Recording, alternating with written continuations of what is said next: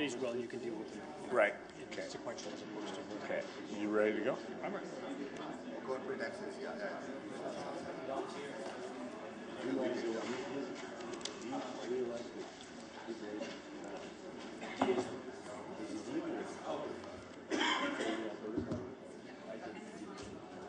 No need to run, Gabriel. No need to.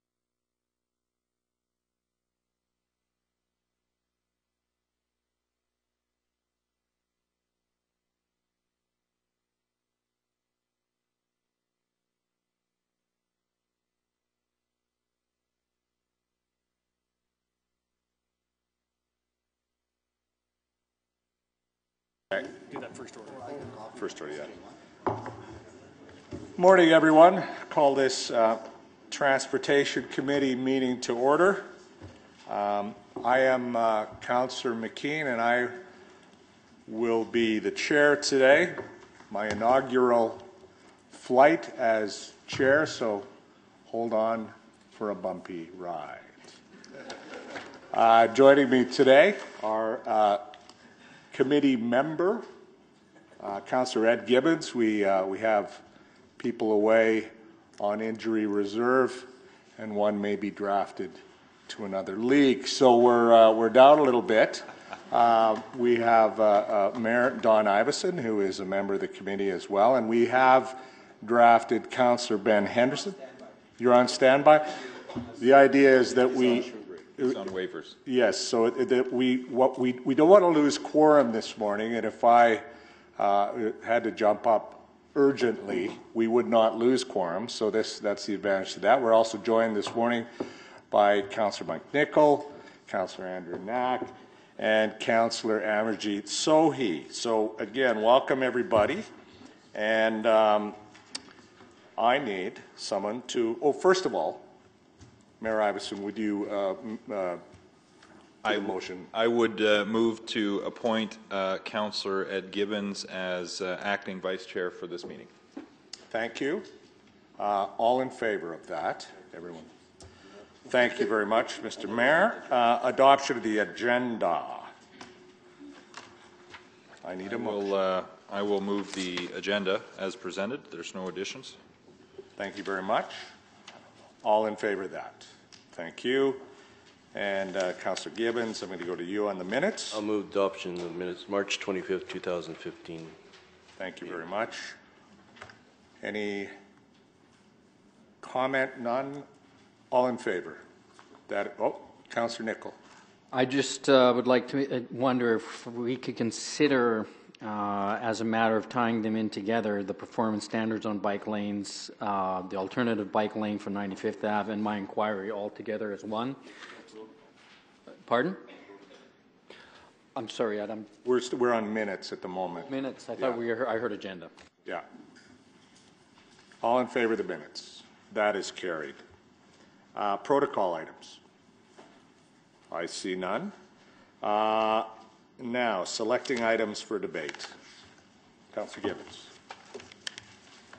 6.1, 6.2, 6.3, 6.4, 6.9, 7.1, and 7.2. Thank you. Any other takers?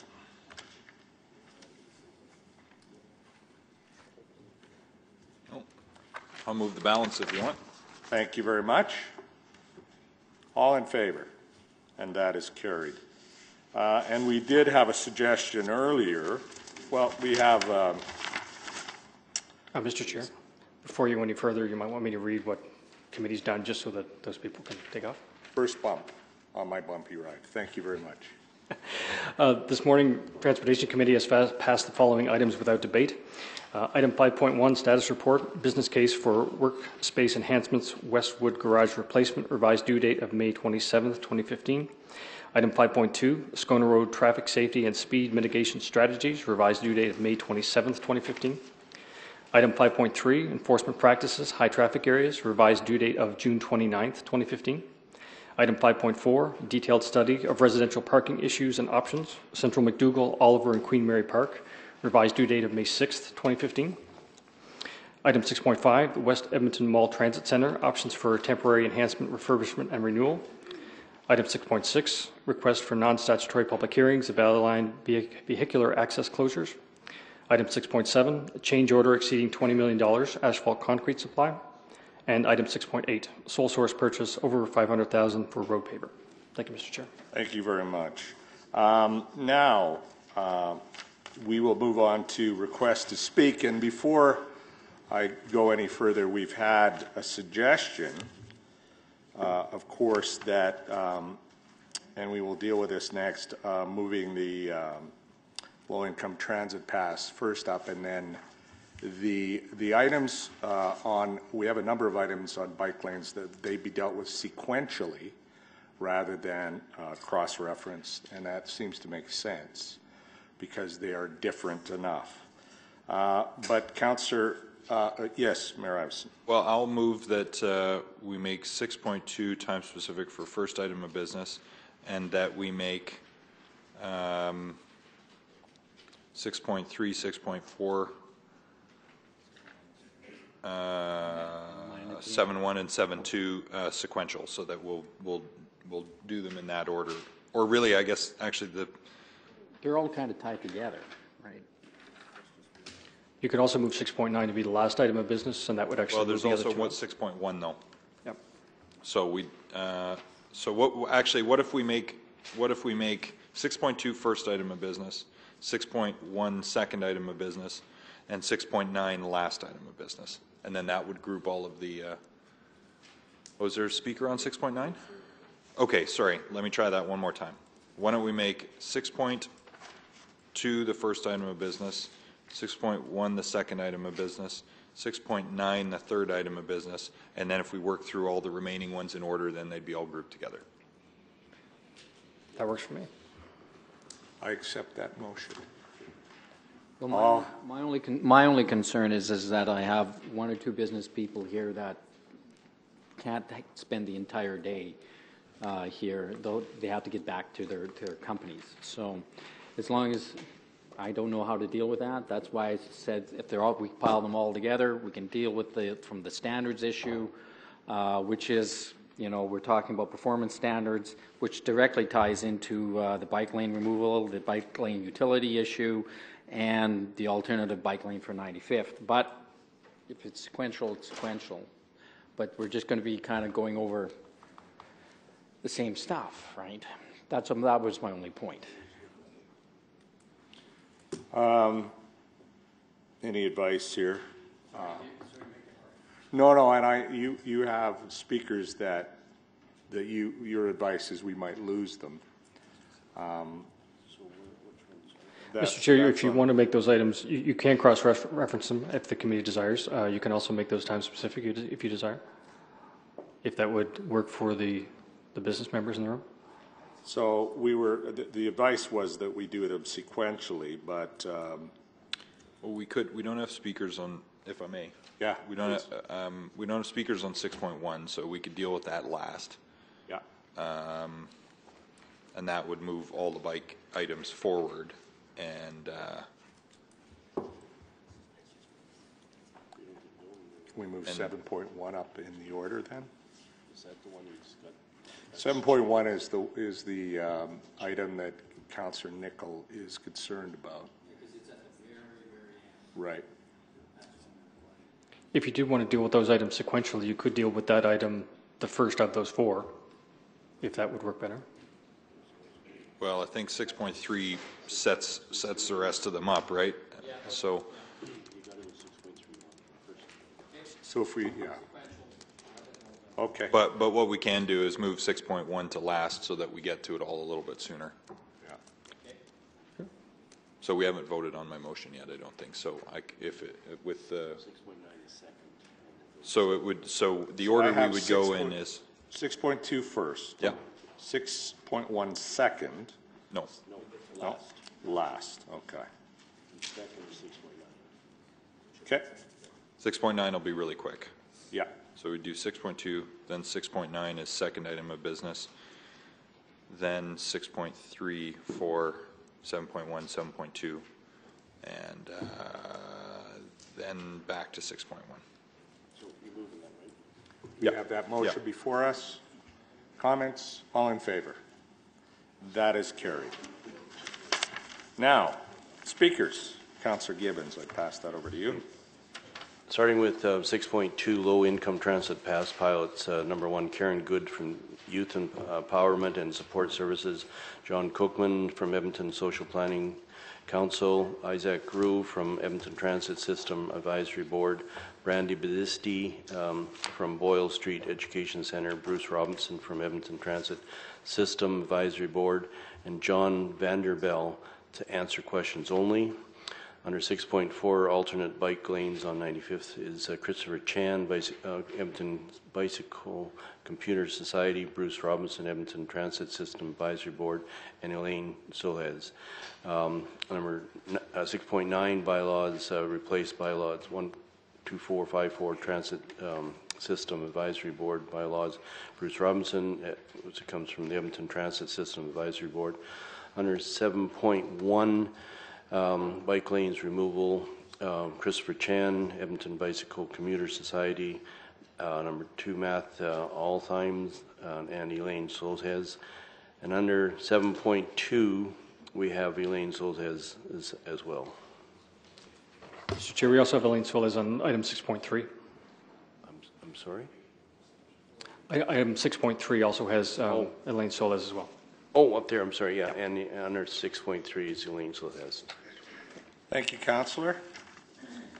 Questions, comments? All in favor? That is carried. Um, now, we have, item uh, 2.3, we've dealt with all the time specifics. Any councillor inquiries this morning? Okay. So, first up, item 6.2. Mr. Mr. Chairman, uh, as the uh, uh, administrative folks are coming up, I can give you a bit of a background on the, on the uh, report. We have no presentation. Uh, However, this report is in response to a May 7, 2014 request from Transportation Committee. Uh, We've worked closely across the city between Transportation and Community Services in, in looking at how this could be implemented. Uh, And if, if committee uh, directs that the program proceed, we'd advise that a more detailed implementation plan uh, be prepared with uh, how that could be put into place in an orderly manner, um, uh, incorporating some decisions that committee and council would make around um, how much of a subsidy, if any, uh, you'd like to pursue, and where the, uh, where the funds should be coming from. And with that, we're happy to answer any questions, or, uh, pardon me, Thank you. We'll get you then to step back, and again, speakers on our, on the item 6.2. Karen Good? Uh, I'm just going to read all the name, and John Kolkman, uh, there you are.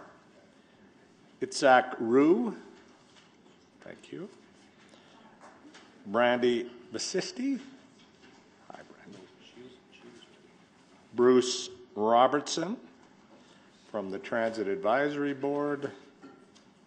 John Vandervelde.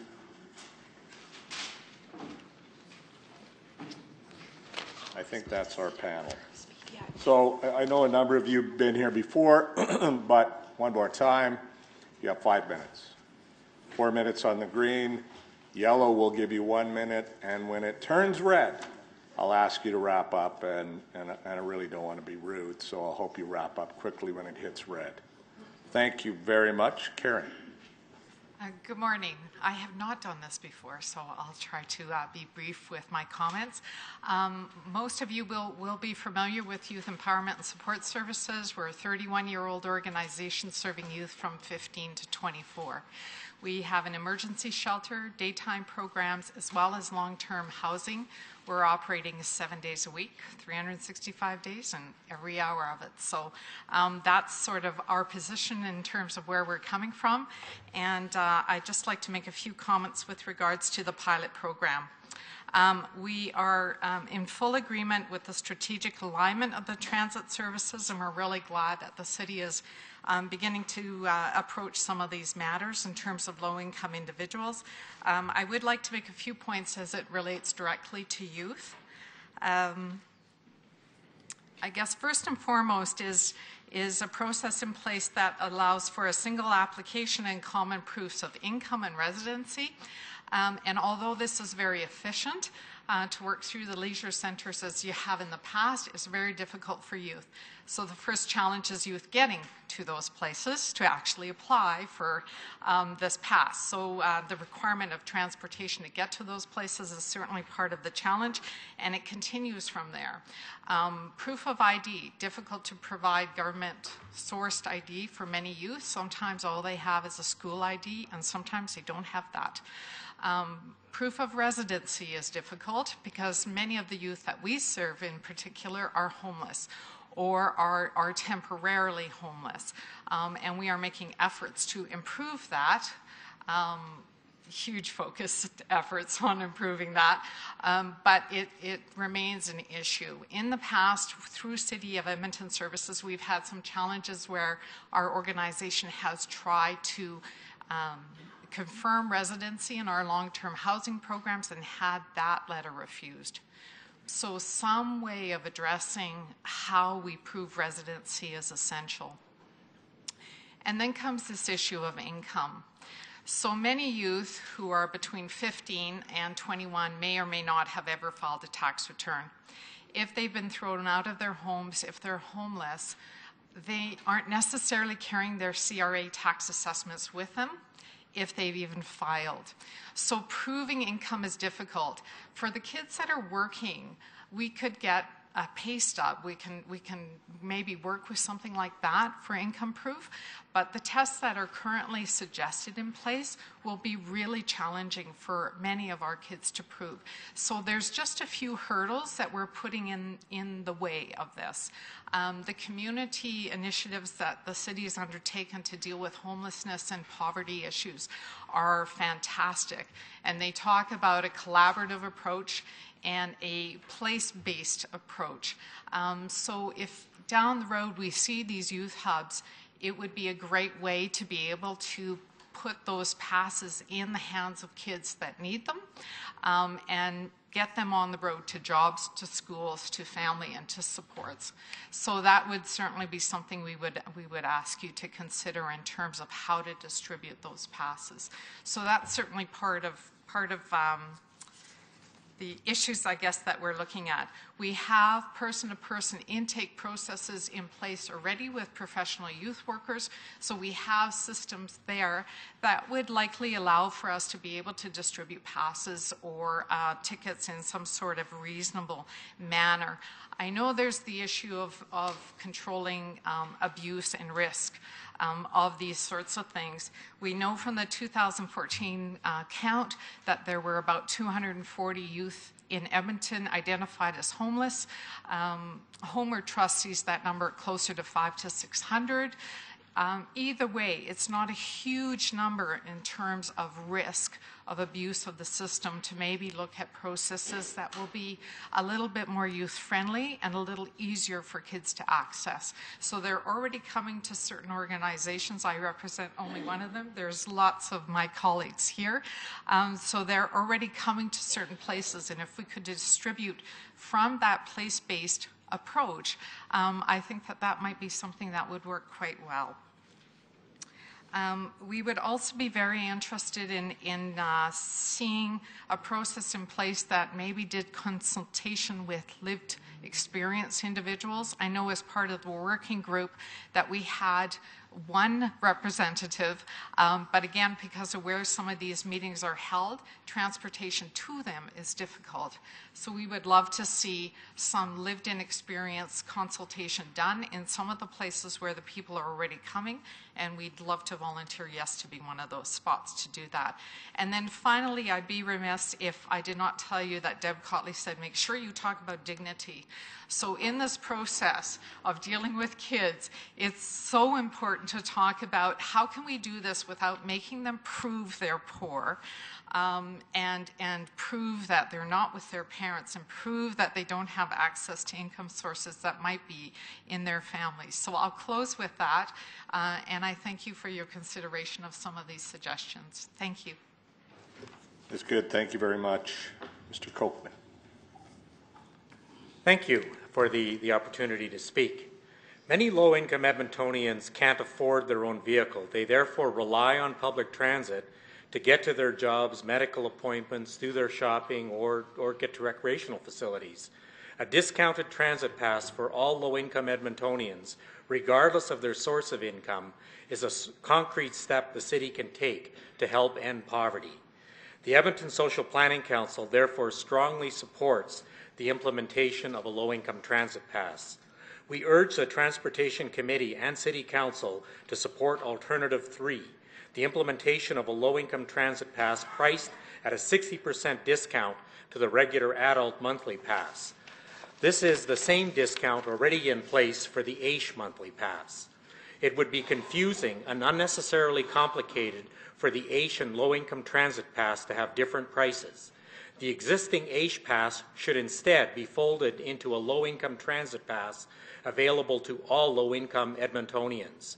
Moreover, anything less than a 60% discount would create uneven and unfair levels of support for low-income working people, Alberta Works recipients, and AISH recipients. Regarding Alternative 5, a low-income transit pass is a complement, not a replacement, for the Donate a Ride program. Moreover, many low-income residents may prefer the convenience of a discounted monthly pass compared to the inconvenience of having to obtain individual do- donate a ride tickets from social agencies. To reduce administrative costs, we are pleased the Transportation Department supports the adoption of a single application and documentation process for both a low-income transit pass and the existing leisure access program. It's a good idea to have a single application process where the low income transit pass could be sold at community recreation centers. It is puzzling, however, that the Transportation Department is proposing to locate its own staff in the community rec centers rather than training the staff already there to sell the transit pass. Having the same city employees sell both passes could further reduce administrative costs. The ESPC cautions against raising other transit fares to achieve revenue neutrality, as outlined in Attachment 8 of the Transportation Department's report. As the Transportation Department notes, raising other transit fares would reduce transit ridership, thereby conflicting with a key goal of the city's The Way We Move transportation plan. Even if the Transportation Department's $8.5 million net cost estimates ends up being correct, a low-income transit pass still represents good value for money and smart public policy. City Council is frequently called upon to make these kind of policy choices. Just last week, Council decided to reduce 2015 property taxes because of an unanticipated reduction in the education portion of property taxes paid to the province. Not to comment on the decision per se, but it bears pointing out that the $31.4 million saving could have covered the anticipated cost of a low income transit pass for a period of four years. Implementing a low income transit pass is a tangible way for the City of Edmonton to show leadership in ending poverty. As noted in the Transportation Department report, affordable public transit has been identified as a key focal area for action by the Mayor's Task Force for the Elimination of Poverty in Edmonton. We all know the City of Edmonton cannot end poverty on its own.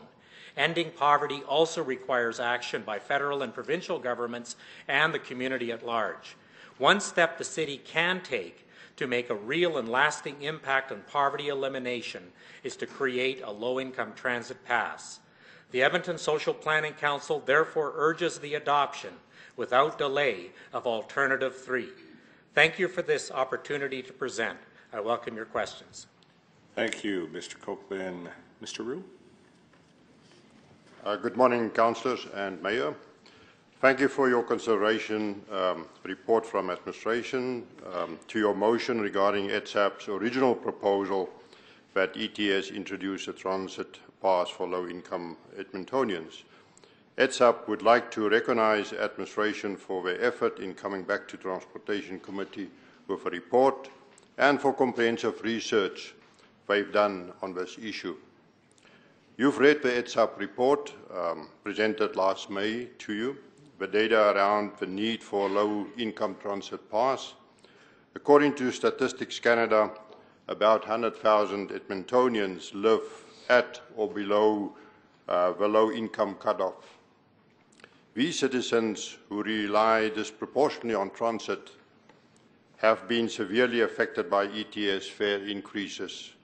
The price of an adult monthly pass has risen by 51% since 2007. In the ETSAP report, we have shown that most other Canadian cities provide subsidized rates for lower income citizens. Finally, you've read in the ETSAP report of how a low income transit pass reflects the sentiments expressed in various Edmonton guiding documents like the way ahead, which emphasize, and I quote, the ability for people of all incomes to have access to core services, including transit. If we all look beyond these statistics and justifications, we will notice that this idea is really about, and it's the core, low-income transit pass is about improving the lives of Edmontonians. For a relatively minor cost, the introduction of a low-income transit pass by ETS will substantially improve the lives of some of our most vulnerable citizens. It will allow Sarah a single mother of three to purchase books for her daughters. It will allow Omar, a recent immigrant, to expand his employment opportunities beyond where his feet can take him. And it will allow Kevin, the sole income earner in his family of five, to have a few extra dollars in his pocket at the end of each month to save towards his children's education. I hope we all see this future that is possible with your help. ETSAP encourage uh, TC in the strongest possible terms to invest in the future of Edmonton by directing ETS to proceed with a low-income transit pass with haste as a three-year pilot project. We believe that the benefits of a low-income transit pass far outweigh the cost and we trust administration to deal with most of the details regarding the implementation of a pass. There is more than sufficient time to resolve any issues associated with the introduction of a low-income transit pass. These issues should not stand in the way of making a positive decision today to move forward with a pass. Do not look at obstacles seize opportunities. The board, however, would like to speak to two details from the ETS report.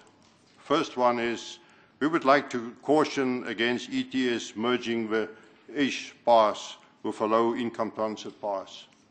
If this action will increase costs to existing AISH pass holders, it is a no-go.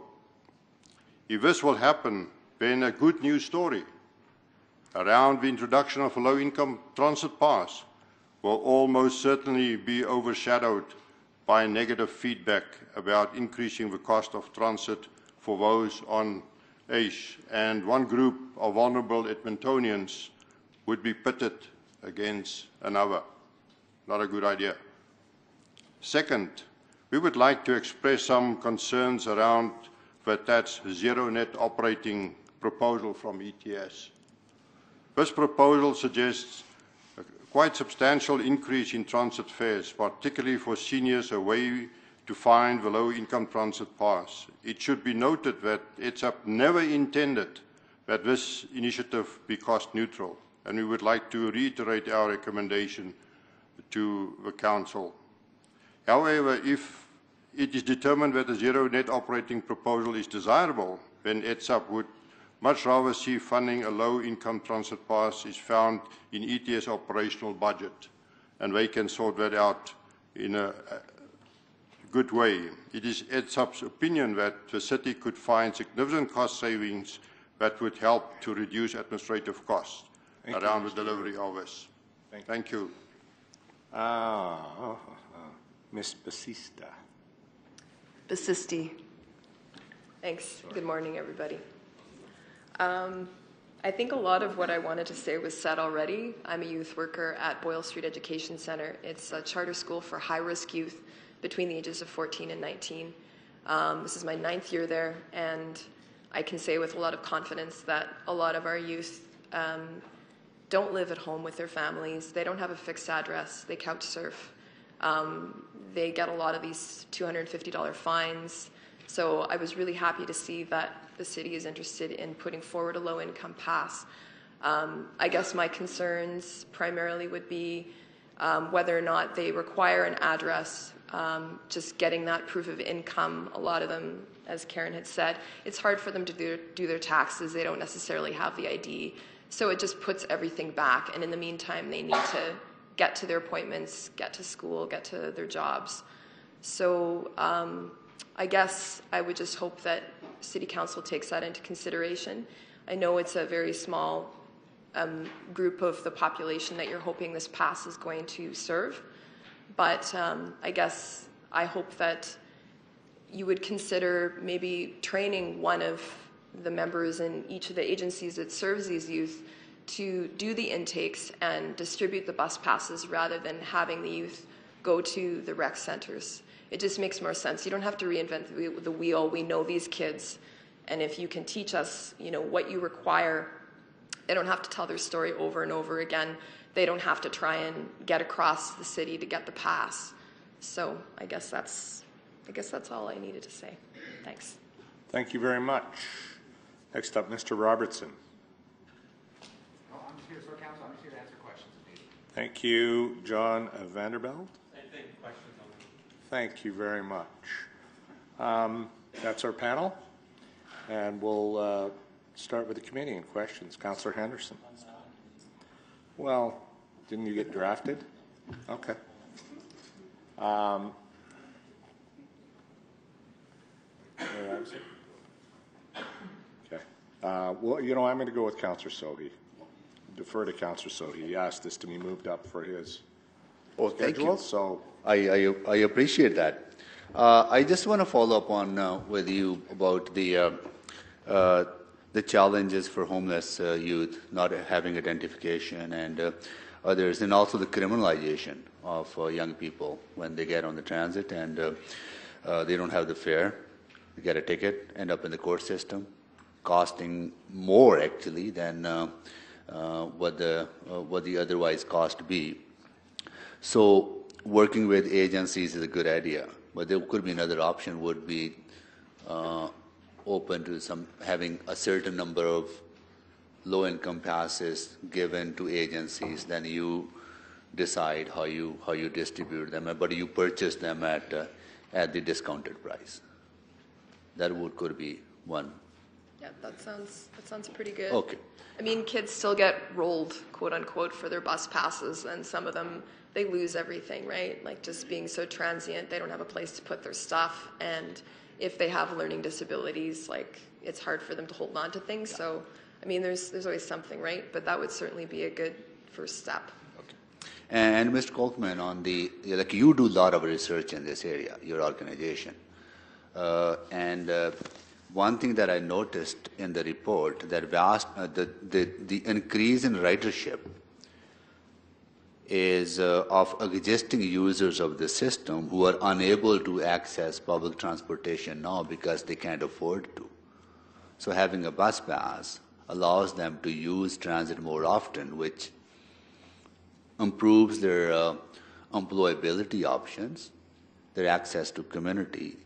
So the economic benefits, uh, have you done? I know you haven't, may not have done a detailed analysis, but can you comment on the uh, uh, on the overall access to market, uh, access to labor uh, for employers, and, for people gaining meaningful employment because the way our jobs are distributed throughout the city?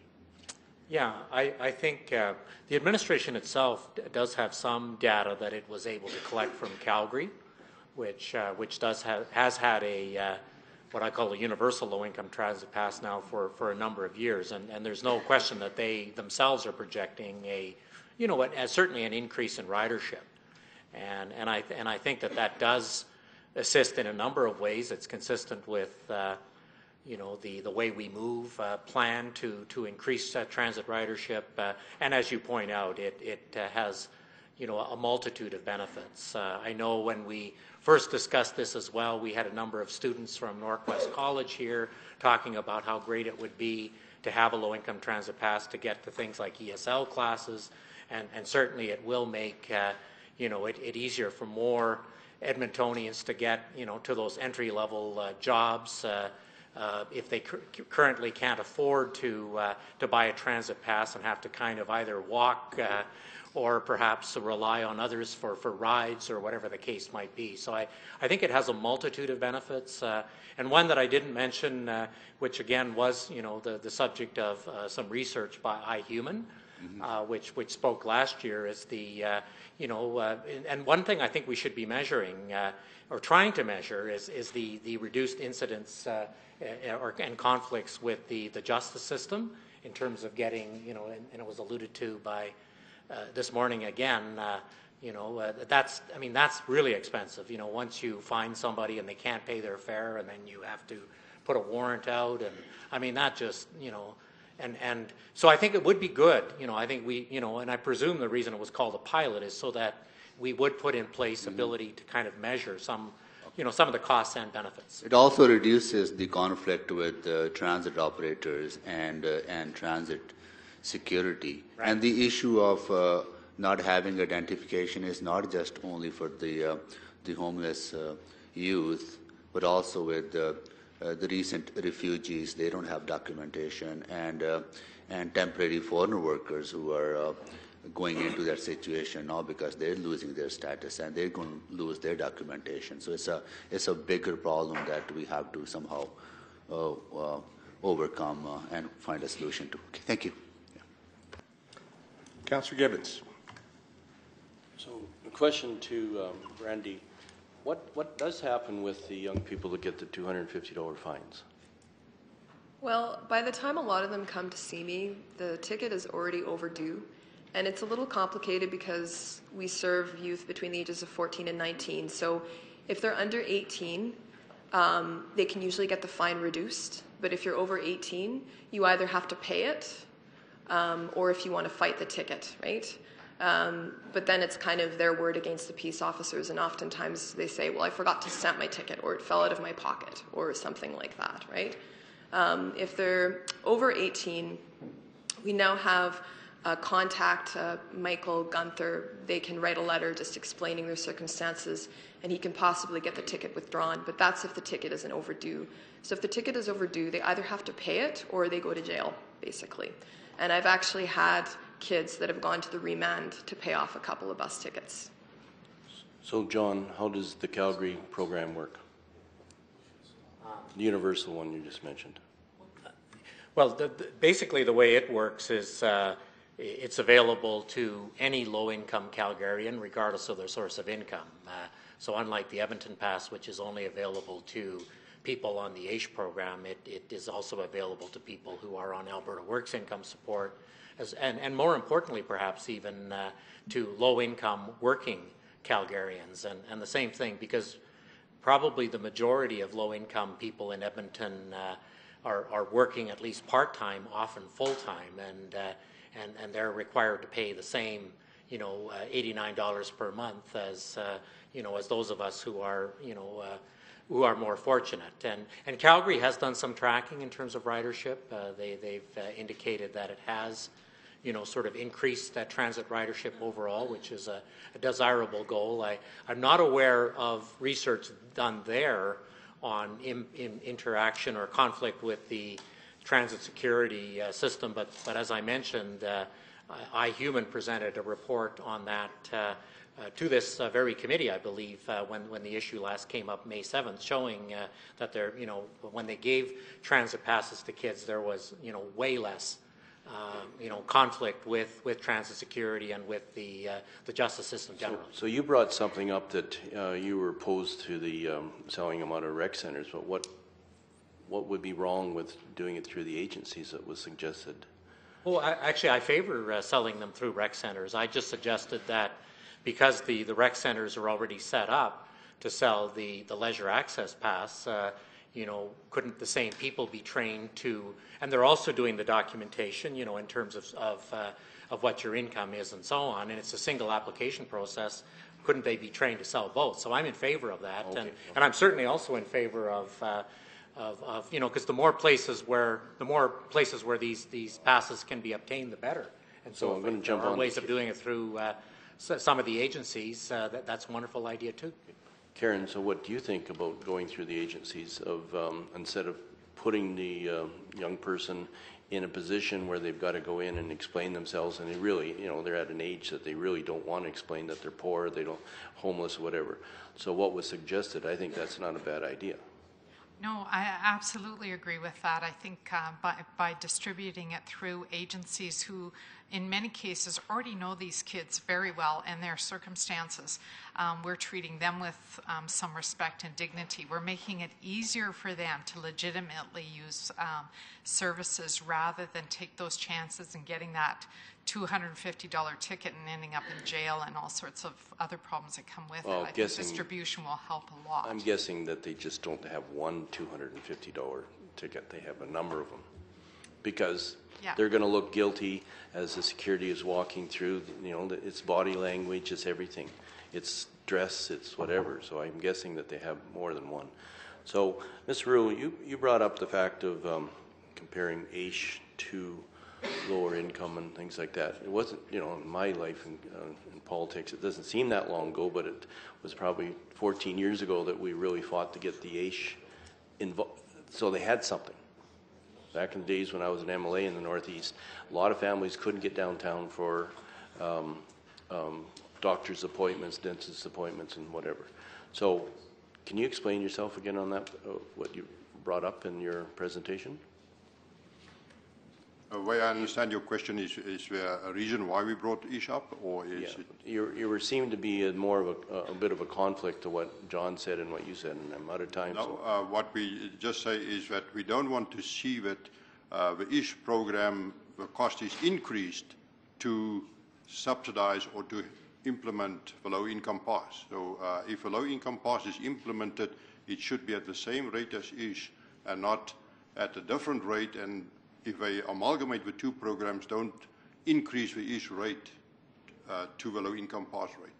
Thank you. Thank you.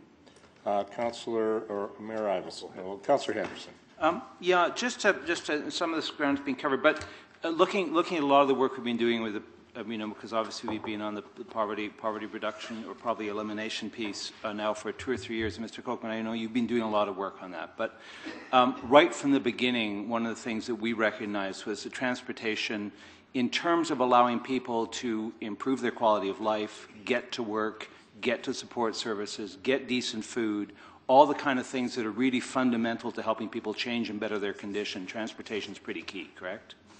And is a major impediment to a lot of that happening right now. And it doesn't feel like it is to us, but 90 bucks or 100 bucks a month on an already overstretched, you know, where you're, you know, you know, I'm even looking at the single here, you know, at, at, at, at, at 23,000 a year, that's 2,000 a month, of which probably 1,000, 1,200 is going into, into accommodation. You've got food, you've got, I mean, there's, 100 bucks begins to look pretty daunting at that point, correct? And that's, I think, what we need to understand. And, and these are people that are, these are people, you know, to be at that kind of income, you're probably working full-time and trying to hold down a whole bunch of jobs and get to those jobs. And that's part of what we need to be able to recognize as we look at this, yes? Um, Yes, uh, I agree. Uh, It's not just, you know, you can always look at, at any kind of cost in isolation and say, well, that's not too bad, but it's all of them together, as you point out. There's many other pressing um, expenditures, uh, shelter probably being the biggest one, but, but food and, and, and certainly transportation, you know, that $89, uh, the difference between $35 a month and, and $89 a month is, is very significant for, for a low-income uh, Edmontonian. And when you're, you know, and again, when you're trying to keep, when you're, when you're already struggling trying to find accommodation to begin with, you're probably not close to the places where you're likely to be finding work. You're probably not closest to the places where you're likely to find decent food. You're probably not close to places where you're likely to find the other kind of things that will help health and all those other conditions that we know will create change, right? That, that's correct, yeah. So the real question, it seems to me right now is, I mean, we know that there's huge benefit in doing this. We know that if we really want to make a dent in this, I mean, right, everything that the poverty elimination work has said is we have to take care of the transportation question. The real question that I think is coming up here right now is whether or not uh, we're throwing up, whether or not how to get it to the people that are going to be most benefited by it. And I guess I think in part what I'm hearing is what are the, you know, is it better to make sure we can get it to the people who actually need it and uh, recognizing there may be a small amount of people that don't need it that may fall through the cracks than actually create a system that makes it impossible for the people who do need it to be actually using it. And that's, I think, what I'm hearing. Ms. Good, that's essentially your point, right? Yes, You know, that if we obsess too much about fraud, one, it's going to cost us a million bucks. We'll spend a million dollars worrying about fraud that could go in actually to doing the program. And, and, and are we actually helping ourselves at that point? When if we're prepared for a little, to, to understand there may be a few fall through the cracks, there may be a way to make sure that the people that really need this are served. And that's got to be the, we, we need to be clear about who we're trying to serve here, right? That's probably where we need to start, yes? Absolutely. And, and I, I guess that's the other question I would have for all of you. I mean, obviously, youth who are trying to get to school, who are trying to get to work, who are trying to get to, to try and make stuff happen and get out of the position they're in, are one group that we're trying to serve. Yes, that's that's a given. And and I guess the question, because this came up when we met a few months ago, whether or not the pass is actually the answer to them, or whether or not there's something, you know, whether or not uh, being able to help them with individual use is more useful. Um, I think either is a step in the right direction. So whether it's single um, use or whether it's um, passes, I think either way, um, dealing with the transportation issue is, is a huge step towards eliminating poverty and starting to get people on the right track, regardless of age. And, and I think, Mr. Kolkman, you know, again, understanding that a lot of this is going to be mostly targeted towards working poor, to people who are trying to, to trying to get to that job, to get to that job interview, to, to, to make stuff work, and, and, and transportation may be an impediment to happen. That's the target we're probably after. But time is of essence to them, right? So that if you have to go through a huge, if you're having to take a day to try and figure out to get your, your pass every month, that's going to be a huge impediment for them as well, is it not? Y- yes, uh, I agree. Uh, I mean, obviously, uh, I mean, there's there's a lot of, uh, I mean, there's people, there's equity, making sure there's equity between people on Alberta Works income support with the people on on AISH, uh, uh, given that many of them face the same barriers, and it is a lot about uh, sort of the, the working poor Edmontonians, or the, as I prefer to say, the low income working Edmontonians, uh, and making sure that that they are able to, you know, to have have good access to the uh, uh, Edmonton transit system. The other the other point I would make is uh, again I mentioned it about Donate a Ride. I mean, it's, Donate a Ride is a very good program, and and I think. Uh, Council is to be commended for its leadership on that program, but I see it uh, again as a complement. And if somebody just needs, a, you know, an individual ticket to, to get somewhere, and you know, and can get it from a social agency, that's great. But but there's an, a, a whole other group of Edmontonians who I think for whom a monthly pass is a is a is a better option than just having to get you know individual uh, uh, donate a ride tickets simply because those can be hard to access too if you're not a, a regular uh, a client of the the agencies that you know that distribute them. But I again I would encourage. Uh, you know the, the city not to see those as being uh, uh, to see those as being complementary. Yeah. Thank you. Mayor Iveson. So the, um, the, uh, and I'm, I'm grateful to have, uh, um, both, uh, Ms. Good and Ms. Basisti here to, to talk a little bit about this targeted issue of, uh, of, uh, youth in poverty and homeless youth who are vulnerable youth. Um, and, and you estimated the number that are homeless as 250 to 500. Is that, is that the catchment or are you dealing with a larger group than that, that, that would benefit from some concessions around transit? Do you want to go first? Sure. Um, last year, yes, saw 500 individual youth. So um, we know that many youth won't define themselves as homeless. They'll say, "I'm not homeless. I'm on his couch." Um, so, so sometimes the trouble is in even identifying them. But in the homeless count that was done, it was 240 youth, and uh, in the community strategies count, it was 500. So we know we're somewhere in that ballpark. And that's, that's homeless at any, at, at one point in time, but people fall into homelessness throughout the year. So, Ms. Basisti? Um, during the intake process, we usually ask people, actually, we always ask people if they have been homeless in the past year or, um, and I would say probably 40% of the students that registered our school reported being homeless. And so I would say over the course of the year, because we have continuous intake, we probably register about 500 kids. So if you do the math, it's definitely underreported. Because I, I think it might be useful for us to think about accommodations for working with those youth, and, and there's already some work happening around, uh, after a motion that Councillor Sohi put forward to deal with this question of uh, uh, youth winding up on the wrong side of these bylaw infractions and the unintended consequences in the justice system for, for them and, and for all of us paying for remand center nights, for God's sakes. I mean, we're putting our money in the wrong place, obviously. Um, um, how many nights in the remand center of savings could we, would it take to just get bus passes for these 500 kids? You know, and, and is creating a bunch of extra bureaucracy to, to, to administer 500 passes. I get that we have to figure out how to efficiently distribute the 20,000 for the working low income people that John's talking about. But for these youth, I wonder if there's uh, a different approach. Again, working with your agencies to get to get um, concession passes uh, in the hands of these youths because they don't even have 50 bucks a lot of the time. I mean, they have nothing. Yeah. Yep, definitely. There was talk about some of the university students in post-secondary donating their U passes. I don't know what's happened with that idea, but you know, it's kind of a possibility. It's a really nice idea, but it, that then undermines the economics of the U pass, which is kind of a separate transaction. So I, I think it's it's it's a, a kind suggestion, but it doesn't that just costs the city in a different way. So I think we, it's better to keep it transparent and, and to be able to follow the money. And the reason why is because we need to be able to go back around to the province and make the case that here's all the stuff we're doing because low income people are concentrated in the city of Edmonton, homeless and at-risk people are concentrated in the city of Edmonton.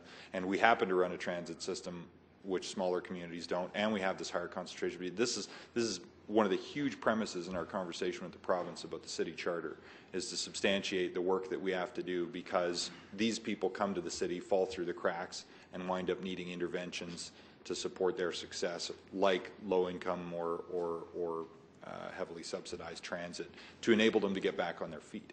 So.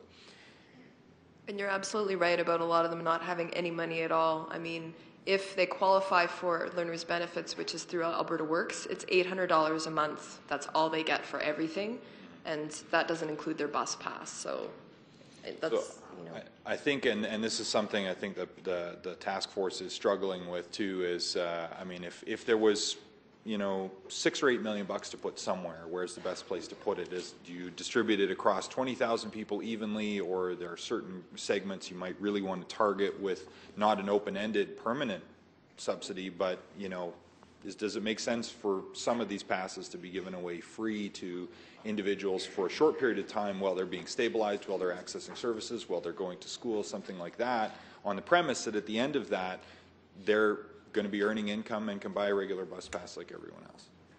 I don't know if you have any advice to us about that. I would love the uh, the idea of giving bus passes to schools because a lot of the kids, it's it's enough that they've even come to school. Like they may be the most stable person in their household, and just that they're coming to school, you know, it's a big deal. So asking them to get a job on top of that is pretty challenging. So I just want to ask one other question to, to Mr. Kolkman and Mr. Rue before I run out of time, which is on this question of the AISH discount versus the regular discount and 50% versus 60%, because AISH did go up quite significantly a few years ago. It's still very low, but the best practice, according to the attachment in here, is about 50% is the discount that other cities are offering. So just to avoid the potential conflict, I get that as political advice, but given that everyone else is doing about 50%, uh, and given the change in AISH, how would you react to that? Well, first of all, uh, Calgary is now at about a 40, uh, see, I guess I'd make it a 55% discount because they kept their, the last time they increased the regular monthly pass, they, they did keep their, uh, their uh, uh, low-income transit pass at the same $44 per month.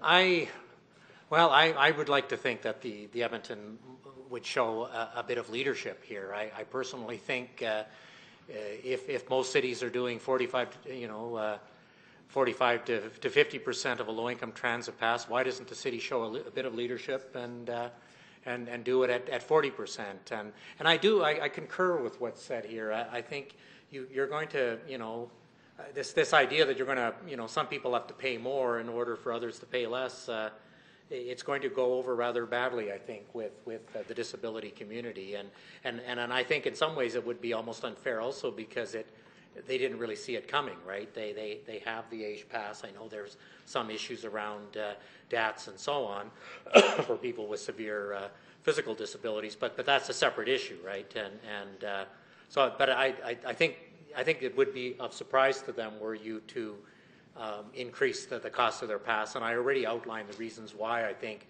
there should be a single pass. I just think having, there's an equity question and there's also just an administrative complexity question of having two different kinds of low-income transit passes. So I guess in conclusion, I, I think it should, it should be priced at the same uh, as the AISH pass, uh, you know, based on, on a 60%.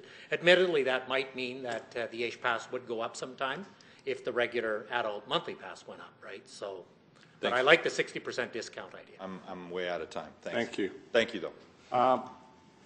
I have a couple. So one of the things, uh, and, and of course, the mayor uh, brought up a couple nights in the remand and the cost of that. Those are not our costs, though. Those are the province's costs.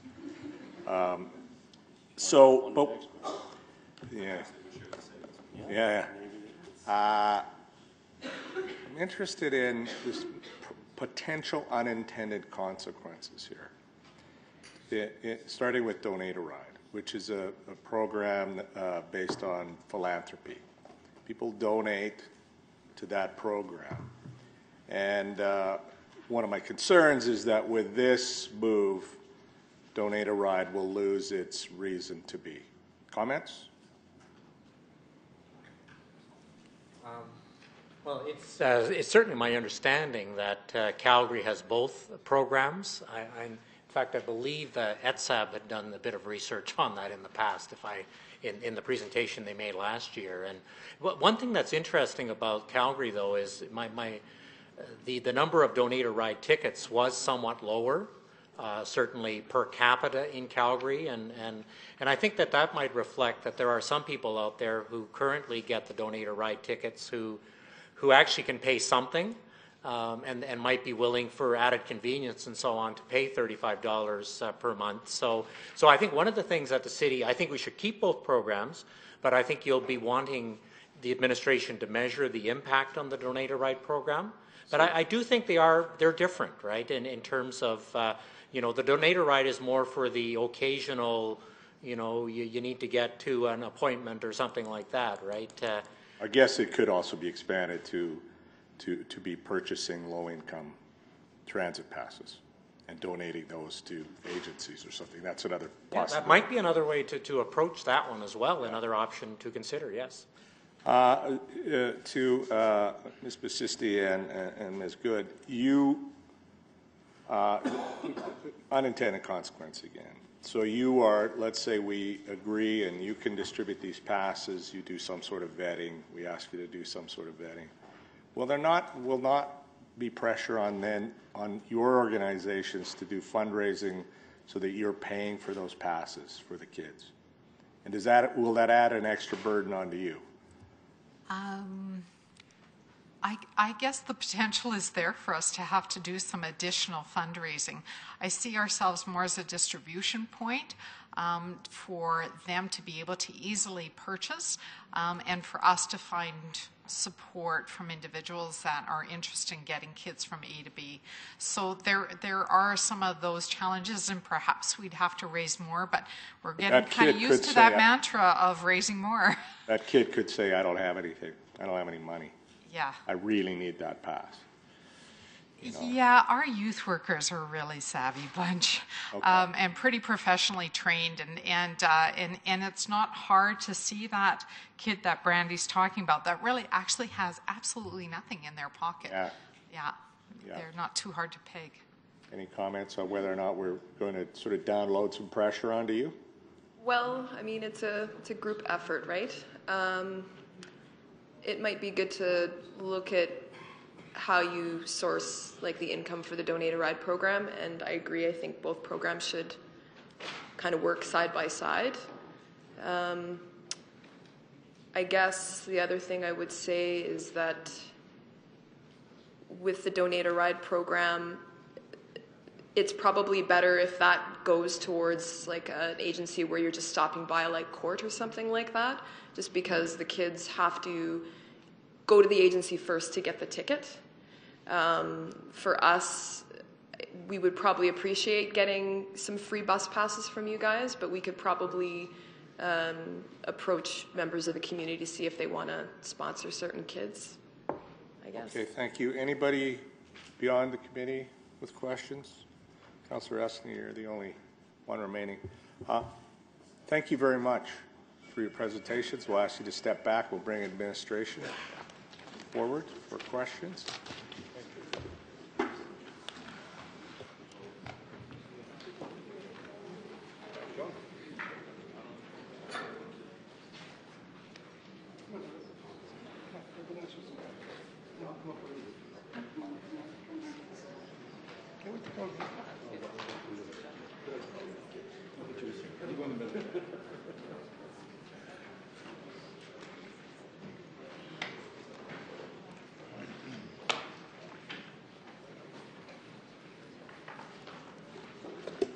You all.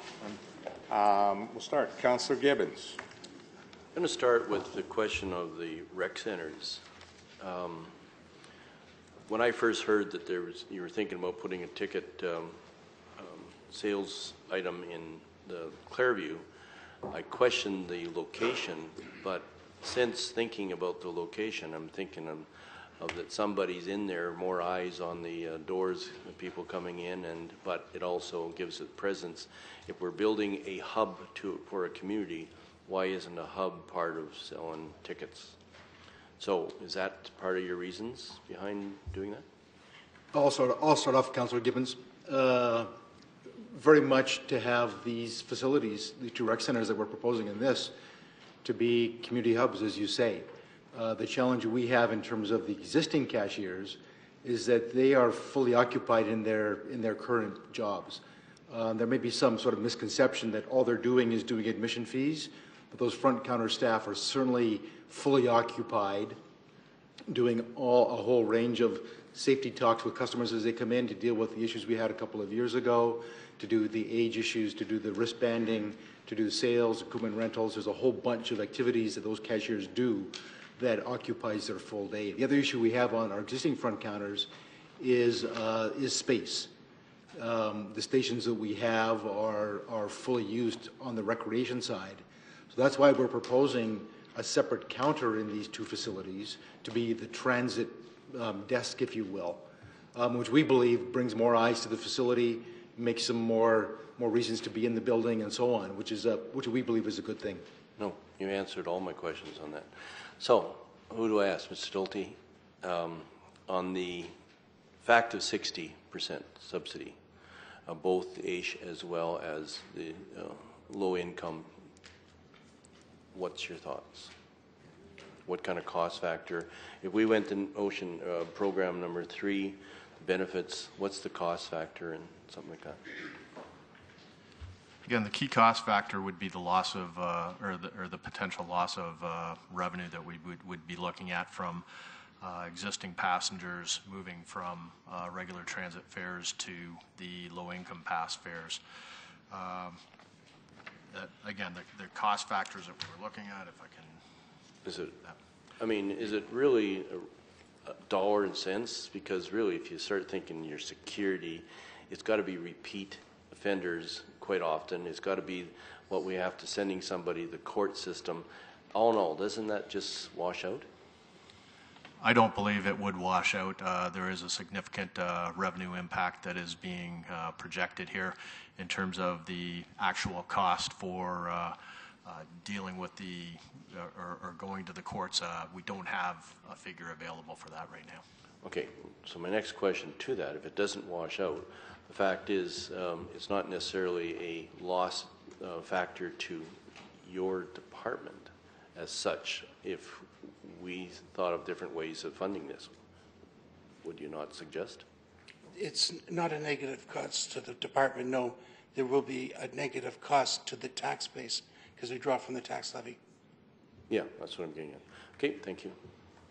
Thank you. Councillor Sohi.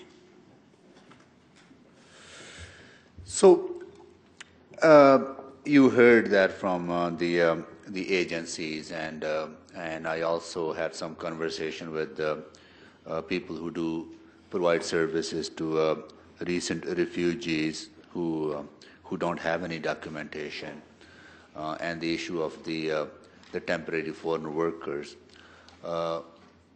So these are they are complicated issues to deal with, but we have to, because these are the people who would need access to public transportation, the, like anyone else living in, uh, in, in low income and uh, in, in that uh, situation. So, any thoughts on um, uh, working with agencies that serve homeless youth, homeless population, also organizations like Mennonite Center or Catholic Social Services, another immigrant uh, serving agencies and refugee serving agencies. Um, Councillor, there's three areas that we've, that's been identified as we've heard from committee today. One is the youth, one is the refugees or, or new Canadians, and another is low income. We've based this report on the low income as per the inquiry. So we see three different streams here. If we move from, we're, we're working with the agencies is quite probable with the youth and the, and the immigrants, the new immigrants. We could see working with the agencies in that case, whereas the low income is a different stream, and the low income requires the documentation behind it. Yeah, even though the, the criteria for access, I mean, income based, it, it, it's this, it's the same. It's just how you, how you implement it based on uh, the needs or uh, lack of documentation from different segments of the population. There's, I think there's two different avenues here. Is the low income would generally be a continuous program for an individual, where you have newcomers to, to Canada and the youth. We anticipate that those people would move into the mainstream. They'd be able to move up. So what I would see is this being a non-cost to the agencies that are giving these out and the limitations on the people who can use them. So it might take them six months and get into the workforce and starting to move along. Yeah, but we were to go so that way. once those people, for example, in the in the case of homeless youth, it's going to take many many uh, efforts, uh, and there are many other issues related to that. Uh, so you know, there's mental health, addiction, and all those. So it's going to take long time for uh, them to be overcoming of uh, those challenges and uh, being gain, uh, being employed gainfully. And uh, with the with the recent immigrants and the refugee population, may not take as long. So I think there this has to be a flexibility in the in the approach in order to make sure that nobody falls through the through the crack because we want to be as comprehensive as possible to uh, uh, so this program is accessible. That's correct. But it, I guess we have to get clear indication from committee which one of those or two of those you'd like us to endeavor to move towards. Because we certainly haven't identified the costs with association with the youth or the new immigrants. However, we know, do know who the agencies are. We do have task force in place in the city looking at the homeless people, looking at poverty along those lines. So So the uh, on 60% discount, the cost of 8.5 million has not factored in uh, in the in the homeless youth population and uh, recent immigrant population. that's correct. It has not. No, Okay, this would be a different program altogether. but that's my understanding that is based on the the census data, based on how many people are living in poverty, and that will include homeless youth, that will include recent immigrants, that will include refugees. Yes, you're correct. I'm sorry, the way I took that was it, individual, it, individual, so I Oh, yeah, I, I understand I the apologize for that. implementation aspect, but the overall cost of uh, the program does include those. Yes. Okay, all right. You got me nervous there for a bit, right? No, no, I'm glad that it, you know, I, I thank you so much for your work. I think this is a, a long overdue, and uh, we're moving in the, in the right direction. I, know- I, I, on your, you, on your business model, you have a cost recovery model. You would like to continue to recover the cost of uh, the system through uh, uh, collecting fares, and you want to maintain that. So any any loss of revenue for ETS, as you suggest, should be coming out of the main tax levy, not uh, out of your system, right? Yes, that's correct. As all discounts come out that we have right now, we have multitudes of discounts that are, are come off the tax levy. Thanks. Thank you. Uh, Mayor Iveson. Well, I, I think uh, there's the question of mobility for uh, people in working poverty, people who are trying to get upskilled, people who are uh, have some capacity to go through these exercises, can produce documentation, so on and so forth. That's 19 out of the 20,000 people that we're talking about here. The same folks who are able to navigate are the same kinds of folks, I guess, that, that are able to navigate our um, uh, leisure access pass program, which this is this borrows from heavily, right? So then there's this last maybe thousand, and maybe it's ten thousand, but for purposes of this program, there's uh, you know if there's 500 uh, uh, youth at risk who are driving a lot of um, peace officer time, costing us a bunch of uh, court time from our law department, and ultimately costing the province money through court time and through remand time, then you know there may be a separate question here, and this is maybe something the task force should grapple with, which is that if we need 500 bus passes for these kids, and they're a thousand bucks a pop for the year, or 6,000 monthly passes, 500 times 12, you know, it's 600,000 bucks of lost revenue, assuming they're all paying today, which they're not, because we're sending them to jail because they're not paying. So we- we're not losing any money here. I mean, there is no real opportunity cost, and they're either on the system today because and and not paying, uh, or using donate a ride tickets, or um, or not paying and getting caught, or not paying and not getting caught. So, or not getting on the system because they're banned from it because and then not able to get the service and so on. So I think I think we should maybe compartmentalize that. I think this is something I'm thinking we should take back to the task force to think about whether there's a, a distinct program there that we could put together for those kids um, that would help deal with some of these issues. Um, and then we can stay focused here on the, the folks who have the capacity to deal with the paperwork um, and who can produce the documentation. So, so that's, that's, a, that's a starting thought. The, as to this question of, of the rec center, if we set up sales points at the rec centers, which are high traffic areas, do you think that, I mean, you would not only administer the low income bus pass program, you would also vend the normal fare products as well there? Yes, And provide, provide uh, schedules and other customer service? Yes. Do you think that, i- is there any likelihood that that will increase revenue or decrease the cost of distributing through third parties some of our fair products? Or, or, I mean, is there any revenue recovery from that, any incremental advantage to it? We haven't identified a revenue recovery. It does make it more convenient for, uh, for people who use the rec centers to buy their transit products, but it And you has don't not have a been built third-party into this. handling cost for, for the third-party vendors as well, if we're delivering more directly. So I think that's something we should look at as part of implementation, it may be an offset here. I think the other question, though, is that, yes, the front counter staff, uh, to Mr. Smythe's point, are, are fully occupied, I, I get that. But is it the front counter staff who, who manage the, the leisure access program paperwork, or did they go into a, a side room to have that handled? Uh, The the intake function Yeah. is, is done basically downtown in CN Tower here.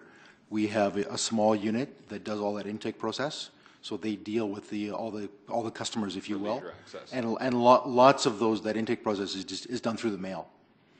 But there certainly is a front counter option as well. See, I, I think there's got to be a one city opportunity around this that CLT should really think about. Um, and I think this is a theme in the in, in the poverty task force too. Is that that's a touch point with a person who has uh, identified themselves as being low income, and that's an opportunity to not only give them leisure access to rec centers and potentially through this give them access to transit, but also say, by the way, would you like a library card? That's now free. By the way, can we refer you to services? And that should be done by a social worker and not by a clerk. Mayor Iveson, the, the intake process that's in the, in the documentation is, is quite integrated. So the uh, applicants would come and, and, and apply basically for their leisure access pass, and then that, that would then give them the, um, the evidence, if you will. Automatic eligibility. To, uh, to go and, and apply for the transit, the transit pass. So that, that it is, And I see that between the lines here. I think we can go further with it. I think we can, like I said, take that as a touch point with, with Edmontonians who were, we would maybe be able to bring other services as well in partnership with agencies and partnerships with the province. Certainly And that's that- an integration question that we're looking at at the task force too. So as long as you're open to that. And I guess my only other question, well, actually I got a bunch of other questions, but, but what I'd like to understand is how um, the, uh, when we implement a smart fare system, does that assist with the, the rollout and logistics and costs of this in any way, in your view? In our view, yes, it can. Uh, The smart fare system would be an account-based system, so the, uh, the, the information uh, related to, uh, or whether, whether there is eligibility would go into the individual's account that's access, or using a smart fare system or a smart card. That's what I was hoping you'd say. Good answer. Thank you. You. Councillor Henderson. Well, just, um, just to be clear, because I'm, I, I have to confess to having some frustration at the fact that we've got a, a $1 million bill a year to provide this program and a, and a $1 million one-time cost, no matter what we do. So the, correct me if I'm wrong, but if we go with only the 35% discount, most of the money we're giving back will go to set up the program and to administer it. Right? Well, actually, you know, the, the, the revenue loss is actually, you know, at least for the first three or four years, would actually be less than the cost of administering it. Well, I, It's a- it's a million- it's a it- million It bucks depends a on your year. perspective here. In, in all cases, in all three of these scenarios, there is a revenue loss and there is the one-time cost Yeah, to set it up. But, but the, So- on, but the ongoing costs and the one-time costs are identical no matter what the discount is. That's what this is showing. Count- So, right? Councillor Henderson, uh, one, one thing you might want to keep in mind is that um, this won't go from zero to full uptake in one, in one cycle. So we, we believe that there will be an uptake and that some of the, some of the Yeah, associated costs. no, but my will point is, off. if we're going to do this, it's absurd to do it if most of what we're doing to subsidize it is going to the, going to the administration of it, right? If the real revenue loss is going to the administration, I, you know, it, just in terms of this question of whether we go 35%, 50%, or 60%, we will get the best value, ironically, for the investment that we put into administering the program and setting up the program. We'll get the best value for that if we go for the highest discount the actual cost per discount will be way lower because it's identical. no mat- it- You you know, the administrative costs are identical to us no matter what the discount is. Yes, Councillor, you're correct. Yeah, okay. So I think that's something we need to keep in mind. And I guess I'm a little bit puzzled about how this, you know, why that this is so complicated because we're doing, we're, it's a once a year thing for someone to go in and, and get themselves, now in the case of an, of an access card, it's not a monthly thing. They're getting a one year pass, right? That's correct. But there is probably a piece of paper that they have to carry around or a card that they have to carry around that says, I qualify, right? That was the original idea of that program. That's correct. They get their pass with their picture on it, and that gets them full access to all city rec facilities for the year. So I don't, what I don't understand is, we, we do multiple products right now when we sell our bus passes. We're not charging one, you know, we have a youth price, we have a, so all of our vendors are already dealing with a multiplicity of prices, correct? So why would someone not coming in with a, with a leisure access card not be able to be dealt with by any vendor we currently have and just charge a different price? I don't get why it's so hard. Uh, We'd have to take a closer look at that, but certainly now what we're doing is putting the onus, uh, onus on the private vendor to. uh, To check a card. We ask them to do it for youth, do we not? Do they not check how old they are? Presumably, they're already doing that. No, actually, uh, in, fact, a parent can come in and buy the youth pass at, at an outlet for, for their sons or daughters. All right, so, because I think this comes back to the question, I mean, it, it re, you know, adding a million dollars to this to deal with a fraud problem that probably is more easily dealt with for the few people that are going to get through the system that choose to game the system, I just wonder what we're doing. You know, I mean, I, I think we need to have a, and I, and I think the other thing we do need to look at, and I, and granted is, is a really hard look at who we're trying to serve with this so that we understand and make sure that we're making it easier for us to get it. Because if we make it, you know, if, if, if we make this so complicated, then we're not going to be getting to the people that in some way need it the most. And I, and I really would like to make sure that we're having a good hard look at that. I think ease of use of this, understanding you have to jump through that hoop once a year, but we're doing that already. Um, and I and I don't understand why we would make it complicated once we once we have said you guys qualify to, to be able to then go in and get a different price on the bus pass anywhere we're selling a bus pass. Councillor, the other point, just to just to mention, is the uh, LAP card that are issued to th- these customers um, don't identify them as low income. They're the same card you or I would buy on an annual basis. But we could change that. I mean, I mean, there is, or, or we could give them a second card at the same time if they wanted it, right? I mean, I, I mean, I and I understand that, that there's there's a down. I, I think if I was given the choice of whether or not I had to go to, to an obscure place to get my pass once a month, or whether or not I had a card that said I get a different price, I know it's not great to say I have a card that gets a different price, but I'm wondering if we actually gave people a choice about that, which one they would prefer. You you know, I mean, I. Um, and I think probably ease of service would be the one that they would opt for. I'm pretty sure it would be. Absolutely. No matter what our customers, who our customers are, we always want to give them ease of service. Just going back to the outlet distribution, somebody comes in with a with a card and says, "I want a pass," they get a pass. Uh, It doesn't show that it's anything about low income.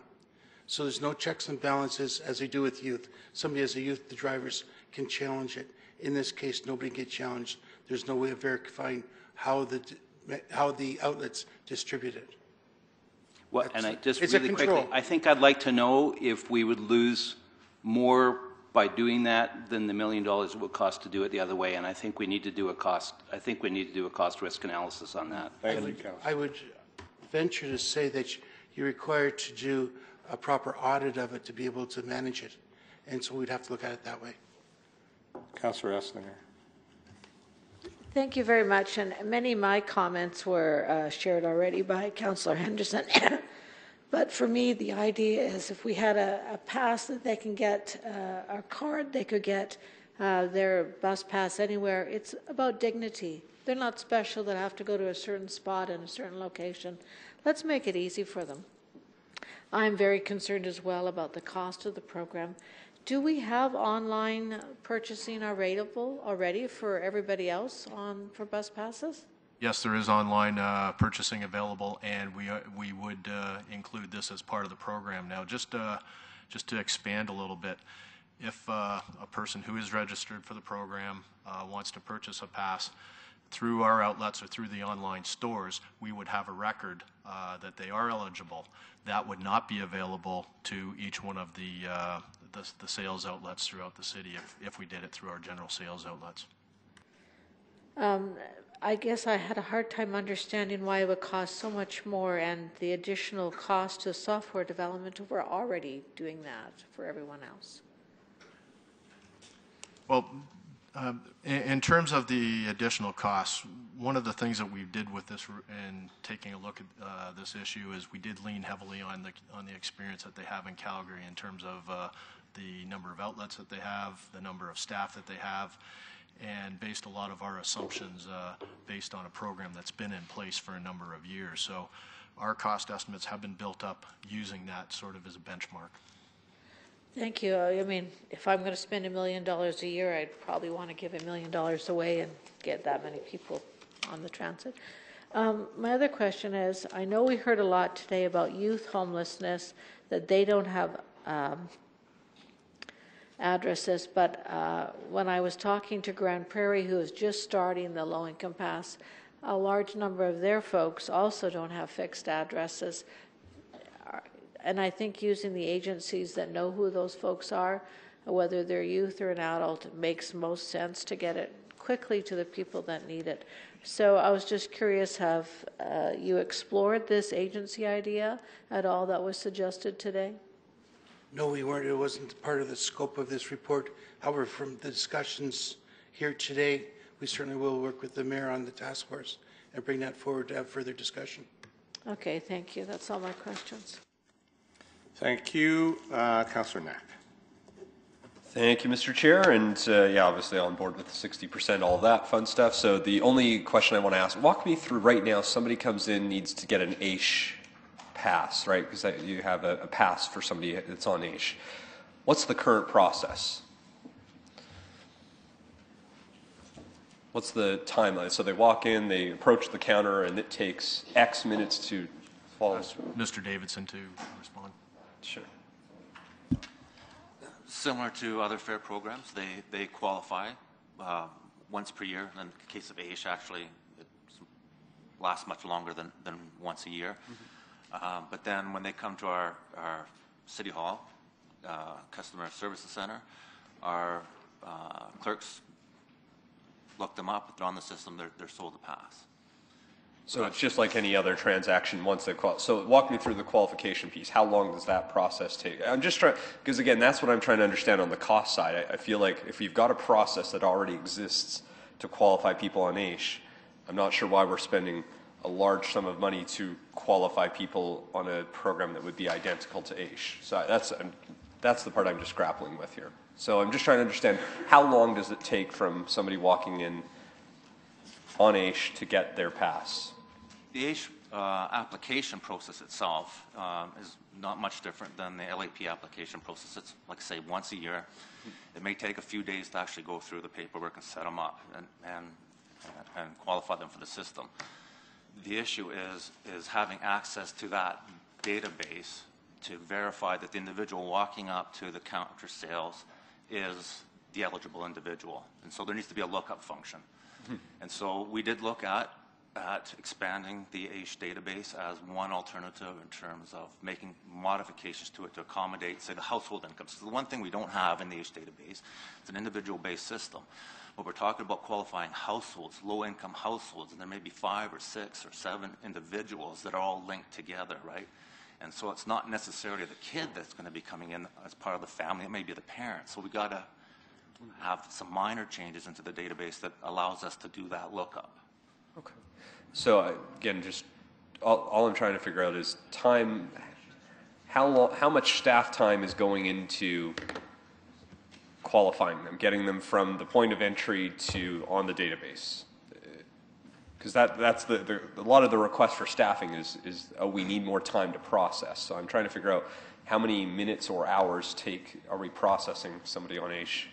So we have two full-time staff members dealing with uh, AISH personnel, but it's not just the application processing that they do. They deal with all the concerns that are raised in terms of, because we have an automated debit withdrawal process for them as well, which you know, presents some issues on, on a month-by-month basis. I think it's important to distinguish between there's two two processes going on here that we, we propose. And there's the application process itself, yeah. which is done once per year. The costs that I think uh, contribute mostly to the program is the ongoing sales of a monthly pass, which enable you know which means you're you're selling and returning passes every month. That's where the costs reside, and the bulk of the costs are having to do with staffing, and that's where that almost million dollar comes from. It's the bulk up for staffing to accommodate the two extra locations at both Millwoods and Clareview. I see. Okay. Um, and right now, so again, if somebody wants to do this, the only spot they can come to is down here at City Hall, correct? So this would give now three options in the city of Edmonton versus one. That's correct. And I mean, is there a plan? I mean, because it, to me, as the mayor was talking about, it makes sense to get this out to more locations than the one, under the one city piece? Has there ever been conversation about you know libraries and, and different things, not just the low income, but just transit, making sure we offer this service, making it available to people so, for purchasing. With, uh, with the administration of the sales of programs, there are some administrative requirements. Uh, staff in a number of these facilities are already, as uh, Mr. Smythe mentioned early, are already uh, fully utilized in terms of their time. Uh, the sales of, of monthly passes or transit fares can be extremely, um, uh, or there, there's certain peaks uh, at the end of the month, for example, where it will get extremely busy, and definitely you have, uh, we would have to staff up for that. Should also be pointed out uh, with respect to AISH, we're dealing with uh, registration of 5,000 uh, AISH uh, uh, pe- people that are eligible for that pass. We're looking with this program, our projections are over 20,000, so the volumes are significantly higher than we're dealing with the AISH now. Thank you. Thank you, Councillor Knack. Councillor Loken. Thank you. Um, in terms of the question posed of whether or not this would affect donate a ride, I think it'd be difficult at this point to gauge that, given we don't really have any criteria at this point. Yes, True. that's correct.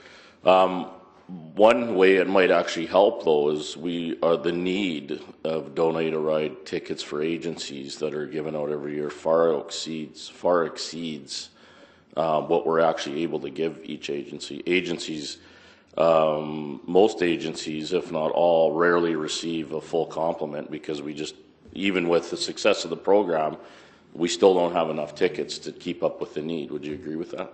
Yes, I do. So in, in a sense, this actually might help depending on how we, we roll it out. Exactly, depending on how we, if the district, if we use the, the donate, just at a cursory look, if we use the donate a ride program structure, we might be able to deal with the agencies in that context with whatever design of a program we come up with. And I completely agree with the comments regarding the $250 fines. Actually, at our Donate a Ride launch, uh, our wrap up, we had a young man give a testimonial about what the, what the difference uh, Donate a Ride tickets have made in his life. And unfortunately, though, it's not enough. Um, and he's received, he received, I think, 10, 10 $250 fines, he said. So it's something we need to look at. It's just not working, and it's, uh, it's absurd to continue to do, to do something that's only costing us money at the other end all the time. So, thanks. Thank you, Councillor. Um, just, uh, with, I'll have a couple here too. So, we have several streams of getting at this. One of them, we heard the agencies uh, dealing with youth uh, would like to be able to take uh, some responsibility, uh, help us out with with vetting. Um, AISH is another stream. And then the leisure access program is yet another one. And uh, Mr. Smythe, um, so and just kind of following up on Councillor Henderson's questions, would it not be possible to have a pass that was uh, identified in a, in a in a way that the average person wouldn't know the difference, and yet that person could take it to to a uh, to a uh, transit uh, ticket facility and be identified as someone that would qualify for a low-income transit pass? Is there not some subtle way we could do this? I'm just trying to find some simplic- simplicity to the system here that would help out. To be able to use all the outlets that Transit currently sells all their products at. Right. You know, we didn't explore that. Um, Yeah, we thought it was best in terms of being able to provide the data of all the LAP users to the transit counter, if you will. Then they can verify on that list that, that the person's in the system, basically, and then issue their monthly uh, transit pass. But it's certainly something we can look at.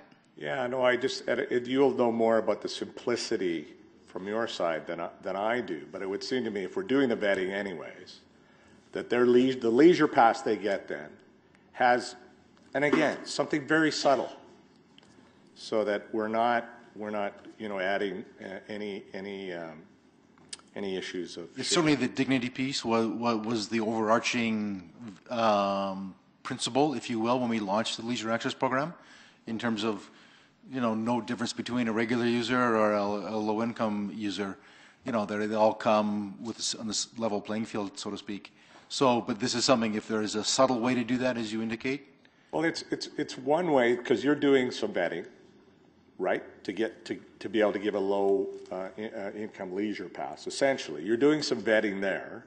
And what we then would be able to say to them, and now you can use this pass to get a low income uh, transit pass or transit tickets, however we figure this out. It would just seem to me to have an approach where we could simplify this for people, and there's vetting done once. Not having to maybe set up other counters at a cost, hire other people, that in fact, we would then have a leisure access pass that would be, would be um, able to, any of the vendors for, for uh, transit passes could use that. Councillor, um, one of the things that I just discussed with Mr. Kropesky is that when we go to the smart card system and we're pursuing that ahead, is that these people could get registered on the smart card system. They would be able to purchase the cards online or, be, or pick them up at a certain location with a swipe. That takes away all that other interaction and keeps their privacy and the confidentiality around it. So that's, you know, two, three years out and we'll be there. Agreed, but that's two to three years out. I'm just wondering if there's a way to simplify this now.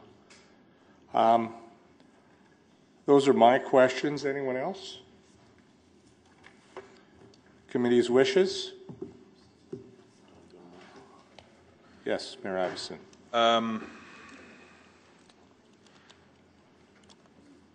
if it was the recommendation of the committee to, to move ahead with preparing uh, the pilot, uh, would it be useful to get the price point, direction on the price point today as part of that, to understand the order of magnitude? If we do, we could do three service packages or we just do one with the direction from committee. Okay.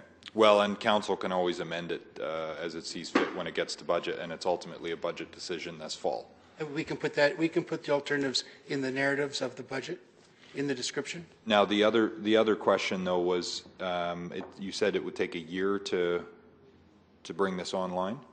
September of next year with budget approval You'd this you'd year. aim for the fall, so. Yes, that's correct. So in a service package, there might be an ongoing expense, plus if there are some one-time startup costs, that could be handled in the annualization component as part of it. Yes, that's correct. So we don't need to spend m- money this year to get, to still get to September next year. We can, you're working within resources to scope it right now, and then if we have to actually spend some hard costs on software or anything else, that, that can happen in 2016. Yes, we'd have the, the- the detail, we'd go into the detailed plan based on what committee gives us here internally.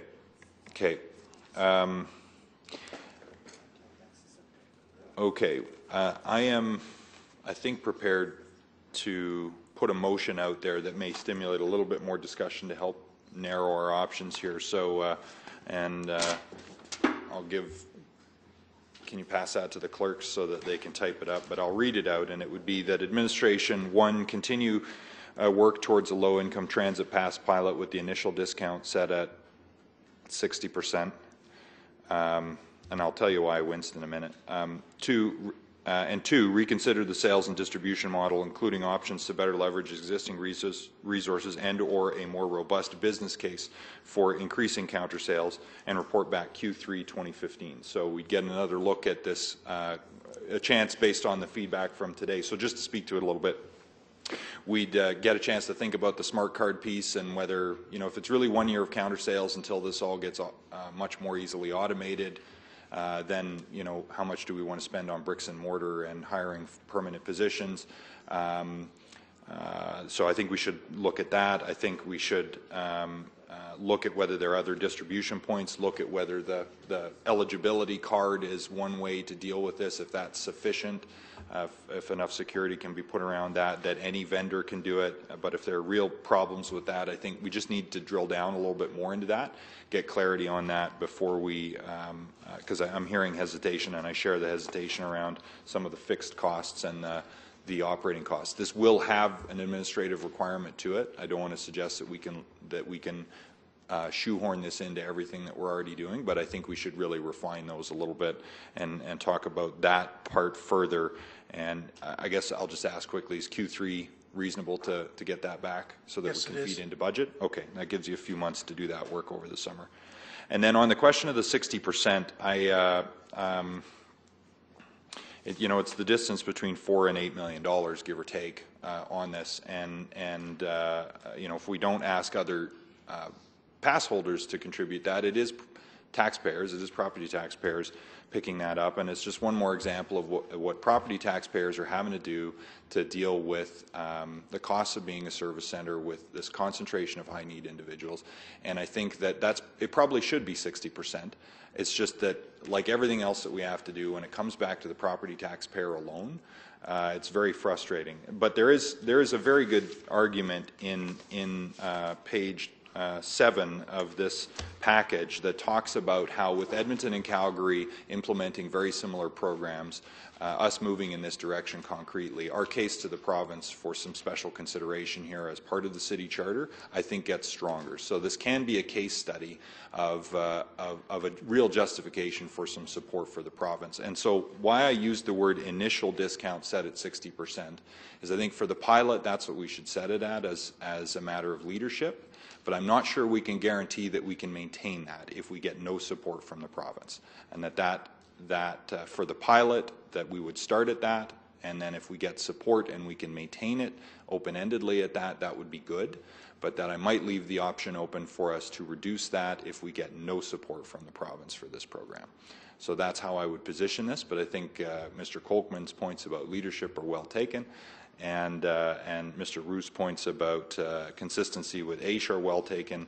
Uh, and then if we have to revisit those, it would be because we continue to not get the support that we need from the provincial government for programs like this for vulnerable Albertans who happen to be clustered overwhelmingly in the cities of Edmonton and Calgary. So that's how I would put the charter hook on this motion, and um, and so that's uh, that's my rationale for for doing this. But overall, I think this is an integral part of uh, of city poverty reduction strategy uh, in turn, uh, which supports a provincial poverty reduction strategy by enhancing mobility for low-income Edmontonians to be able to get to services that will help them increase their capacity to get them to jobs that will get them the income they need uh, to be more successful and to help their families access services and amenities in the city so that they can have a more rich uh, quality of life in the city of Edmonton. Because it's not all about money, it's also about being able to fully participate in community life.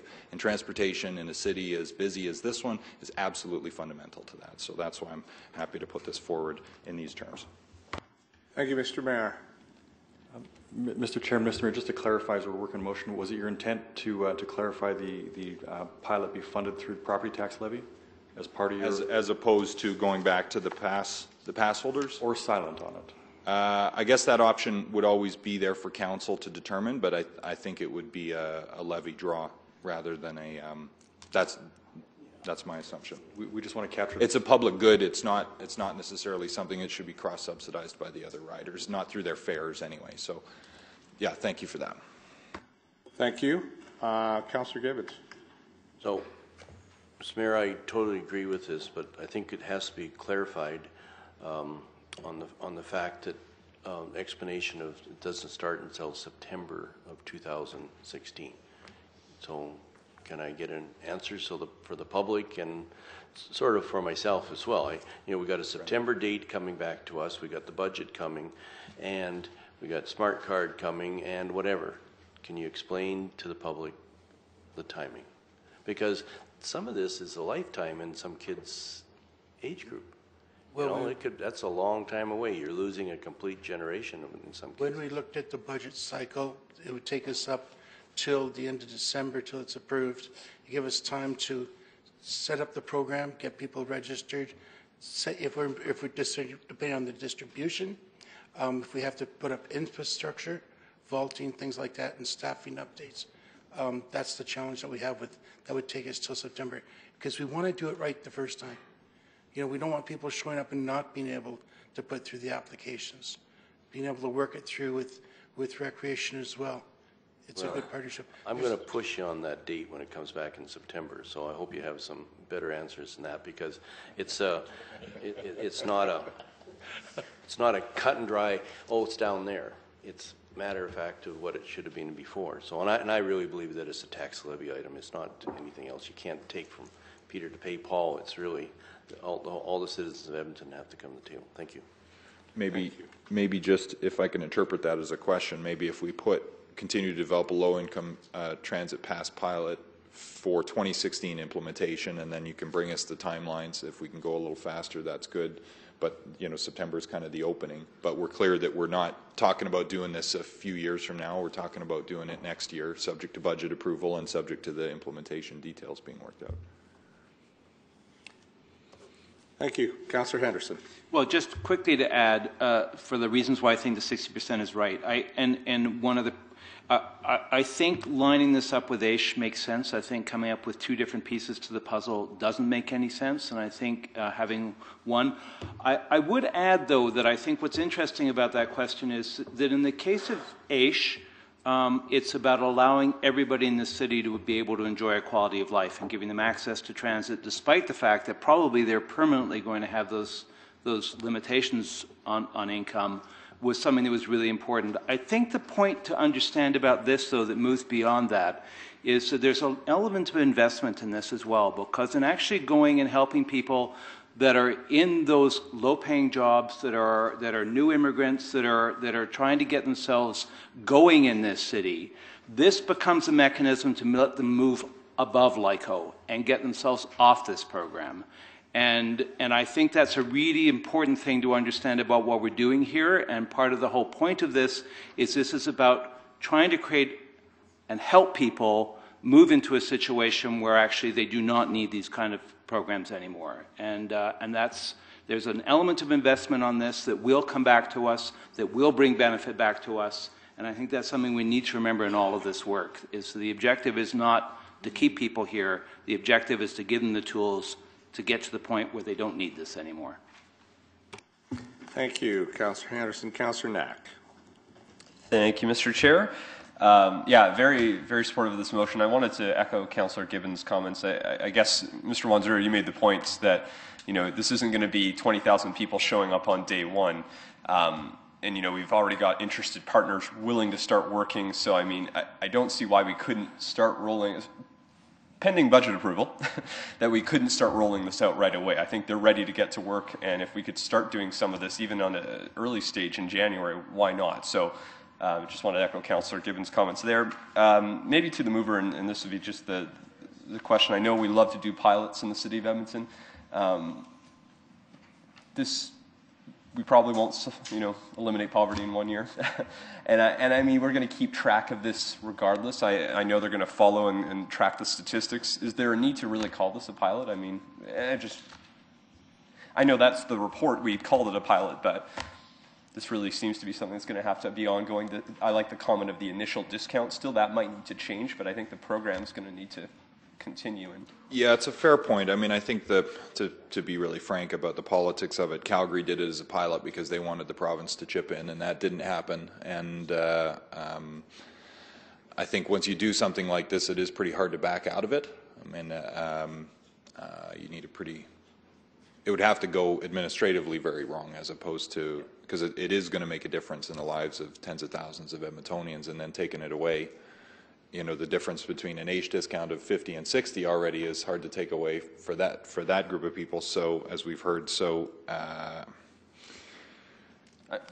so maybe you have a you, ha you have a point, and maybe if we can if we can set our um, our uh, last line of defense around this question of the, the, the discount level that we're prepared to sustain over time. That's being being what would be at issue that we would do a program, but that we couldn't guarantee that it would be this uh, um, generous over time from the property taxpayer. Then that I might be a better way of doing just, it. Yeah. I just um, I wanted to throw that out as a suggestion because I think we're going to continue this. You're going to track it. You know what? Honestly, Councillor, it's a very good point. I think it's a friendly suggestion. Let's not. Uh, let's not mince words. I think it's friendly. We should take the word pilot out of there. If we're going to do this, let's do it. Let's show some leadership. Then I'm even more supportive of the motion. Uh, thank you for that. We uh, do not encourage applause or booing or heckling or any of that, but thank you. Uh, Councillor Knack, you're done. Councillor Sohi. Oh, first of all, I want to thank uh, committee for making this uh, first item on the agenda so I could participate in this discussion. I have a AMA meeting uh, to go to uh, after this. Uh, you know, Edmonton is absolutely a wonderful place to live. Uh, but the reality is that for some people, poverty is a hard reality, and homelessness is a hard reality.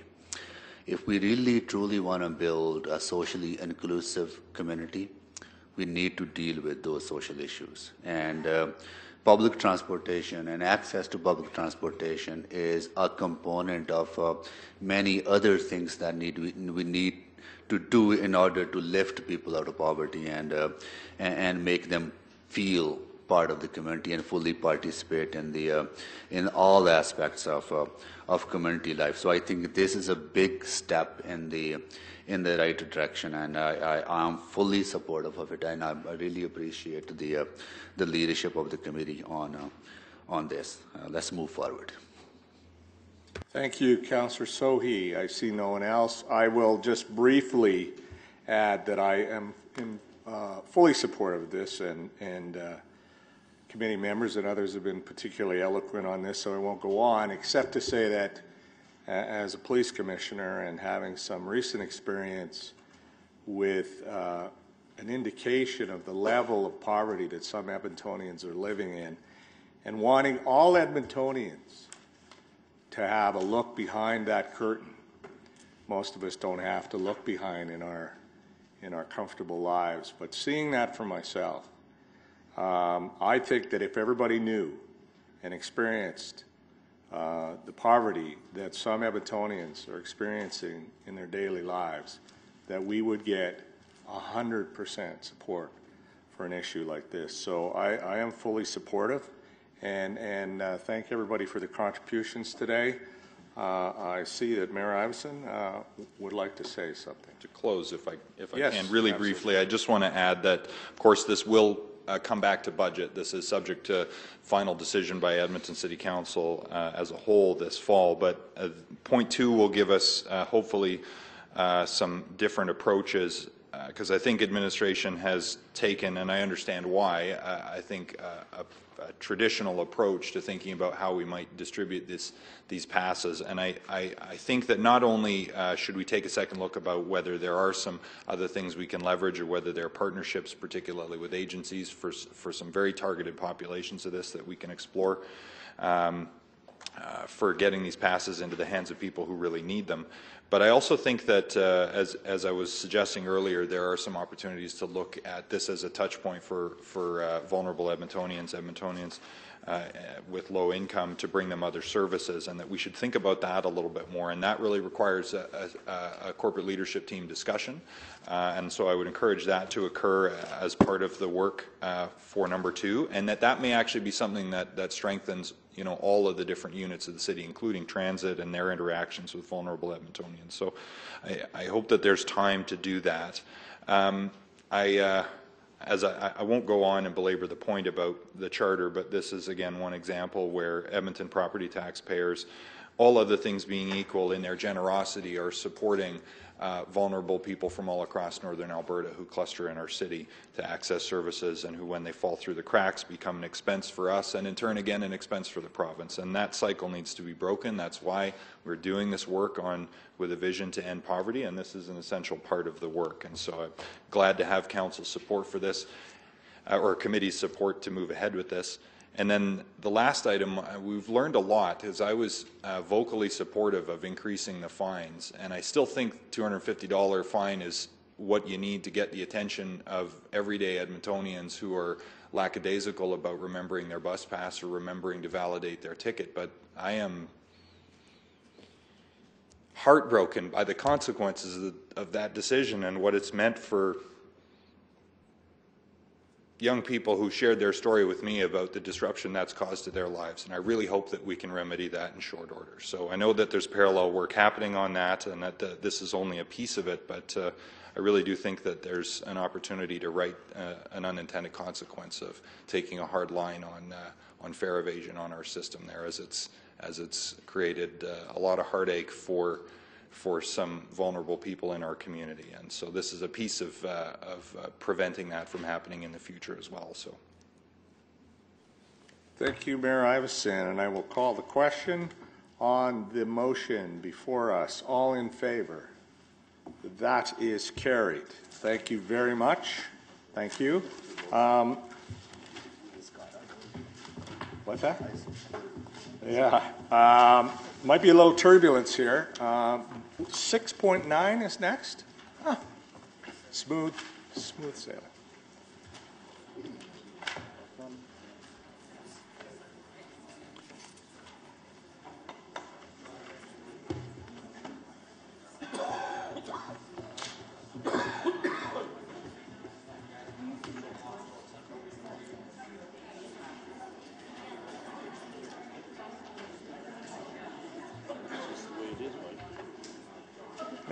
No, I feel bad, but.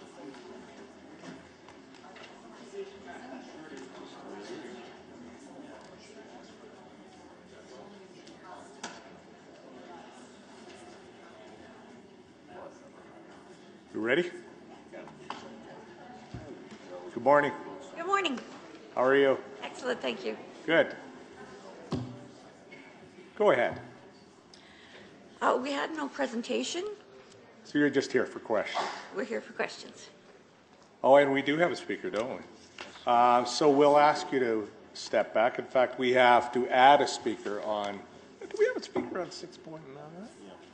Yes, we do. Right. Mr. Robertson, good morning. Morning. Uh, I just want to clarify, I'm not actually speaking on behalf of the Edmonton Transit System Advisory Board. I'm speaking as a almost retired uh, member of the Edmonton Transit System Advisory Board. And um, I just wanted to say that uh, this has been a long road for us getting to this the position that there's actually a bylaw before you gentlemen. And um, you know, at times it dominated our agenda far too much. And uh, I just wanted to say, please with haste, uh, give us a new bylaw so that our current and future members can get on with dealing with issues that they really want to deal with, transit-related issues. Uh, issues like the low-income transit pass that you guys have just uh, moved forward. Um, but I'd also just like to thank uh, Vicki Gunderson for being patient with us and helping us, and uh, especially uh, Ann Kaplan, who um, it's amazing how one person can actually remove a, a roadblock. And we had a meeting with Ann, it's got to be probably 18 months ago, where all of a sudden it was just like almost this process of going round and round and round and round in a circle, something I'm sure you guys can all understand. And that one person in the room and the roadblock disappeared. So that's all I wanted to say. Thank you very much. Thank you. Questions? Seeing none? Oh, Let me just say thanks for your service on the committee, Mr. Robertson. yes. Thank you very much. Um, We will ask you to step back up, please.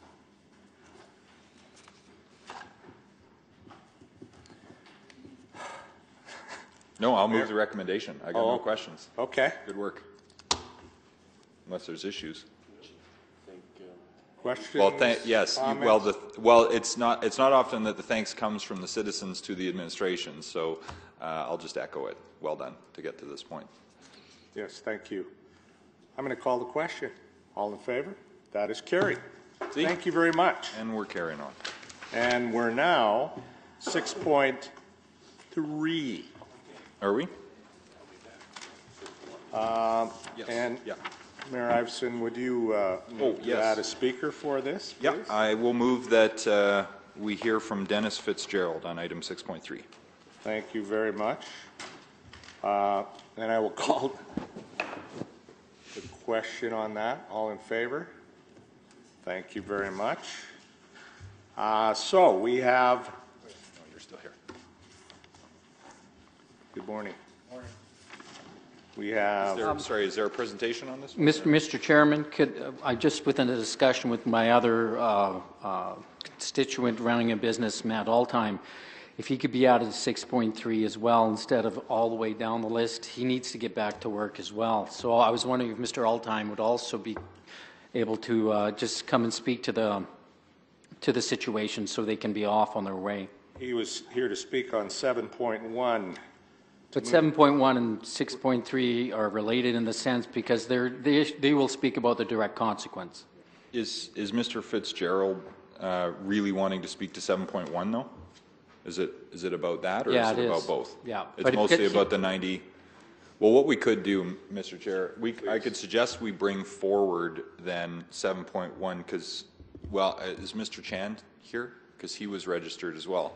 Well, I couldn't see you behind there. So we could, we could hear the speakers on seven one. Yeah, and I So would. that the I would speakers are done, encourage and then we that, can carry and on Then we with the can debate. carry on, uh, simply because Mr. Fitzgerald's in the middle, middle of a movie shoot right now, and so he just pulled up I'll accept everything out that of as the a way. motion to move 7.1 forward.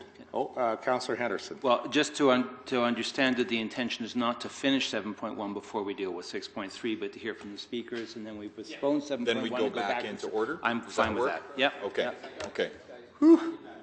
Okay, that's a very good suggestion, I think, so. So you've moved. I, w- I will move to, well, what, what I will do actually is, um, uh, move to reconsider, uh, hearing Mr. Fitzgerald on six point three, so we can delete that, and then what we can do is add Mr. Fitzgerald and the other individual to seven point one, then we'll bring forward seven point one. Does that sound, Okay. does that work? You're challenging me. Okay. All right, I'll, uh, oh, oh, uh, is that right, Mr. Clerk? To sounds good to reconsider? Okay, I'll move reconsideration of, uh, uh, hearing, uh, the speaker on six point three, because since he really wants to speak to seven point one. We will vote on that. I'll call the question. All in favor? That is carried. Okay, so that motion's now actually on the floor in front of us And I will again. I will. to bring 7.1 Oh, no, forward no, to hear no, no, no, no, no, no, we have to amend, we have to amend my motion on the floor, which was to hear from Mr. Fitzgerald on six point three, to, if it's friendly to the group, to change it to seven point one, because that motion's on the floor, and also the other individual, we just need to get your name. All time? Yeah, which is Matt. A-L-T-H-E-I-M. So I will then move that in addition to Christopher Chan, we will hear from Dennis Fitzgerald and Matt Altheim in a panel on item 7.1. And Ale- Elaine Solez? Is she on 7.1 as well? Yes. Was it? Well, no, because, because we're going to still hear from Mr. Chan on 6.4, and if hers comments are for 6.3 or, so do we want to hear from a panel for all of them then? Uh, Ms. Solez, do you want to speak See, to? now, now, no, this is all breaking down, because if it was just to hear about 90, 97th Street, that's one thing, but we, we'd have to get administration's presentation on it, on any one of them before we go. So I think if there's a presentation, is there a presentation on uh, 7.1? We have a presentation if you'd like to see it. Well, I think we should bring forward 7.1, get the presentation on 7.1, hear from the speakers specifically on 7.1, and then we'll loop back around to 6.3, get the presentation on 6.3, hear from any speakers on 6.3, and then move through it in order. That would be my suggestion.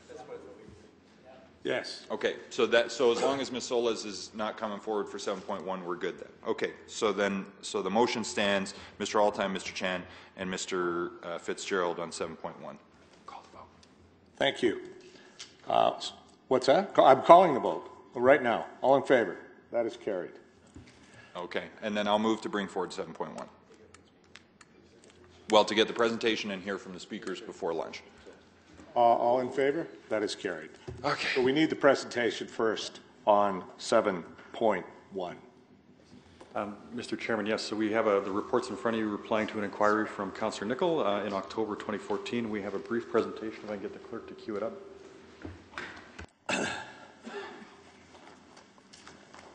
Mr. Golly.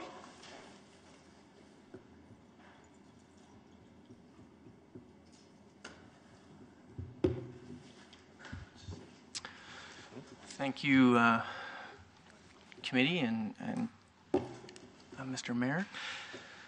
So this uh, presentation is, is uh, about Councillor Nick, uh, Councillor Nickel's inquiry regarding bike lane removal on 97th Street.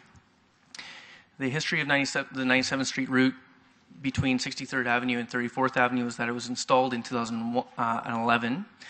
The cross sections on this graphic show you what the road looked like before the first set. Um, it was essentially striped as a two-lane roadway with parking, but some people also treated it as being a four-lane roadway without markings uh, at certain points. But at the intersections, there was a little bit more uh, pavement markings to designate the, the turn lanes and that type of thing. After the bike route was installed along 97th Street, uh, the parking was removed formally, and there's bike lanes along the curbs. At the intersections, however, due to um, some striping that had already occurred, the installation of the bike route included sharrows through those, those locations. Currently, there's uh, about 9,000 vehicles a day on this uh, stretch of 97th Street, and the traffic operations are within acceptable and typical levels uh, during the peak periods. Bicycle volumes before and after have increased uh, between 10 and 25 percent, uh, and collisions um, are fairly stable. They're down a little bit.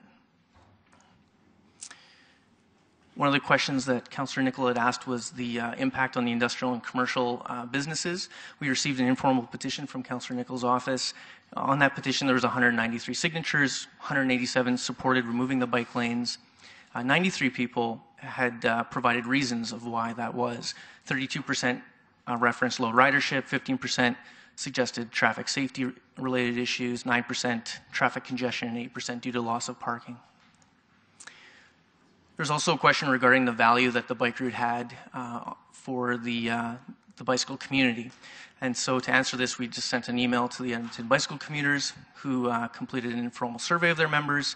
Their findings was that um, there are a number of people that are using the lanes, that users feel that it's safer for all modes now with the lanes. Um, they identified a few problems around those intersections particularly, as well as with cleaning and debris and felt that the 97th Street bike route was a valuable part of the network and that it will become even more important as the cycling network is developed and matures.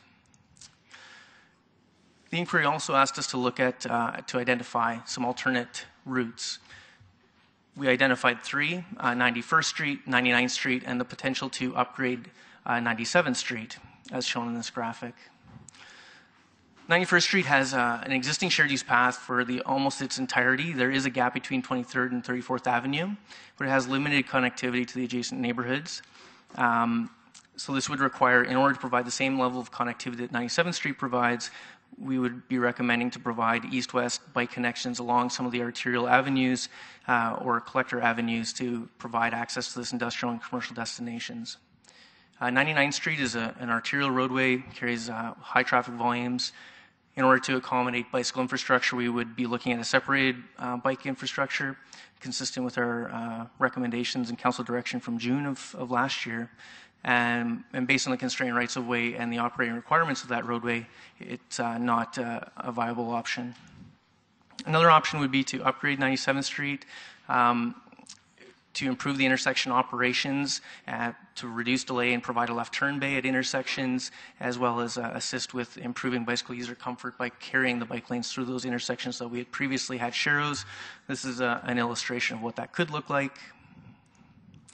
In terms of costs, 91st Street really ranges depending on uh, the cost of uh, removing the 97th Street bike route as well as replacing the markings and adding those east-west bike connections. Uh, that funding uh, the cost identified does not include filling in that gap, which is already a priority project for the Active Transportation Capital Program. 9th Street, we did not generate a cost estimate due to its complexity. And 97th Street, um, again, has a range depending on the cost to, re- to remove the existing markings and reorient those markings, as well as installing the upgraded design. In terms of next steps, our recommendation, since this was an inquiry and we were just reporting on the information we had available to us, we would recommend completing in-service road safety review and operational review for the 97th Street route between 34th Avenue and 63rd Avenue. Uh, the findings of that review would then guide possible changes to this road. That's it. Thank you, Mr. Golly. I'll get you to step back now and invite our speakers back up.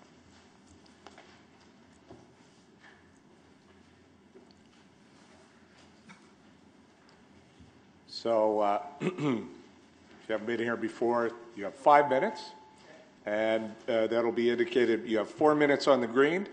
The yellow uh, traffic signal comes on when you have one minute left, and then red will come on when you are done. And I'll ask you to wrap up at that point so, and to identify yourself. Thank you very much. I'm uh, Dennis Fitzgerald. I operate Fitzgerald's Bar on 97th Street. I opened it about six years ago. It was a small business when I bought it. It employed about five people. I was able to bring my staff up to about 13, 14 people. Uh, the bike lanes went in, and I feel they were very detrimental to my business. It, I, I brought my sales up to just about a million a year, and they've stayed there. I cannot increase them. I have nowhere to park customers. I, I can verify one fact. I was one of the favorite stopping po- spots for a lot of, of the trucks that would pull up on 97th Street because it's a very big industrial area down there. I lost all of that lunch business, all of it. Not, not, none, nobody comes back anymore. So that was about at least a dozen to 15 people every day at lunch at an average of 10 to 15 bucks. So if you do the math, over the last couple years, that's cost me maybe 30 some thousand a year. So uh, the, the bike paths for my particular business and for some of the other guys that I know that come in and visit with me, it's been very, it's been very detrimental. There's no room for me to grow. I can't take my business to two million a year because uh, I've had customers. One people the other day, I heard heard them talking to a waitress saying that she said, "Oh, where where you guys been? I haven't seen it. Oh, we go to Bo Diddley's now. We just can't fight this anymore. We come here for lunch. We don't have time to waste our time." Uh, there's been no alternative. You know, the city asks me to buy a license every year for $1,600. I do. I contribute to the tax base uh, through my common area costs. I do that. But you've taken away my, my ability to grow my business. And there's no real alternatives. I can't park my customers three blocks away and shuttle them over to my business. And uh, I, I, I, saw a number up there of 83 people a day on that bike path. Uh, any of you guys could come and sit in my bar and watch out the window, and if you saw 10 bikes a day, I'd buy your lunch. And it, they're, they're, it, this time of year, the bike paths have gone up. The use of that path, I would say, has quadrupled. It's, you know, you, so you might see up to 10 bikes a day on that bike path. In hit November and to, to just, well, where are we now? May. Uh, come, come late spring, then you start to see some bike. During the winter, you don't see anybody. And I'm not, I'm not trying to make this up or anything. This is me being there every day, watching what goes on. And uh, that's that's what you've done not only to me. You know, unfortunately, I didn't even I found out about this that I could come down here and speak about 24 hours ago. And I asked one of the other businessmen, and he couldn't arrange his time properly to come also. He owns JB Electric. He would have loved to have been here. Uh, but he's lost customers too because he, he, used to have uh, a lot of the electricians would line up with their trailers and stuff then be able to back into his warehouse to buy their supplies and they can't stop anymore. And he said so he's had trouble with them. They just they've just gone to other suppliers. And uh, these are the these are the day-to-day things that have, have happened uh, since these bike paths. And when you have a, a, a, route like 91st Street where there's no business on it and there's no residential on it uh, I, I just don't see how uh, practicality didn't come into play with these bike paths and why why uh, you you know you have bike paths that direct people out of Mill Woods past 91st Street and you bring them all the way up to 97th Street before they can go north. And 91st Street has a paved path on it with a yellow line and it feeds right into Mill Creek Ravine, which to me is even safer for a biker. Okay, thank you. Thank you very much. Yeah, hi there. My name is Matthew Altheim. I'm a own a company called Nordic Filmworks, a film company. Uh, Dennis himself right now is actually on the set of Blackstone, uh, involved with that. So, two local filmmakers in the area. Uh, 97th uh, Street is an industrial area. There is a, a lot of uh, tractor trailers driving that daily. Um, I saw there the, the, the diagram there of the streetways, and there's a couple turning areas. And when you have a tractor trailers turning in and out of these uh, out of these side streets to go into businesses to load goods and whatnot, it, it, just seems to me it's a safety concern um, to have uh, also bikes going along these paths, along these giant warehouses. Um, we have, I think, two dozen uh, bays just on my corner, which is 97th Street and 47th Ave, and they all receive uh, uh, industrial goods and, and large, uh, large uh, transport trailers there. So for me, the primary concern is actually safety. It seems more sense there with the alternate routes like 91st Street, where you have a large uh, side green space where you can have uh, cyclists go safer, to me is, is better than losing a life on this uh, 97th Street, because it's going to happen eventually with the large volume of traffic. 9,000 cars per day. Um, I saw also a figure there, said 80 bi- cyclists. That just to me is not accurate. My window faces that street in my office. I sit there from 9 to 5 every day. Most days I see one or two cyclists at most. During the winter months, again, uh, his business is losing parking, which he could uh, increase revenues, increase staff, all that sort of thing. So uh, for the limited use, I'd say it'd make more sense to make a safer alternative bike bike path. And um, yeah, that's that's all I have to say. Thank you. Thank you very much, Mr. Chan. Good morning, Council. My name is Chris Chan. I'm the Executive Director of the Edmonton Bicycle Commuter Society. Uh, we have a paid membership of uh, about 1,600 members now.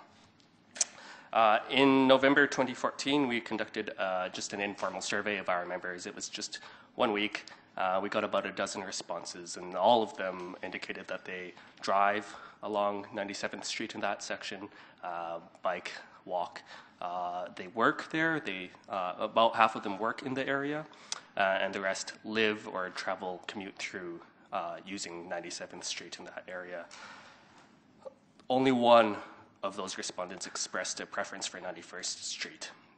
And I think yeah, the, the reason for that is 91st Street is a better route if you are not going to that area. Uh, if you are starting out east of it, um, and if you're passing farther north beyond it, uh, 91st Street has that separated shared use path. Um, but the purpose of 97th Street is to form a, uh, part of the network of the cycling infrastructure and to provide access to that area for people that want to be able to uh, access it. If you take away 97th Street, uh, the bike infrastructure there, uh, anyone who still wants to access that area by, by bike, uh, and indeed, uh, one respondent mentioned that south of 38th Ave, people, especially in the winter, use, use the bike lane because there is no sidewalk, so pedestrians are even using that. Um, but if you take away that bike lane on 97th Street, then anyone who still wishes to access that area, who works there, who wants to bike to work, uh, and then perhaps get in their company truck once there, uh, will still have to drive, or bike rather, down 97th Street. Uh, so removing the, the route on 97th Street uh, doesn't, doesn't improve accessibility for, for cycling.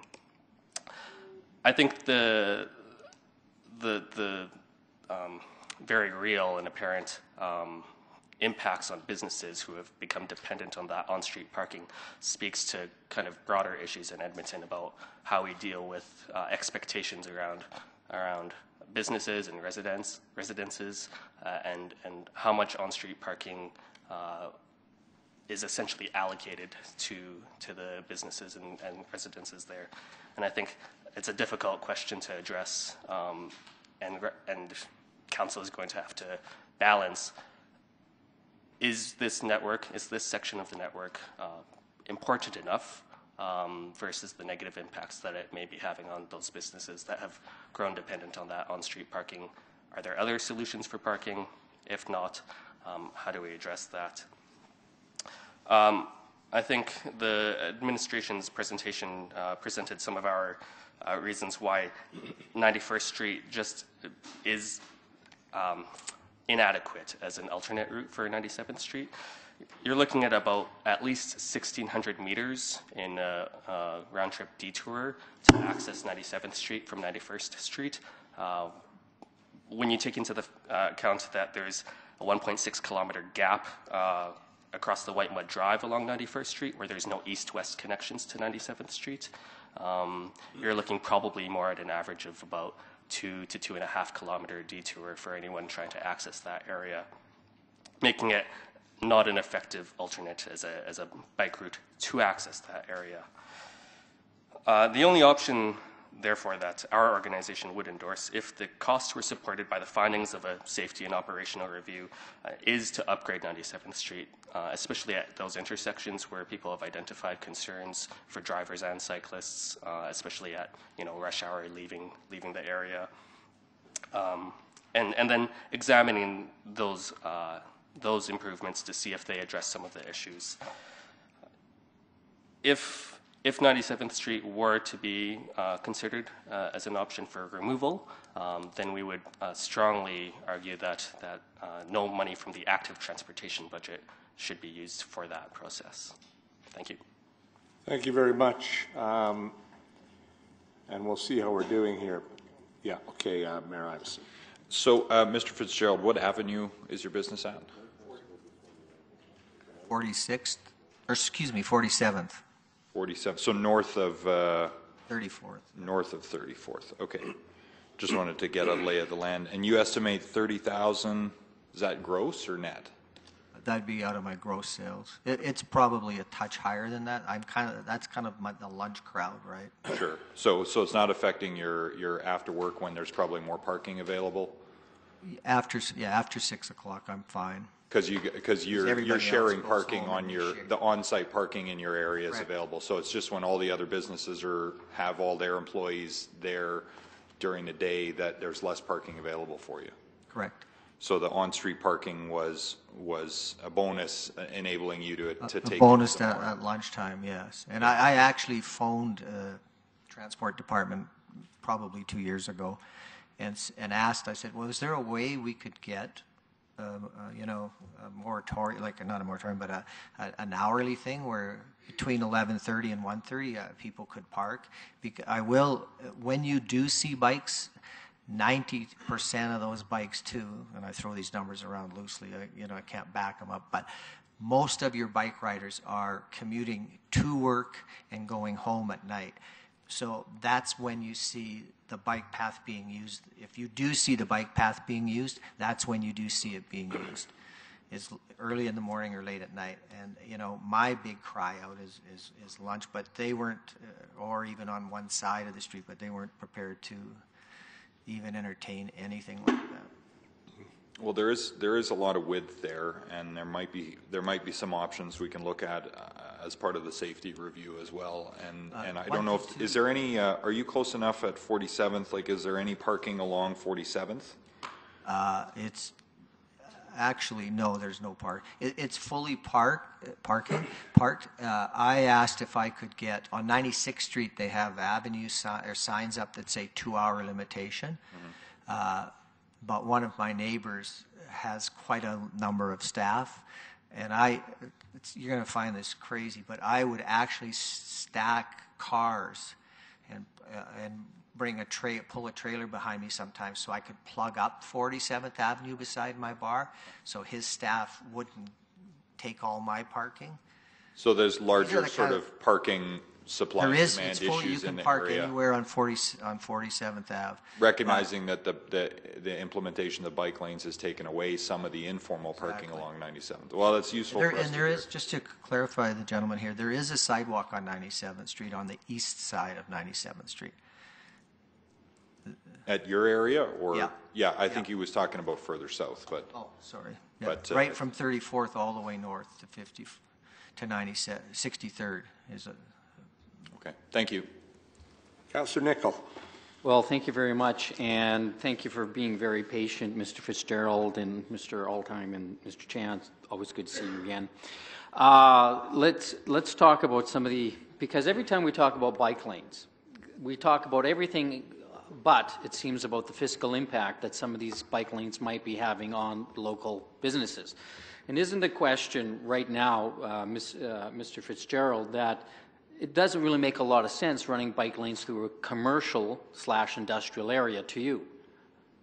you're correct. It- Simply because, let's get, let's talk about your petition, for example, um, because in the report, it's, it, they were, uh, they didn't know when you collected it, when you collected these signatures, whom you collected it. Can you tell me a little bit about the, the petition? I- I'd say it was about eight months ago, seven, eight months ago, and I, all I did with, the with it was I just canvassed north of 34th Avenue, and uh, one, only one business south of, or excuse me, uh, north of 51st Avenue. I basically just stayed within that perimeter, 34 to 51, and went, went door to door to most of the businesses along 97th Street.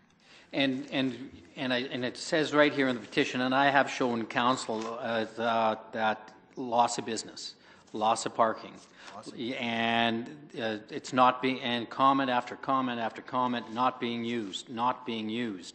Uh, That's pretty much the, the, um, and then the, then the question of safety, safety and hazards. Because, uh, Mr. Altheim, you talked about tractor-trailer trucks. How many tractor-trailer trucks do you see part of this 9,000? I mean, it is, it is a, quite a large quantity, is it not? Yeah, it's probably 30 to 40 percent of the traffic is, is at least during the daytime. When people go to work before nine o'clock, it's all uh, cars and trucks.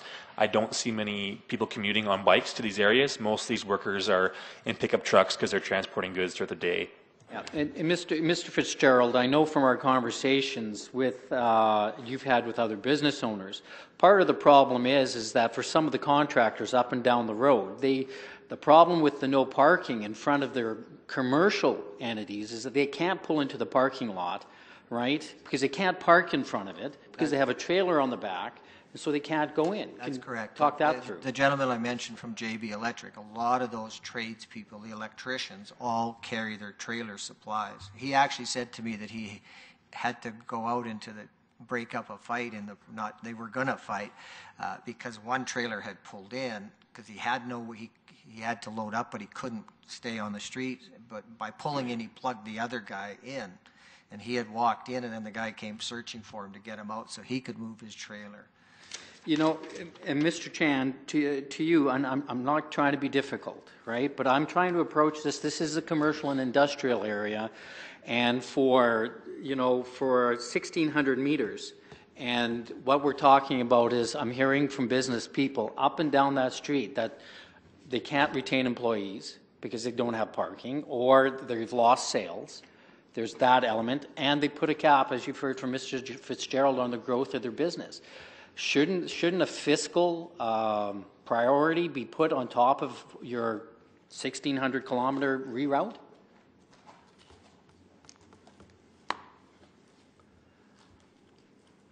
I think the question is more um, how do we balance providing safe access to people for people to, to access that neighborhood, uh, the people that work there and the people that travel through there, um, with with the needs of the businesses, uh, and if that can be done, if we can find parking that will work for the businesses uh, while still maintaining that safe access, then I think that should be our. With my last minute, I have spoken to the people who actually use that bike lane, and most of that ridership is on a Sunday, to be quite frank. That's why the businesses aren't seeing it. They're right, they use that route on a Sunday where there is no traffic, and not in the middle of the day or as a main commuter route. This is, the, this is what I've received from uh, people who have actually used that as I've spoken to them. And I, I just want each of you three to, to provide a comment towards, because it was just Mr. Mackey yesterday talking about parking, and he said he's, the importance of on-street parking in terms of community vibrancy, and certainly business is part of the community. So, you know, taking away parking is not just hurting, it's, commu- it's hurting the business community, is it not? And I just want your comments on that. Well, uh, you know, my style, my business depends on people being able to pull up, get out, stay for an hour, get back in their car and drive away. Someone else comes and uses that same spark parking spot and does the same thing over and over. Uh, what I've tried to explain to you is what previous council did by pu- pushing this through so quickly without looking at it properly is they basically stymied us. We have, I ha, we, there's nothing I can do. I, there's no sense that I plan big promotions, spend money on advertising, do that, because there's nowhere to put these people. So I, it's not all about just, you know, they have, you know, if I do a, a punch card like we used to do, and the guy fills his punch card for lunch, well, some of them don't come anymore, you know. You have to have, sorry, I get carried away, but yeah, yeah, my business can only survive on parking.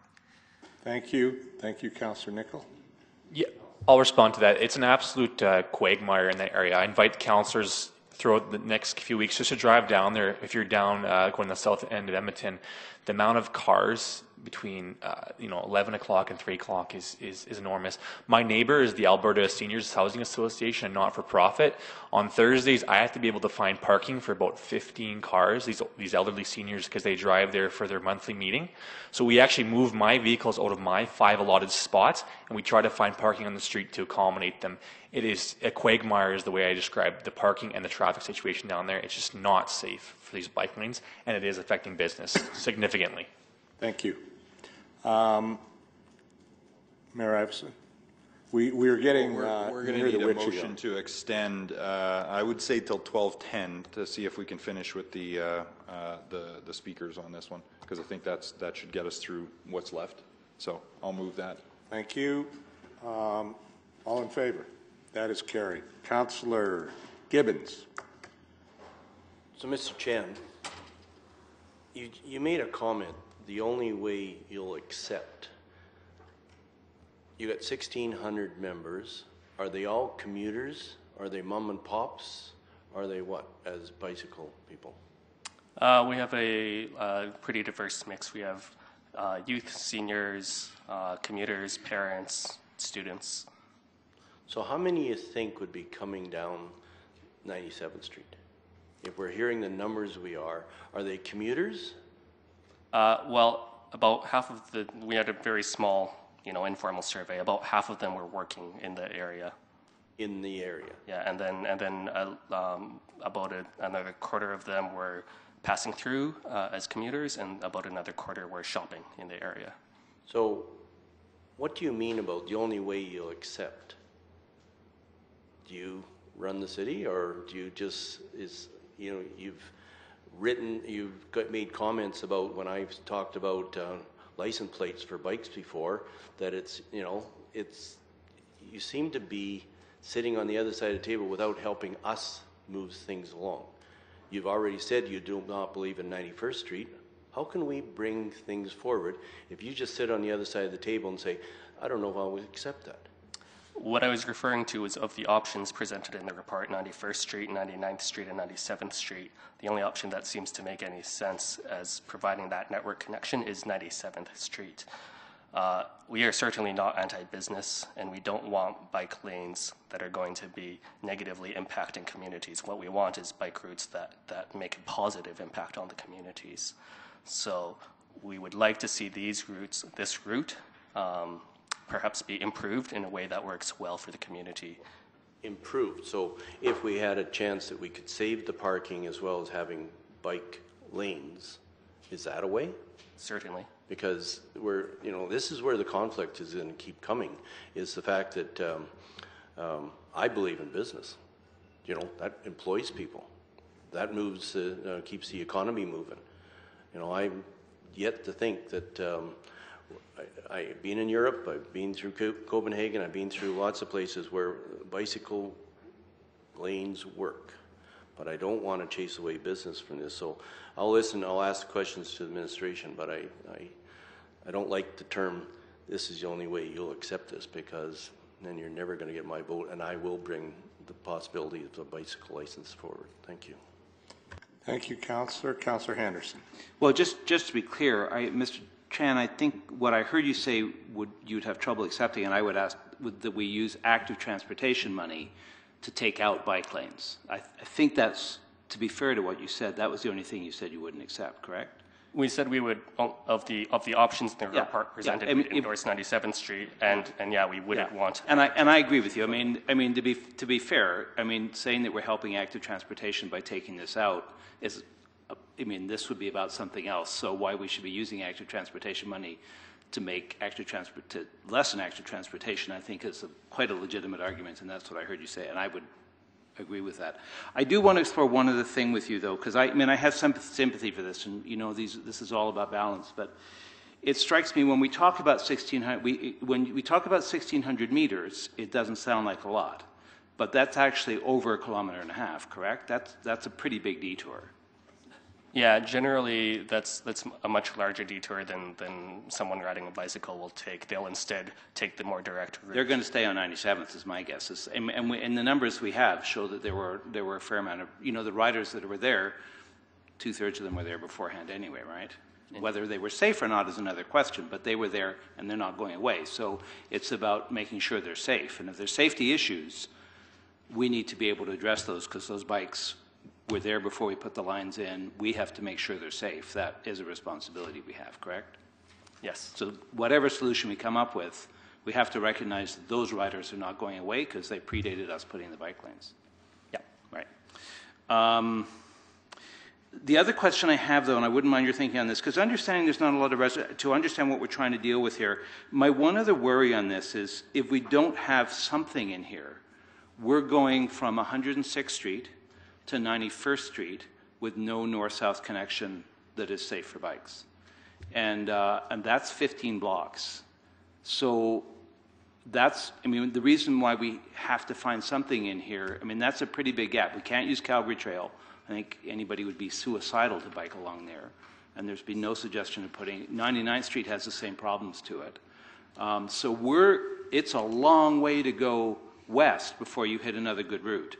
And if you don't have something in the middle, you've got a 15 block gap for anybody in that part of the city. And it's a pretty busy part of the city. I mean, 99th Street, Calgary Trail are major routes that were that are really car only, and we need to find some way through the middle in order for anybody on a, on, a, on, on any other kind of mode of transportation like a bicycle to be able to access all the stuff that's north and south in the middle of our city, which is a pretty major route for all other modes of transportation, correct?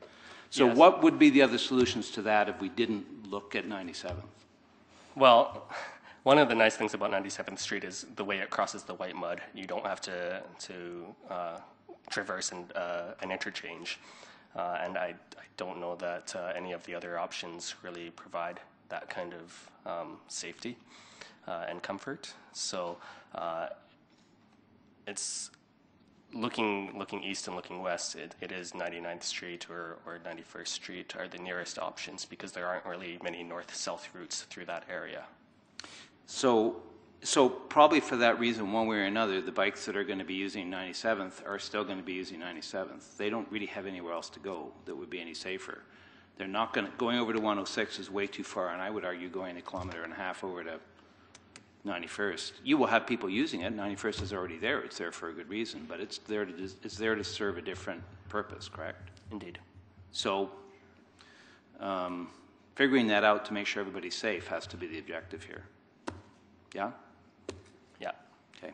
Understanding that there's a trade-off here that we need to deal with, and I, and I understand that. I, I have huge sympathy for what this trade-off is, but I, I'm, and I, and I guess my one other question is, um, we, uh, you know, we've, we've gone down this road, we've opened this question up, but it was an inquiry, so we've had no real ability to do any kind of, I mean, there's a lot of complaint about consultation when we put these things in. We've done consultation in terms of taking it out now. There would be, if we're going to look at this, there's a, there's a larger discussion we're going to have to have. I'm, you know, because none of you have been in position to sort of really do the kind of quality of, of, of larger discussion with all the interests that we need to do. Would that be fair to say?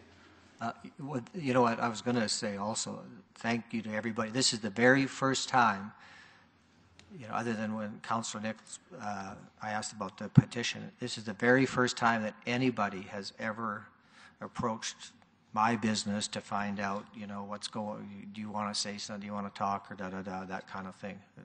Also, just to comment on your 106 to 91st, uh, if you take a close look at that, west of, nine, of a, a Calgary Trail, there is residential, but just about that whole area that you're speaking about, there is no residential, and I appreciate people go to work, but you're directing people now out of Mill Woods past 91st Street and sending them up to 97th Street so they can travel north.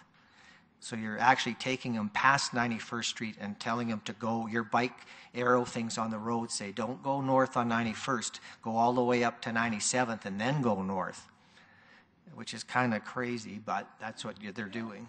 Thank you. Thank you, Counselor. Um, Mr. Chan, there was a suggestion made that, um, that parking be allowed from 11:30 to 1:30, uh, weekdays. I would assume that would be uh, awkward to, to have a bike lane essentially blocked for two hours a day. But is it feasible? Could it be something that is worked with?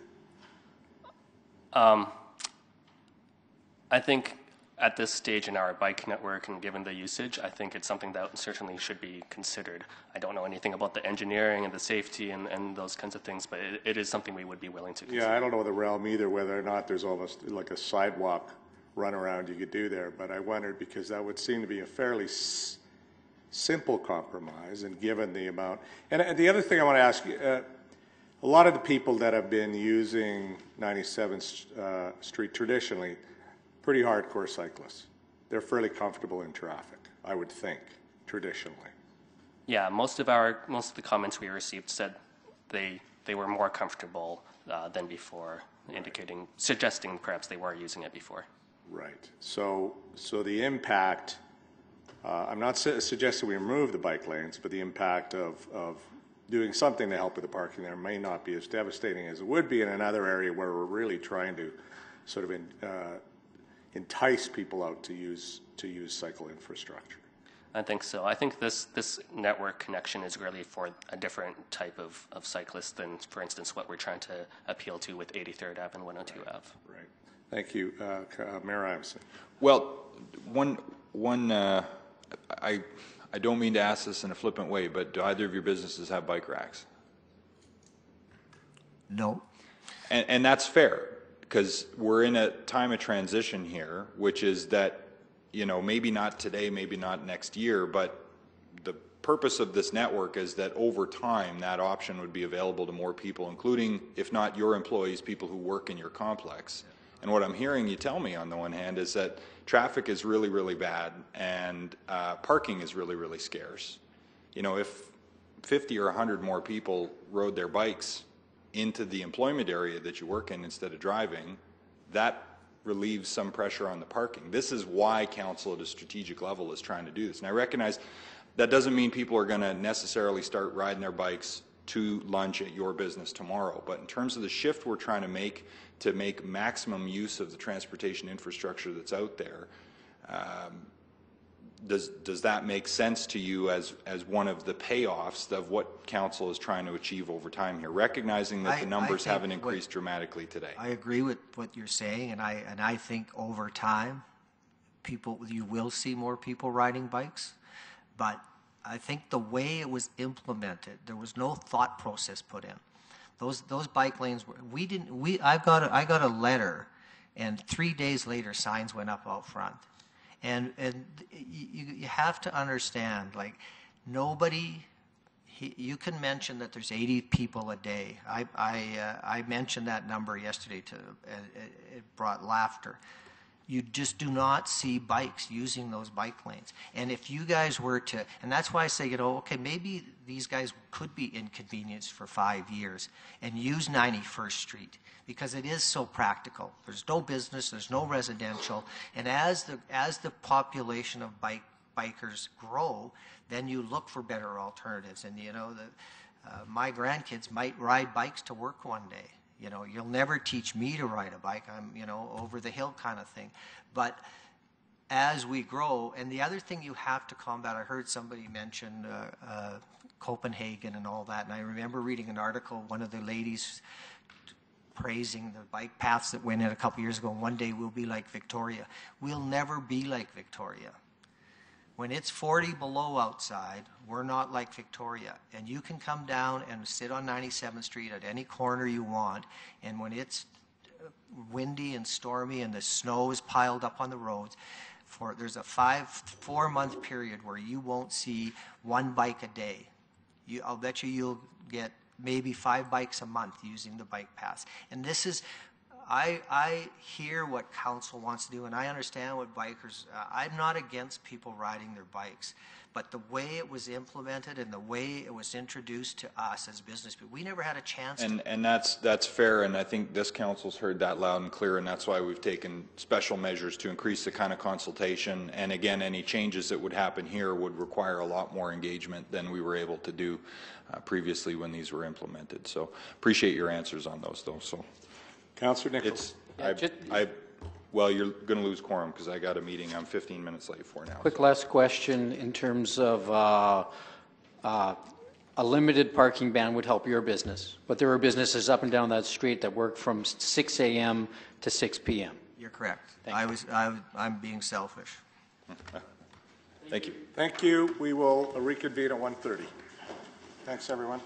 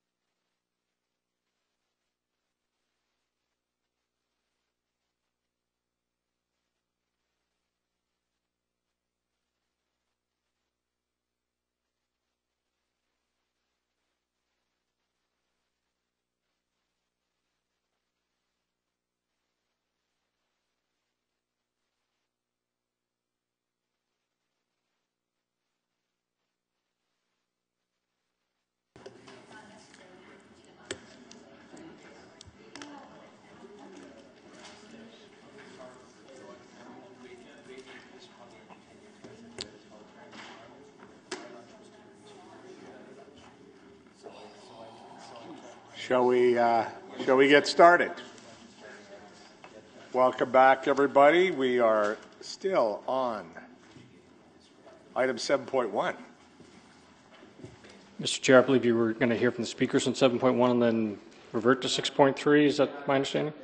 Oh, thank you. Thank you. So we're back to 6.3 presentation.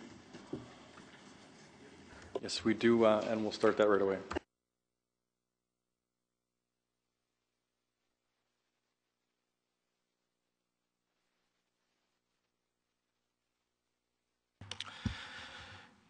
Uh, This report is in uh, response to a motion by Councillor Walters in October of last year, um, wanting to look at more about how we monitor and measure the performance of our bicycle uh, routes in the city. So to answer this question, we wanted to uh, inform our decisions based on what other cities are doing in, and the best practices out there. So we asked a number of cities and professionals about how they were measuring bike route performance and how they're setting targets. We contacted uh, over 2,000 members of the Institute of Transportation Engineers and the Association of Pedestrian and Bicycle Professionals and contacted 12 cities specifically to, to um, hold some interviews with those folks to get into more detail, and we're able to complete interviews with, with eight different cities. The res- results of that, uh, of that best practice review was that these cities are monitoring their performance of their bicycle network on a citywide scale. Uh, they're setting targets and, and creating measures based on the, the strategic plans and policies of, of, the, uh, of their cities uh, approved by their local government. And uh, no city is setting specific targets on a route specific basis um, to monitor, but they do monitor the usage and safety um, in, a, in the hopes to identify possible improvements to those routes. Uh, Ottawa is an example of that. So our next steps going forward is um, the creation of uh, and reporting of an annual monitoring and reporting uh, of the citywide performance of the bicycle program, where we will have specific targets, and that will be reported in the bicycle program annual report. The second uh, scope of the review that we would like to do uh, in terms of monitoring the performance is to look at the individual routes and do those reviews on an annual basis uh, by sector and reporting those and identifying um, opportunities for improvements. So to provide you a little bit more detail, the bicycle program annual report, again, will be monitoring that citywide performance of the bicycle program based on the goals and objectives of the way ahead. Two, we have two targets, uh, or measures with targets, the commute to work non-auto driver mode share, uh, which was approved by City Council and is uh, a corporate measure of the way ahead. There is also a measure from the province through the Alberta Traffic Safety Plan uh, regarding collisions. Now, there's also going to be a report that you'll be receiving uh, about the road safety strategy from transportation, and I believe it's in May, um, which might uh, might change this measure. In addition, there will be a number of other measures that we can track, and, and we're planning to track. Um, we're following a great example from the City of Calgary, which is included in the report as Attachment 1, um, to report that progress. And again, we would be documenting our findings in an annual report. The second level of review is, the, uh, is to look at the, the monitoring the performance of individual bike routes. And we would follow a similar program that we currently use in the department to review and optimize the traffic signal network uh, specifically, we'd be defining the city into about five sectors and reviewing all the, the bike routes within that sector in, the, in a year. And then we would continue on to the next sector the following year. And in this way, we would be reviewing all bike routes within the city over a five year rolling basis. The review will include bicycle ridership, safety operations, and public satisfaction. It follows a very similar approach to what we were doing uh, last year in response to a motion regarding 40th Avenue, 95th Avenue, and 106th Street. Now, the results of that review, um, it, it, could sort of uh, be grouped into one of three categories. The results of the individual bike route reviews could identify um, safety and operational improvements and uh, or educational information needs. We have funding to do that as part of the Active Transportation Capital Program. Another result of the review could be in uh, developing a route design upgrade. Uh, that would require public engagement. Um, and there currently isn't funding allocated for, for that scale of improvement. The third option would be reviewing potential alternate routes and developing plans for those alternate routes. Again, we would need to do public engagement on that, and uh, there is no funding currently available to do that scale of work. So our next steps on this is to produce the bicycle program annual report, for which a number of the metrics we already do collect statistics. We just haven't reported it in the past in this way. Uh, we will also be completing the annual bicycle route reviews by the sectors, and uh, we would continue implementing the 2014 to 2018 bicycle infrastructure plan that was presented to you in June of last year, and that was funded um, in part in the capital budget in the in the fall. Thank you. And we uh, do have a speaker. Uh, Elaine Solez will ask you to step back. Thank you, Mr. Golly.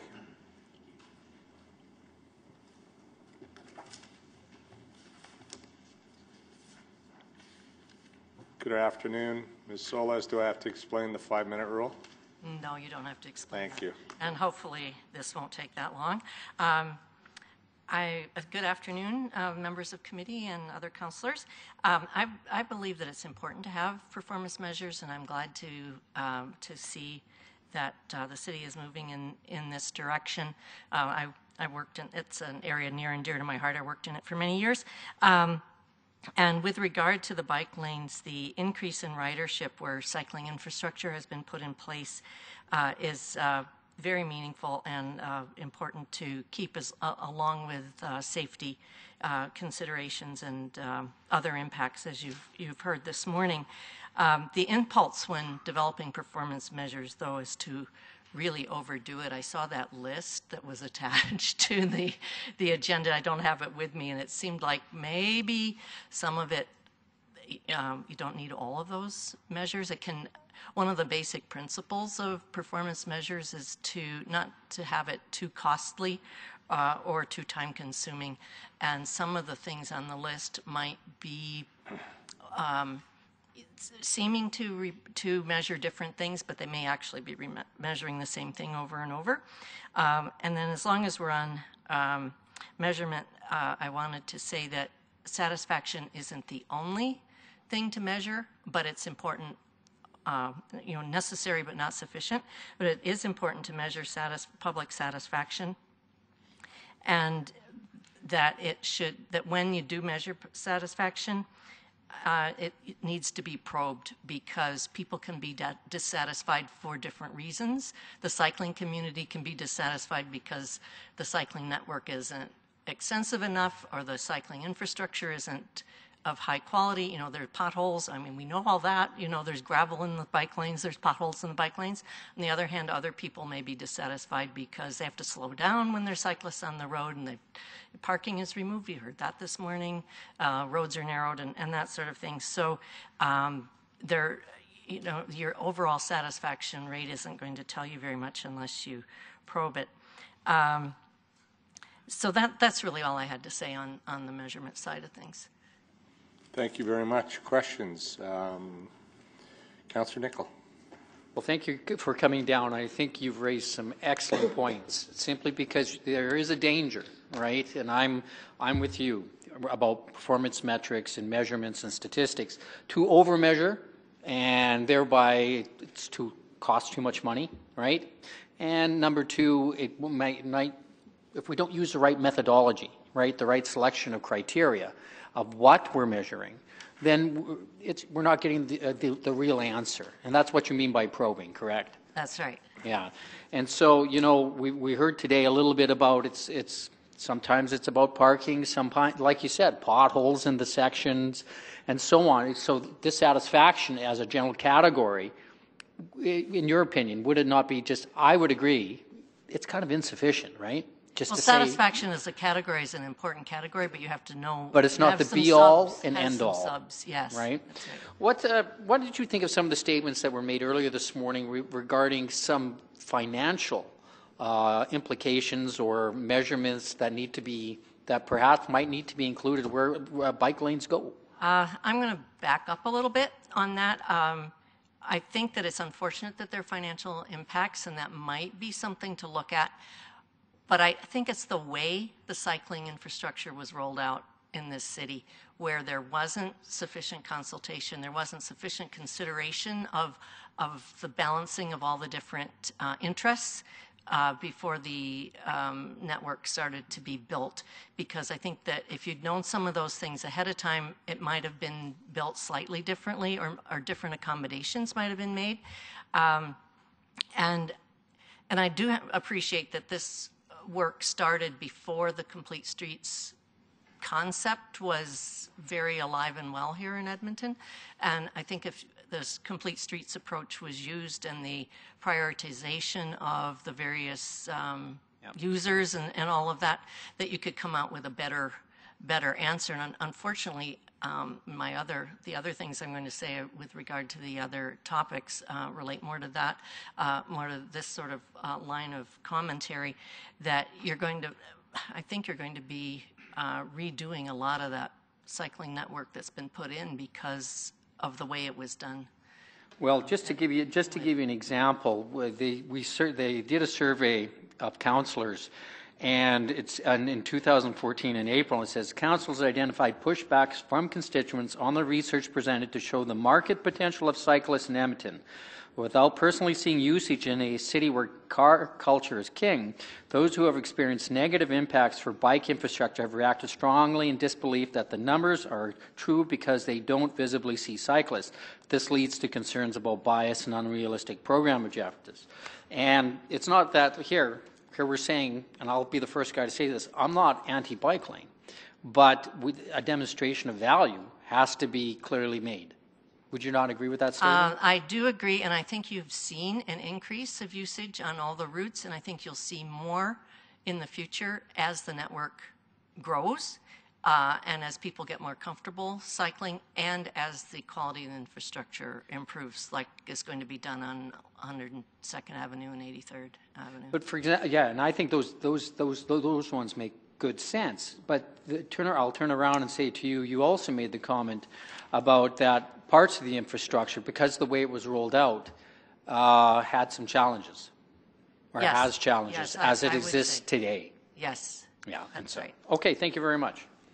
Thank you, Councillor, uh, Councillor Henderson. I wouldn't mind your thoughts on this, because it's always struck me, and maybe this, I wonder, it- just to see if this is what you're saying, um, that we, you need to be measuring what you're trying to achieve. So if you don't really have a clear idea of what you're trying to achieve to begin with, if you begin to pick your measurements because of what you can measure, rather than actually measuring whether you're not, you're getting where you want to go, you're going to end up with the wrong things, yes? Yes, but I would say that if you're putting in a cycling network, your objective is to increase cyclists. So having that kind of a metric Well, uh, is that's why, important. that's why I asked that question, because I, you know, I think we need, I'm just wondering if we, if that, you know, there's some clarity around that, that we need to be the thing to start with, because it may be about more cyclists, that's certainly one metric I think that quite clearly we said we're looking for. It may be about safety, right? So even if it's the same number of cyclists, making sure that they're safe might be one of the metrics we're looking for.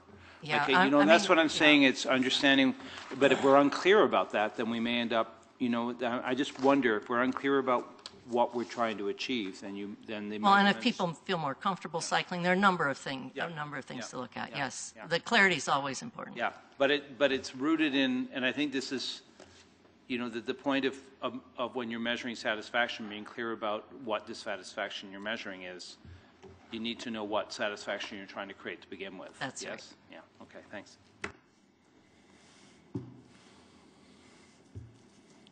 You're good? Uh, Quickly, so there are a number of constituencies that, that are in play here. Dri- Drivers of cars, cyclists, and the community, and the business community and the community, residential community, uh, in which these bike lanes are uh, hosted by. So, and do we, do we want to make sure that we're engaging with all those various constituencies as we look at something like satisfaction? Uh, yes. Well, and also as you're looking into what kind of, how the, the cycling network is going to work in that area. Um, and I know that sometimes there are, there are pinch points. We all know that, especially you're retrofitting a city that was built without the, the cycling infrastructure.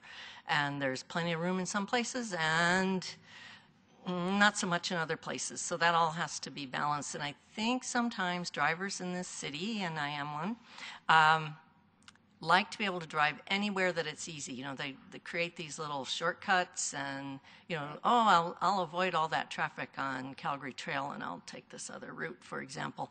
You know, sometimes you have to, you know, in order to accommodate the cyclists on a, a less busy road, you have to in, implement things that will make going on that busy Calgary Trail preferable to doing the shortcutting through um, a, a a smaller road. And I think that that's, that's where, um, that's, that's probably the thing that's And I, I, um, it's- going to just get be your, a problem. get your comment on the fact that at- initially in satisfaction surveys, we may see a negative, even a strong negative that may, so it almo, I'd almost be more interested to see if we could get a positive trend on that rather than, you know, given Yes. what you just said.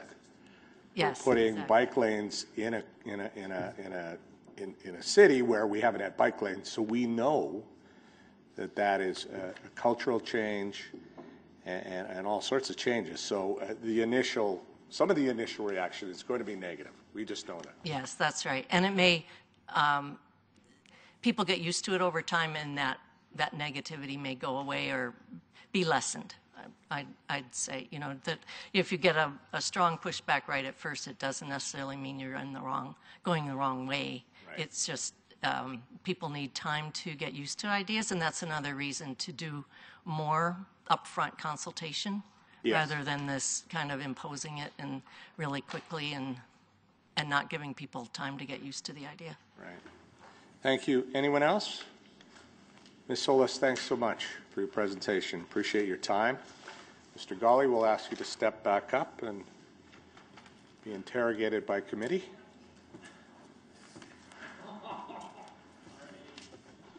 This is your job, man. Um, Who wants to start? Councillor Knack. Thank you, Mr. Chair. I'm actually going to channel Michael Walters because he's not here and he had some questions to be asked. So I've, I've received the questions and I'm now Michael Walters. So I'll talk about Elevate a little bit to start, just for some reason. And uh, then we'll kick it off with it, which is um, he wanted to know have we assessed the gender and other demographics of our bike lane ridership? To date, we have not. Uh, a lot of our counts are done with Miovision technology, which is used across the country. Uh, you could um, mine that video data to do that, but you'd have to do it manually or have staff on the road manually uh, differentiating between gender. Um, Calgary, that is something that Calgary tracks, is gender as well as uh, they try to break it down into age demographics as well. And, and I think the preface to that is that he's provided a number of statistics about the differences in cities where they have separated bike infrastructure and the increase that they've seen in women and children riding. So that's part of the context of that question.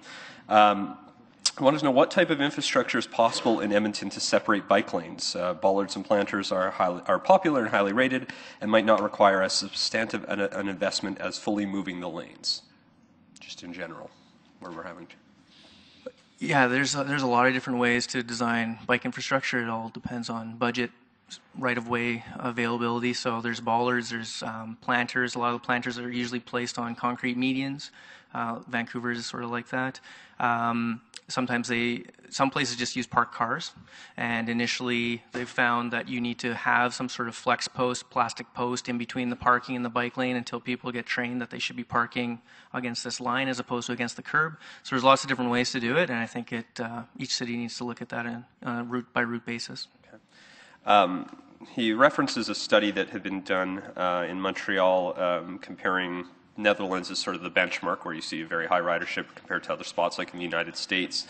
And some of the statistics talk about percentage of trips overall made by bicycle, percentage of female cyclists, bicycle rate of injury per million kilometers. Um, and also goes on to talk about um, how people, of the different types of bike lanes available, uh, how the average of 28% safer people felt when, again, they're in that separated piece. And uh, so the, the other question I have here from him is if we wanted to collect similar data from our current ridership, um, and I think you started talking about it, but what would be the best way to go about collecting that data? Uh, okay, you touched on a lot of different factors there. So, um, some cities try to track the number of kilometers cycled in a year by users. It's kind of tough to do that. It's usually an estimate. Um, but some cities have been able to do that.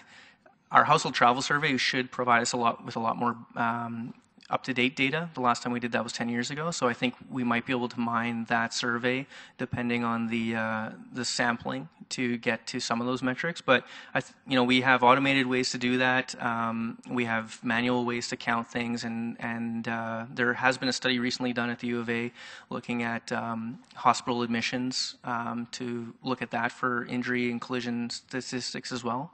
Um, so there's a lots of there's lots of ways to do it a lot of the, some of the ways we're currently um, already doing, which makes it easy to, to include in a report. Additional methods are a little bit more time consuming and resource intensive.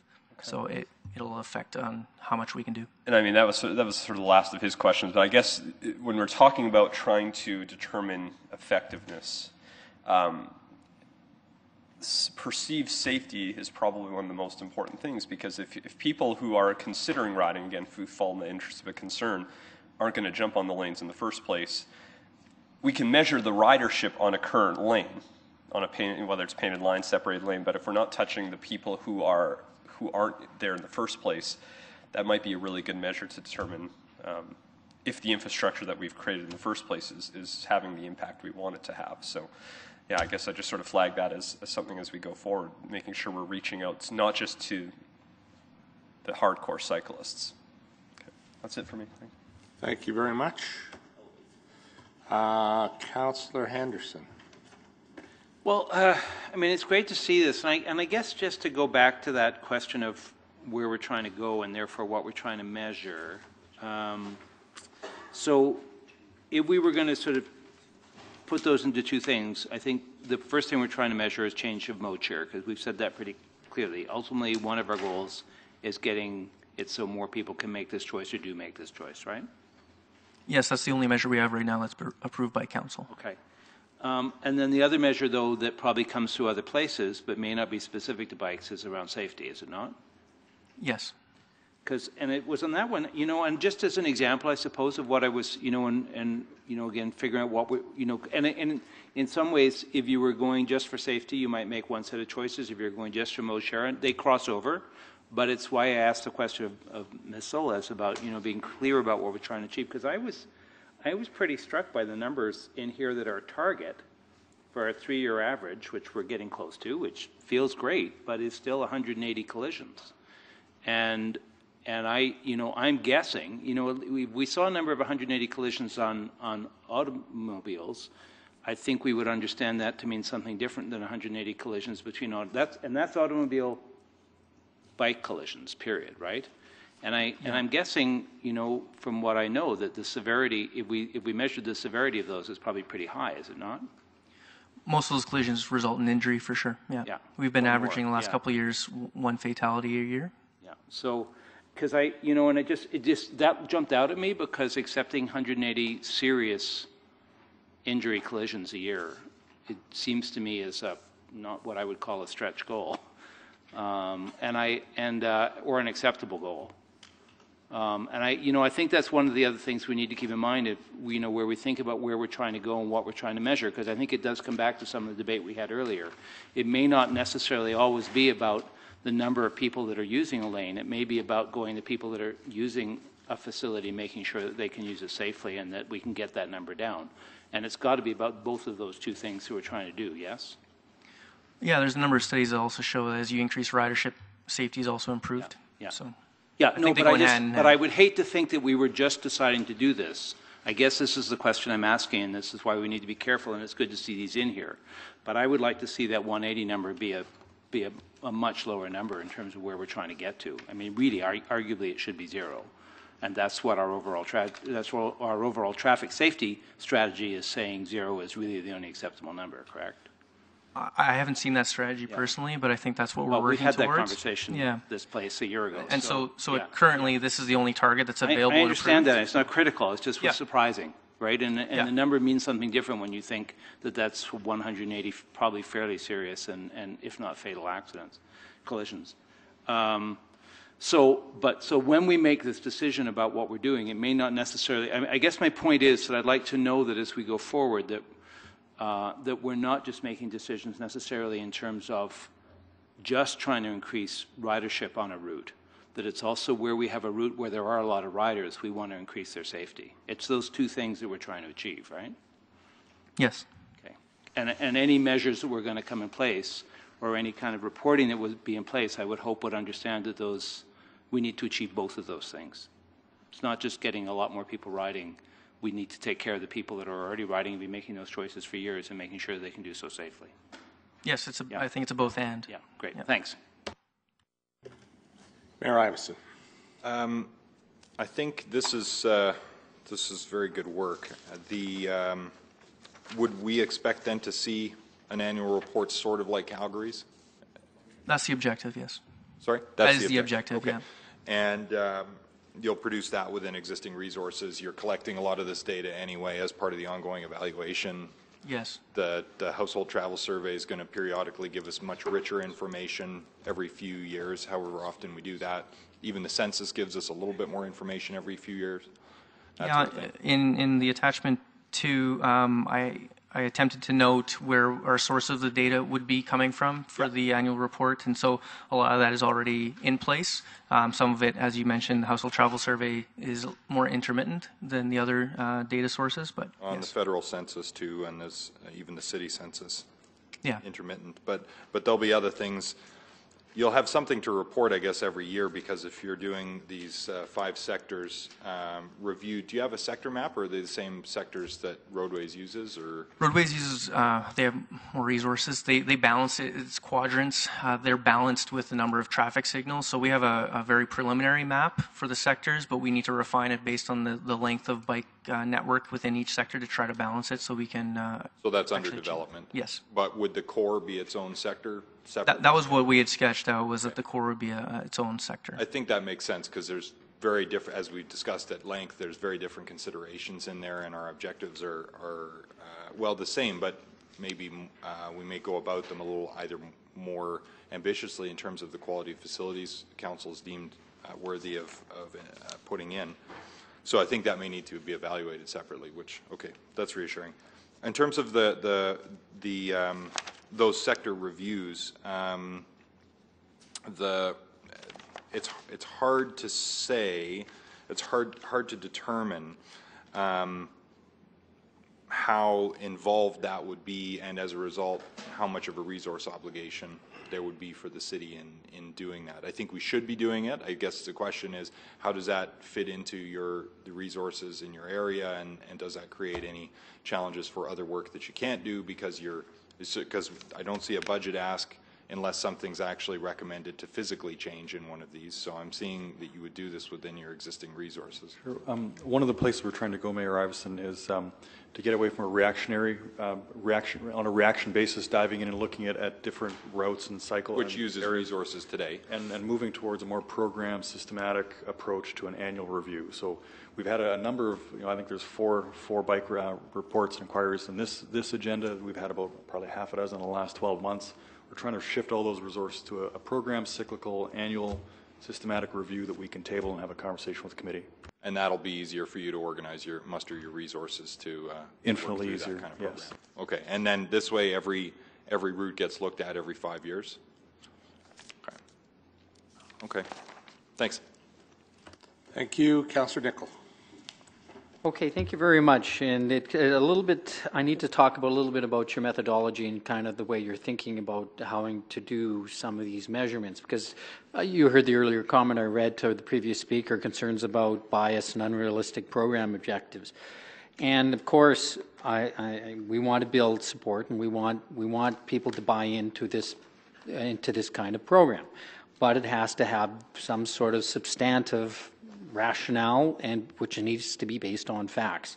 So you know. Um, when you're doing your counts, it's about frequency, it's about time of day, it's about uh, is the numbers going to be seasonally adjusted and measured that way? Because I noticed in the Calgary report, for example, they don't talk about seasonal, seasonally adjusted numbers. Uh, but the highest use in the Calgary report was on the pathways and the park system, and not necessarily the roads in terms of usage. So, and so that kind of gets to the um, question I asked. Here's a question I, I wanted to ask about later on. You said there were 84 people on 97th Street. Uh, how did you determine them? Is that 84 a unique rider? And if so, how did you determine that? They're counted the exact same way as we count cars. So every bike that passes the camera gets counted. Okay, Um, so it's not necessary, see, this is an important distinction of whether we're, we're, we're growing in certain directions or not, because we could be growing in frequency of a particular one rider, as opposed to cutting that number in half and saying there are two riders. Do you follow my, my, my meaning on the statistic? yeah, it's the way we count it is exactly the same as the way we count vehicle traffic. Yeah, but, okay, but what I am, what I'm getting towards Councillor Henderson's point is, right? If it is about the question of are we getting to the objective, right? And a meaningful objective is a unique point, data point, as opposed to the data point repeating itself back from back and forth. Do you follow? If not, we can do this later offline. I can explain to my thinking on that. I, I understand what you're saying. Our methodology Good. is to count exactly the way we count Because at, because at one point, and you're, you, you've heard it from several people, and we've heard it, I've heard it in my constituency, uh, very, very loud and clear, right? Some work, some don't. So what in terms of, um, you know, this is about putting lanes in. Where do we start talking about where some lanes are not working, and what kind of metrics and, or or what, what's going to be the cutoff to suggest, nah, this, this isn't uh, where it should be?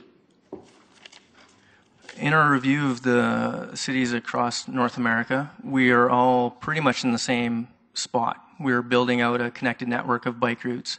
It's sort of like um, a transit. You know, our transit network is a fully established network.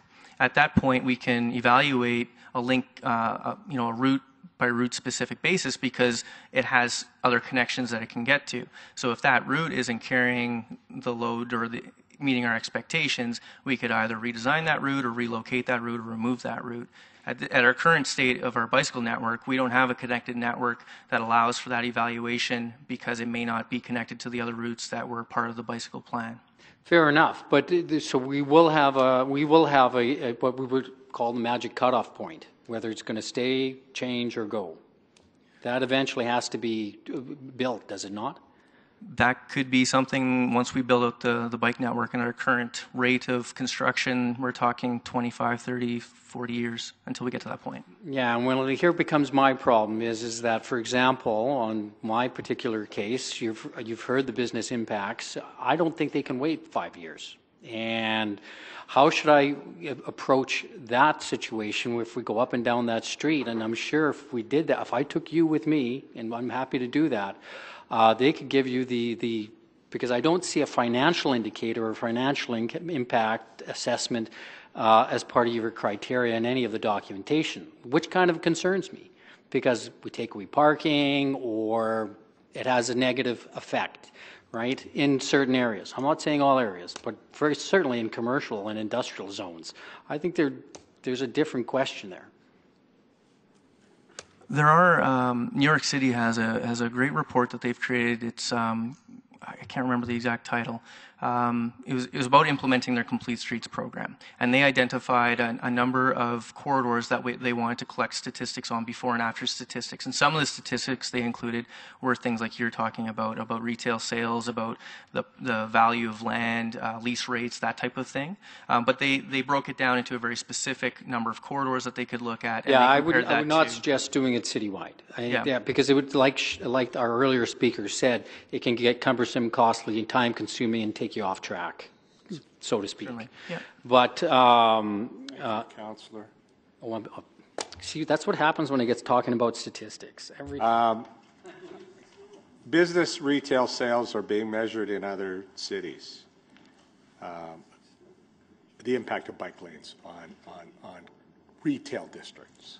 It's it's uh, not specific to bike lanes. I wouldn't s- say it's Okay. it's more predominantly about complete streets programs. Okay. So it's bike lanes may be a part of that um, as part of that that defining a complete network. So New York New York a lot of the, their projects did have a bicycle component to it, but it also included the creation of plazas and more public space. And I'm not at all contradicting uh, Councillor Nickel's viewpoint here because it's different. If it's industrial light commercial or light industrial commercial is different than a retail hospitality district. But there's been a considerable number of studies to show that bike lanes can be a positive impact on retail areas. Yes, there there are more of those more and more of those reports coming out. Um, we do have a meeting with the University of Alberta to look into a research program, uh, a longitudinal study looking at that type of thing. Um, I believe that meeting is next week. 102 Avenue bike lane uh, has uh, will feed into a, a number of retail areas, so that'd be interesting to know. And there's been some concern about the impact, as you know, and you and I have discussed offline. Um, so we're not going to measure that, but in measuring satisfaction, we're going to measure satisfaction. Yes, we, we were thinking of using a telephone survey like we have in the past to understand people's preferences and, and their satisfaction with the bicycle network or the bicycle program or city services in general. We wouldn't target the communities in and around a new bike lane. I believe that uh, for the two major projects that council has funded, we do need to have a monitoring program established for those. I think you've committed uh, a significant amount of money to invest in something that's quite meaningful, and I think we need to be evaluating that. So that's part of the discussion with the University of Alberta is to try to get a baseline for some of those metrics. Yeah, I think there's some hard uh, metrics. Uh, again, Councillor Nickel has gone through a lot of those, but it's kind of interesting. I mean, I think vehicle speeds along 102 would be interesting to know too, and, and 83rd Ave, uh, see if there's a, a, a reduction. And, and, and I think there will be a positive impact on retail uh, and hospitality, and maybe on community too, on the feel of the community. So I don't know how we measure those things. You know, I think it could be very positive in some neighborhoods when you run a bike lane through it that there could be uh, advantages that people didn't think of ahead of time. It'll change the feel of the place. Those aren't hard metrics, though. But uh, any other questions? Seeing none. Do we need a report, uh, move for information on this one? And then this, uh, we'll start to see these reports, I guess when would be the first time? Sometime next year? We'd be, yeah, we'd be looking at producing one for next year. That's good. All those in favor? Oh, no, you're chairing. What, uh, uh, yes. You have made that, uh, uh, the mayor has moved receipt of information. All in favor? Thank you, Mr. Mayor. You're throwing your weight around. Uh, Force of habit, Yeah. force of habit. Thank you, Mr. Golly. We're now on 6.4. Alternative bike lanes for 95th Avenue. Like where you're saying, What is going on, eh? I told you, I warned you, warned you at the start. Mr. Golly, you're up again? Thank you, good, good to see you. the bridge as well? no, no, I'm leaving for that one. The rest of these, I'm here. There's a bike lane on that bridge one day. There will be, yeah. Maybe. I'm going to excuse myself from that one. Um, so this this report and presentation is in response to a motion uh, made by Councillor Anderson on behalf of Councillor Knack, I believe was how it, how it went, uh, regarding looking at 95th Avenue and relocating the 95th Avenue bike lanes that were installed uh, in 2013 to the service roads. So 95th Avenue uh, bike route was installed in 2013. It's eight kilometer route, runs from 142nd Street to 189th Street, uh, and we it was part of the uh, the safety and operational reviews that were evaluated and reported to, to committee in October of last year. The um, when we looked at it, the uh, the motion was was uh, quite broad to look at relocation to service roads along the entire corridor. So um, really, the only the only portion of that route that had continuous um, service roads was between 156th Street and 163rd Street. Outside of that, there was intermittent uh, service roads or non-existent service roads. So that is the area that we uh, completed our review on. The cross section for 95th Avenue before we installed the bike route um, was the top picture there. It was a four lane roadway with service roads, with parking on the service roads. Um, and technically, parking on 95th Avenue as well, it wasn't prohibited. So, um, with the bike lane, we formally prohibited that parking on 95th Avenue. Um, and we converted it into a three lane cross section with a turn lane, a left turn lane in the middle, um, and service roads obviously staying on the side with parking. When we looked at the feasibility of shifting the bike route uh, between 156th Street and 163rd Street to the service roads, what that cross-section would look like would be uh, getting back to the four-lane cross-section that we had before, and we would be installing sharrows um, in the service roads. In more of a plan view, not just cross-section, um, the red dashed lines would be the, the shared use lanes that we'd be installing in the service roads. Uh, we would need, in order to transition cyclists onto and out of these service roads, we would need to, to construct uh, ser- shared use paths uh, that are noted in green. Yeah, they show up okay. Um, west of 163rd Street and before and after 156th Street. We would also be looking at intersection upgrades at 163rd Street, 95th Avenue, and 156th Street, 95th Avenue, as well as a, a little bit of grind and overlay to remove a median and uh, and redo that intersection at 163rd Street. So the cost of this work um, is estimated at fairly high level, um, $1.1 million. So the outcomes of that would, would see a redesigned intersection 163rd Street to a, more simple radius, not the right turn cutoffs, which should uh, improve sight lines and reduce turning speeds. Um, there would be marginal improvements to the vehicle level service through this corridor by shifting the cyclists to the service roads. They need, need to stop at all the stop signs along the service roads, so it, it would increase the delay for the cyclists. Um, and there's actually, if you count the number of conflict points by placing the cyclists in the service roads, there's an increase in the number of cyclist uh, conflict points that they need to navigate. Um, in addition, there's a shared use path transition zones that they would have to navigate, and the shared use path width, um, based on the available room, would be uh, substandard to what we would typically like to provide. So in summary, you know, the operational safety review that was completed in 2014 did not identify any significant safety issues. Um, the relocation would slightly improve vehicle operations, um, but may or may not improve the safety for cyclists. The cost is fairly significant, and we would recommend doing public consultation uh, of some sort would be required.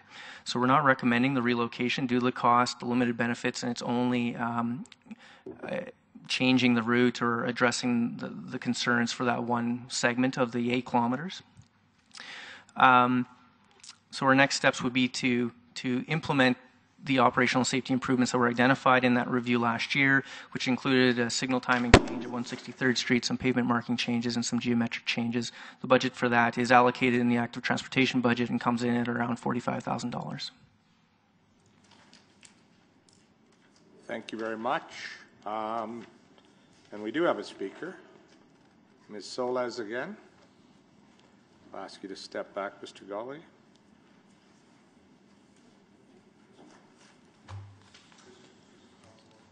Uh, I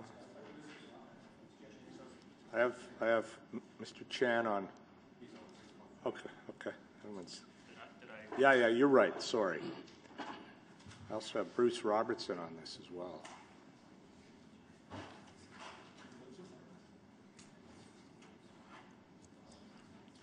Mr. Chair, I know he had to leave, and um, if he comes back, we can let you know. Thank you. Ms. Solez, would you like to start, please? Yes, good afternoon again. Um, Really, I um, signed up for all the items because I had sort of one thing to say and I didn't know how you were going to package the four items. Um, No, I- I I had something to say about performance measures, and I had something else to say about the other, other three. And I think that um, what you're seeing here, what I'm seeing as I, as I read this, uh, that I wanted to convey to you, is um, there are three items on how to accommodate cycling in various ways and on various routes, uh, sort of an after, an ex post facto or something uh, situation. Um, and to me, it indicates how important it is to consult early and often, sort of what the new approach that uh, you've been taking recently with the, uh, the two routes that are under uh, consideration right now and also how uh, the application of the Complete Streets program and how and the type of cycling infrastructure. Uh, I think the three the three things are sort of are, are very uh, interrelated here, because before the your recent shift in how you're approaching this, and before those Complete Streets um, guidelines, um, it seemed like there was a citywide pilot, only it wasn't called a pilot. No wonder you're so interested in pilots now because you went to a citywide implementation of something that kind of fell flat on its uh, not totally flat on its face. It did some good things, but it also um, pointed out some uh, some things where improvement uh, was needed. And I, I just wanted to um, mention the experience that some of you uh, are aware of because I was involved uh, with Central Area Council of Community Leagues when the uh, routes uh, way back when the the um, bike plan was first um, first developed. We even had um, someone come and make a presentation uh, to us, ask, ask questions, and all of that. And it was all good, and but the routes hadn't been selected at that time. Then the next thing we knew, some of the communities got a notice. Up, oh, lanes are going in, and we were just absolutely incensed that here was bike, a bike-friendly area of town, and we hadn't even been consulted about the routes or how they would work or anything like that. Poor Audra had to. Uh, it wasn't personal, Audra. had to bear the brunt of our, our fury. and, and, I think the um, this council's recent change in the way you're approaching um, uh, the development of routes is uh, is uh, you know, you've, you've, learned. You're not doing the same thing over and over. Um, anyway, to, to uh, the to us, it's um, important. You know, it's very important, and I think that bike routes and pro- bike projects can benefit from that local knowledge. Of people actually use the streets in, in all the various ways they are used.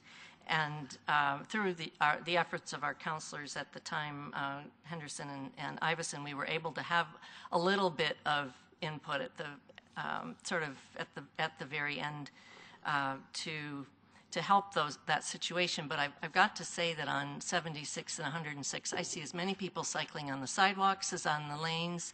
Um, the um, there's some uh, a cyclist from Leduc who cycles into town regularly, um, comes up 106th Street. As soon as he gets north of uh, 51st, he's on the sidewalk. He stays on the lanes because it's plenty wide. This and this is not a cyclist who, you know, this is a fearless cyclist, and who uh, hops over to the the sidewalk when he gets uh, north of 51st when um, the road the road narrows there and the lanes narrow and it's uh, uh, it's not as comfortable a cycling thing. And uh, what we're seeing there, as you, as you know, through the uh, efforts of the QA Crossroads group, the city is look, re-looking at that, both of those routes again, um, just a few years after they were put in, because something, uh, something else is uh, is needed there. Um, and I regularly, um, because I'm in that area, I've regularly seen, uh, as I say, more people on the more people on the, the sidewalks than on the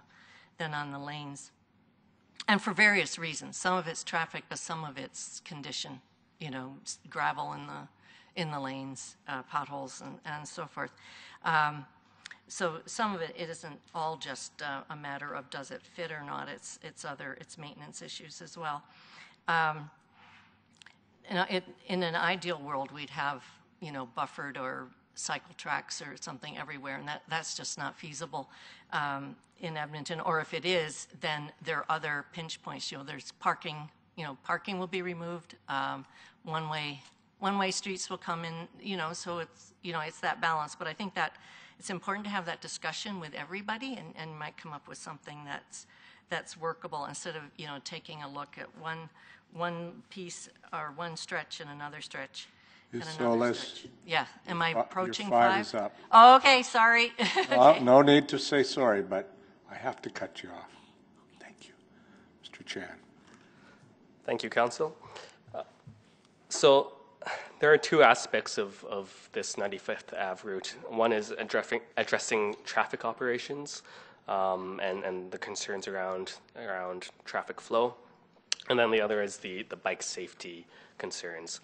And I think uh, looking at the results of the report, uh, you know, with words like limited benefit, marginal, and, and substandard, uh, in terms of what you get out of making the changes, uh, the potential changes, I think both of those things, the traffic operations as well as the bike safety concerns, um, are more about perceptions than than actual uh, quantifiable changes that you're gonna that you're gonna get.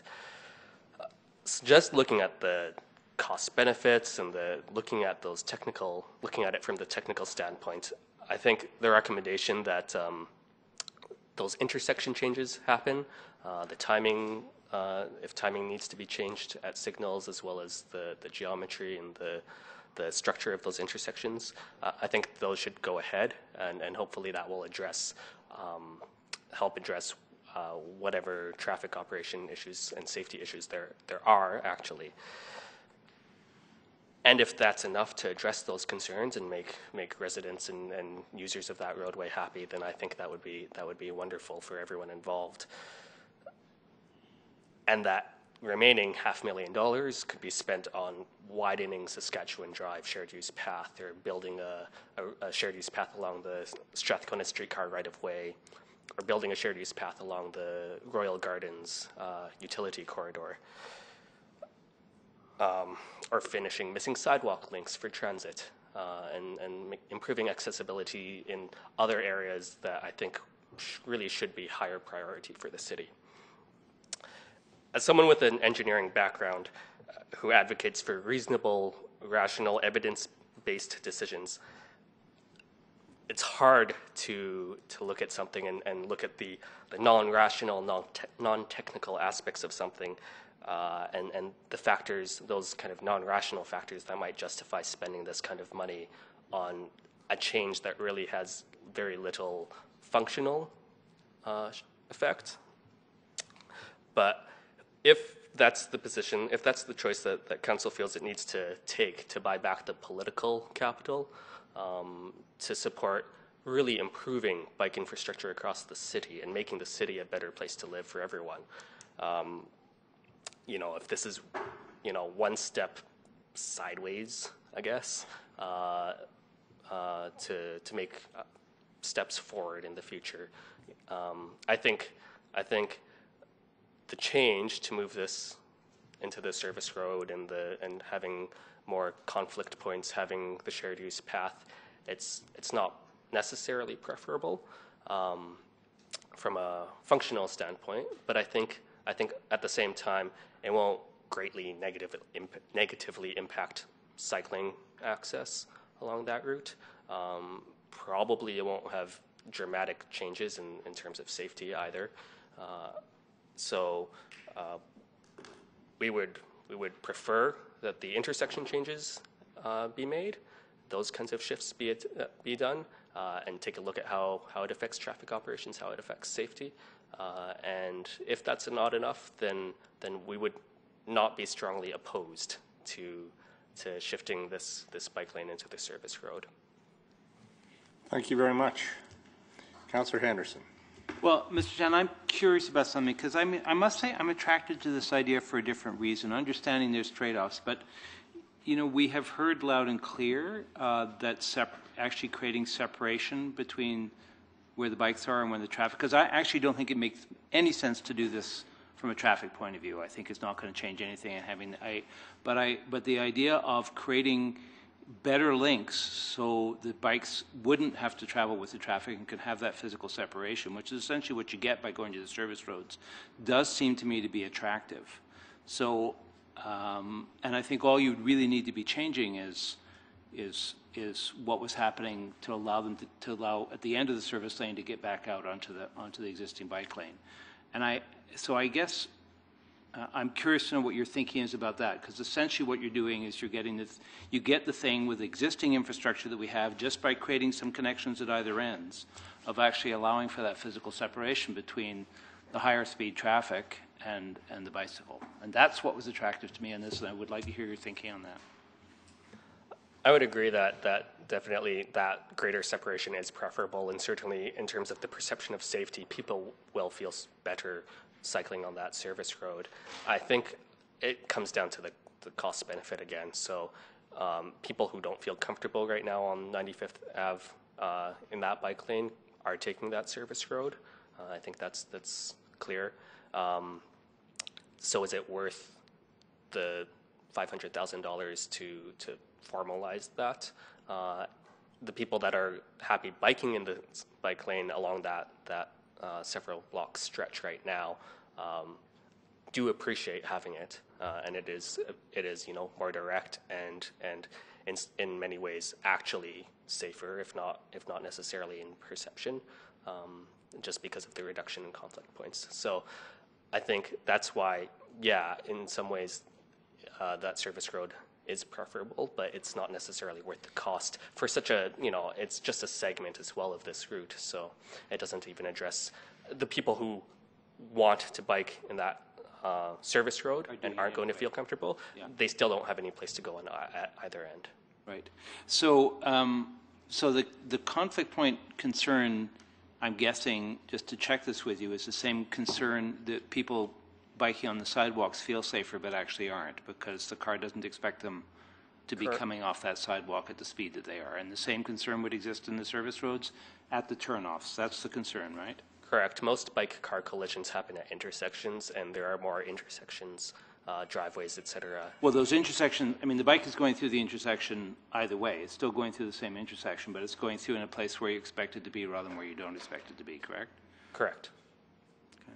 And, and theoretically, the bike would have a yield or a stop sign or something like that, which it might or might not pay attention to is the problem, which is not an issue if it's traveling with the flow of traffic on the main road. It, it uh, putting bikes onto the side takes them out of the field of view of, of drivers.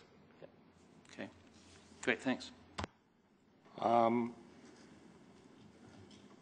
years ago, in learning a little bit about bike safety, I was it was said to me that if you're riding along beside parked cars and then you have quite a stretch where there's no parked cars, and then you have parked cars again, you stay on a consistent line.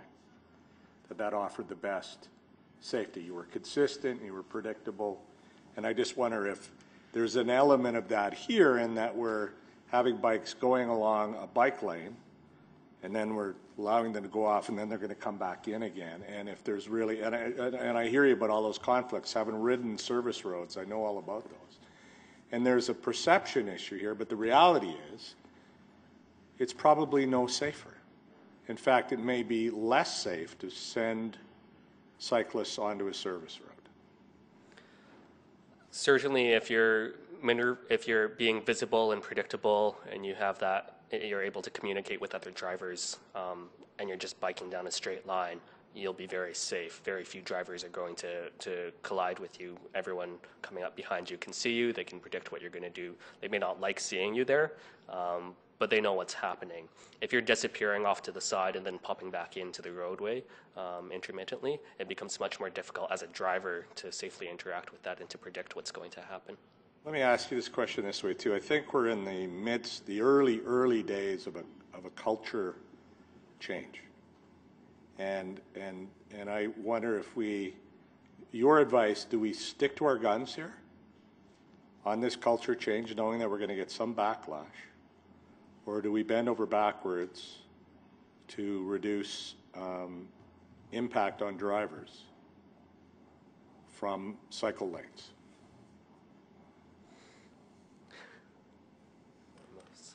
A little bit hoping to leave that to you. Um, I asked your advice. it certainly is a, you know, it, it really depends on, on, on not technical considerations, but really it's coming down to emotions and, and those kinds of uh, political considerations of is it, is it worth um, fighting for this? And is, or conversely, is it worth spending that extra half million dollars to, to make really marginal changes? Um, certainly, from a technical technical standpoint, it's, I, it's better to leave this as is and spend that money on other priorities. You know, maybe not even maybe not even um, cycling priorities, but just you know making for active transportation, making the city a better place rather than uh, running around in circles. Thank you. Any, do you want to add anything, Ms. Solez? Uh, I would, um, Especially, uh, specifically about 95th. about 95th? Yeah. I'm with Chris on that. I don't think it's, you're going to get a whole lot out of spending more money, other than the, the intersection improvements that uh, are called for, uh, the, the review called for. Um, Yeah, you'd, you'd get more out of that money spent elsewhere. You might buy a little bit of goodwill Might, from, from the yeah. Yeah. But then, you know, when the change came, the cyclists might not, um, and, and the traffic might not s- feel a difference or see a difference. Right, okay. Yes, uh, Councillor Knack. Thank you, Mr. Chair. And yeah, I think, uh, you know, the challenge as we talk about this is that there were a couple different approaches we could take, right? These came in September 2013 after, unfortunately, not the greatest public consultation in the world, in particular on 95th Ave. We held the open house at Meadowlark Community League. I was there because that was my role at the time. And by the end of that consultation, we saw about five people in the West End provide consultation. So when they got painted and brought in, as you can imagine, there was a lot of uproar because you know people didn't come out. We did give them a chance, but people didn't come out. And I heard over and over and over again, uh, including from I would say a number of the 25 cyclists that use that at most per day, um, that this wasn't the best way to go in terms of the painted lines. And I think we've recognized that now. We've made that change in terms of focusing on higher quality infrastructure, 102nd, 83rd. So I went about looking at this in two different routes. We could, I could come back and if I was trying to represent the majority of constituents, we could say, well, let's just remove them all in the meantime and then come back and rebuild it all to that higher quality standard. But in the meantime, have nothing. The approach here, because ideally, if we're going to build bike lanes on, and, and Mr. Chan, you would probably have the best knowledge on it, using it as well, but everything west of 149th Street, if we were going to build high quality infrastructure, um, most of that route would have separated infrastructure, and that would be ideal for all of us, right? I mean, correct? It'd be better to have separated infrastructure all along 95th Ave from 149th to 189th The versus traffic- the painted lines. The traffic volumes would certainly justify that. Absolutely, right. And this, so I guess I want to ask you the question because you were talking a little bit about perception is that instead of waiting, you know, four or five years and continue to sort of foster some of the, the negativity that's been around this, we have an opportunity to make one upgrade along the entire route because if we were to make the change, we would likely use where we're talking about using right now. Um, so that's why I guess I wanted to get your take on, on is it worthwhile to, to take a baby step towards getting it to the ideal situation versus leaving it status quo now and having that perception issue and having that negativity that's continued to, to sort of exist. I think there's two, two aspects to that. One, this would be an opportunity to opportunity to re-engage with the with the people in the area and the people that use that roadway about about this design and about the, the bike route along 95th Ave. Um, before really jumping ahead and spending money on on on piecemeal uh, changes, I, think it would be prudent to to look at that whole stretch if that's if that's the end goal uh, to to improve all of it. I think I think to make sure that changing this is going to connect well with any future changes would be would be important. Yeah, now we'll ask that question, but I have a pretty good feeling that th- this would, in fact, make a really good connection to a future upgraded 95th Avenue, which could actually be the best of all worlds. Great for drivers, great for people to bike, great for pedestrians, sort of a win win win for everyone. So, okay, no, I just wanted to ask those questions. Thank you. Thank you very much, Councillor. Further questions? Thanks so much for your presentations.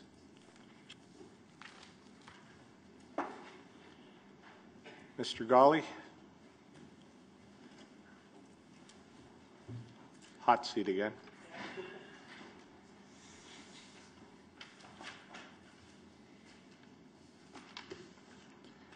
Count, uh, we'll go with Mayor Iveson first. So the uh, safety and operational improvements identified, did you say at the end of your presentation what those would cost?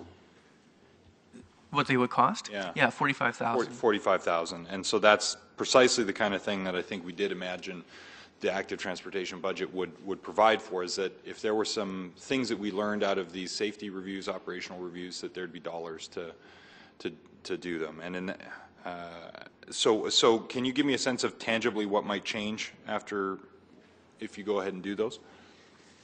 Yes. Um, they're sort of towards the back end of the report, but uh, we worked with operations to look at uh, additional uh, green time for the east-west uh, movements along 95th Avenue at 163rd Street. Um, through the, re- the safety review, vehicles were encroaching into the westbound bike lane at 163rd Street, so we'd be looking at a geometric uh, improvement at that location. And then at conflict points where vehicle uh, vehicle movements would be crossing the bike lanes, we'd be looking at adding pavement markings and uh, signage to um, highlight those those conflict A little zones. clarification around the Yeah. conflict there. Where's the, um, because it talks about in the, in the options here, if we were to do the, the whole, uh, the, the full meal deal, grind and overlay required in the intersection, that's, is that to change pavement markings, or, uh, or would we be into geometry modifications in a big way at 163rd Street as well? It's predominantly to reconstruct the intersection and make sure that the pavement grades all work. Okay. Now, do you have any idea where those, uh, either of those roads are, that intersection is from a life cycle point of view, when we might be able to pick up some of that work as part of rehab? I happen to have a map.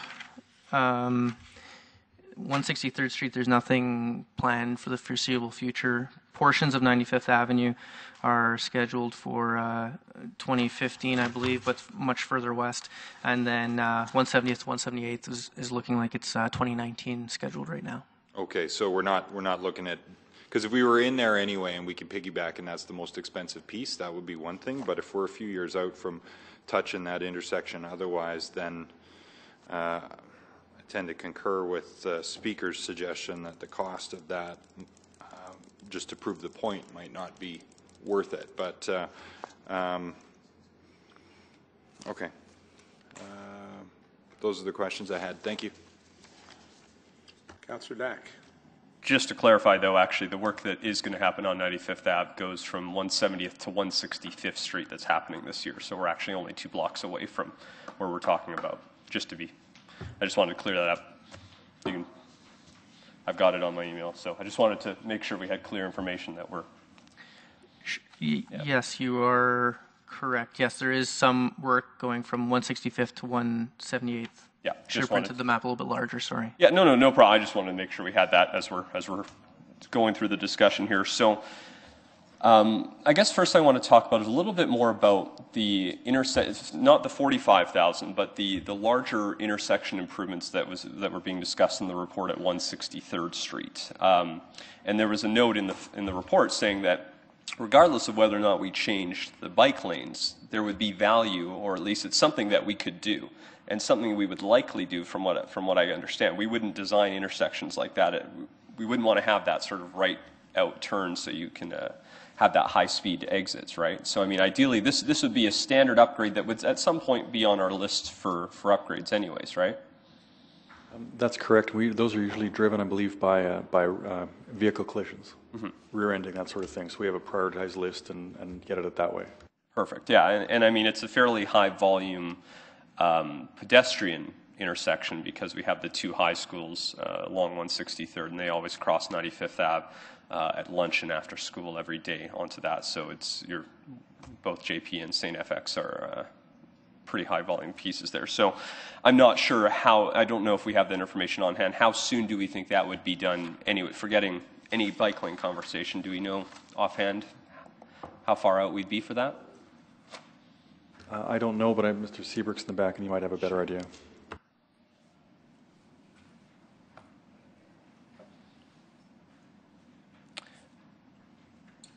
Uh, Councillor Knack, at this point, we've got um, some prioritized locations. However, uh, as a part of the rollout of the road safety strategy, we'd be identifying uh, the programs that will be required to fund that. And at, at this point, there's nothing uh, in terms of a definite timeline, certainly nothing in 2060 or 15. Okay, no, that's fair. Um, when we've been measuring ridership on 95th Avenue, we never measured ridership on the service roads. It was always exclusively on the lanes, correct?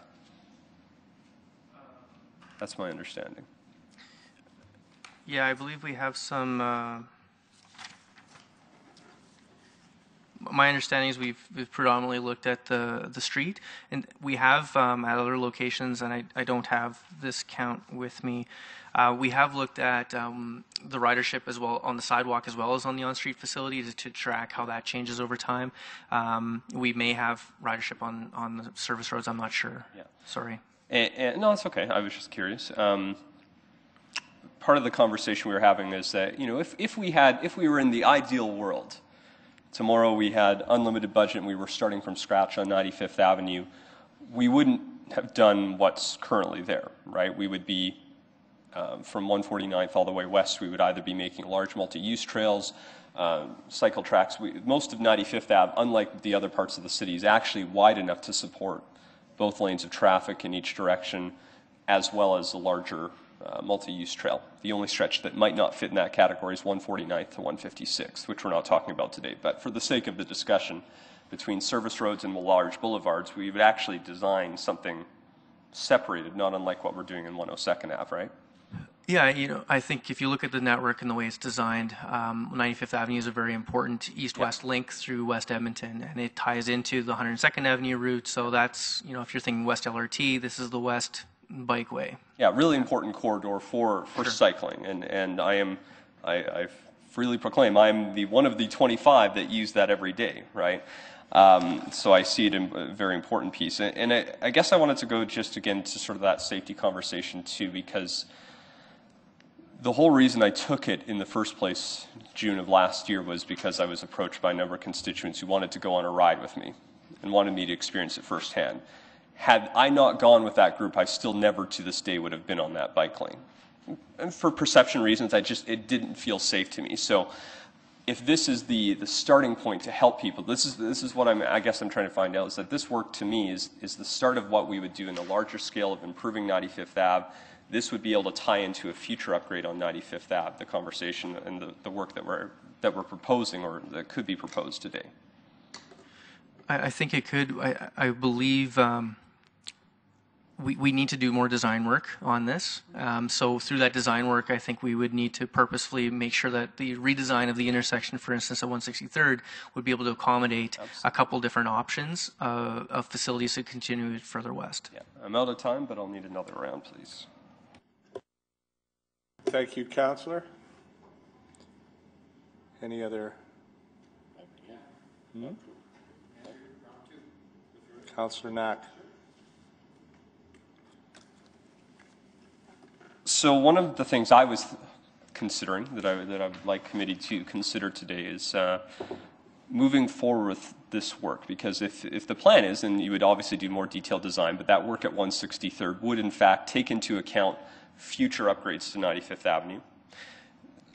So my only concern is that uh, obviously with a limited active transportation budget, um, I, I don't want to be using 1.1 million of, of an already limited 20 million dollars. Um, so I, guess, Mr. Wandzura, I was going to ask the question. We, the intersection work that would happen at 163rd Street and 95th Avenue, um, not the 45,000 we were talking about, but the overall intersection upgrades. If we weren't having this bike lane conversation and it was on the books for this year, it wouldn't be coming out of active transportation, correct? Um, So if we were having this conversation, well, if we were re, if you, if the, the decision of committee and council was to re, redesign for the tune of $1.1 million, is that what you're asking me? I, I'm forgetting the bike lane conversation. If there were work scheduled at 163rd and 95th Street solely for improvements to the intersection, that wouldn't be coming out of active transportation. That's about 500, 600,000 dollars of the of the 1.1 million. Right, if there was, a- if we had an existing program that was dealing with um, the condition of the road, quality, the geometry around the, the right turn cutoffs, and we had a program that was, where that was in the, in the priority queue, yes, we would be, dri- we'd be addressing that under, under whatever program that happened to be. If there's tie into active transportation, we'd be making sure there's coordination, but, but it would be funded out of a, a dedicated program. And the reason I ask this question, because I know that in the past, when, when the lines have been painted, uh, when this happened in September 2013, I mean, we were paying money out of active transportation's budget for painting of lines, which one might argue wasn't what, you know, our, I don't know if that was our, you know, I look at our most recent budget in active transportation, our goal is to build multi-use trails, sidewalks, curb cut extensions, um, not painting of lines. And so why I bring this all up is that I think there's work that needs, there's work that's going to happen at some point anyways on 163rd Street. The work that's, that could be done on the bike lane would be able to tie into a future upgrade at a later capital budget cycle. Um, and I just want to make sure that that work is being distributed appropriately between the departments that should be paying for it. I, I think the answer is yes. Yeah. And, and, and just as, as an editorial comment, though, if you're looking for how to, if you're looking for options to fund something, if you choose to do it, uh, you know, council strikes the budget, they appropriate money to certain programs. It's entirely within council's authority to, to direct that monies be moved from here to there or to meet your, meet the needs of the day. So I, I just, my, my advice would be don't be, don't be uh, sort of constrained by what current funding envelopes we have if you really would like to do something different. Um, so I, I'm going to pass that along as something I, I would like to consider, which is that the work actually, something along the lines, and I don't know what the final, final wording would be, but that the work is listed in attachments one and two to move the 95th Avenue bike route uh, to be approved with the 163rd Street intersection work to be paid for out of the appropriate department's budget and then the remainder of the work coming out of active transportation. Um, that's a suggestion. Uh, that's obviously up to committee if they want to put that motion forward. Um, the last thing I wanted to talk about was with regards to just the, con- the conversation about consultation. And since these have been implemented, I guess I'm, I'm curious, has there been any city-specific consultation on 95th Avenue on, on how it is, on people's thoughts?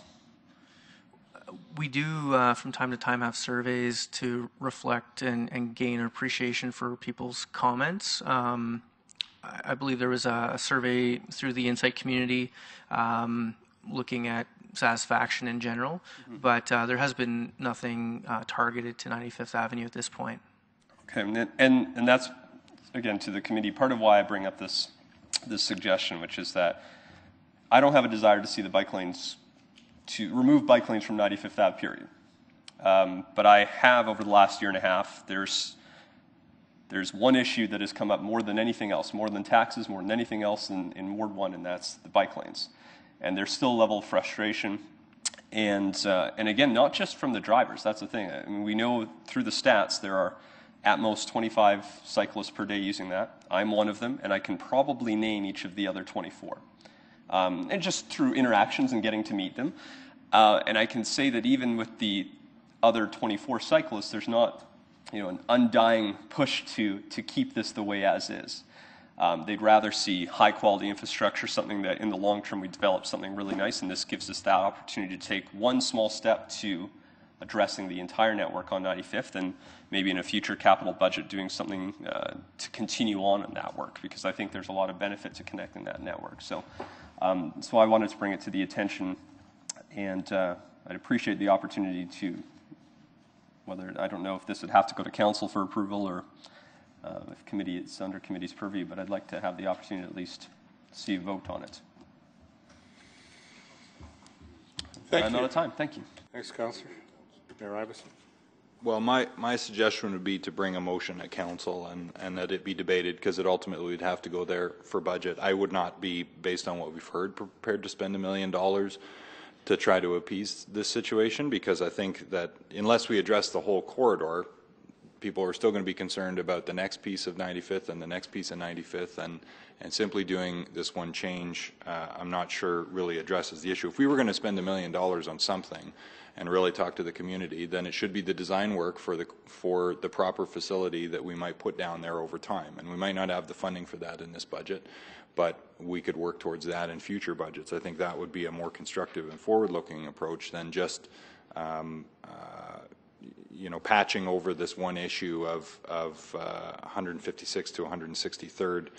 Uh, and introducing, as we've heard from from a technical point of view, potentially more safety issues that way for um, for minimal uh, minimal payback in terms of uh, roadway performance. And so, so I haven't heard anything that, that would, I, I could, I have absolutely heard enough to justify the 45,000 of upgrade work that, uh, that they think is, is warranted based on, on the work. And I trust that that will continue as it is. But I would really encourage you to focus on design and the corridor rather than, than this, this one piece, because I think a million dollars to move these routes uh, would be would be challenging. But but really, uh, you know, any member of council can bring forward that motion at any time.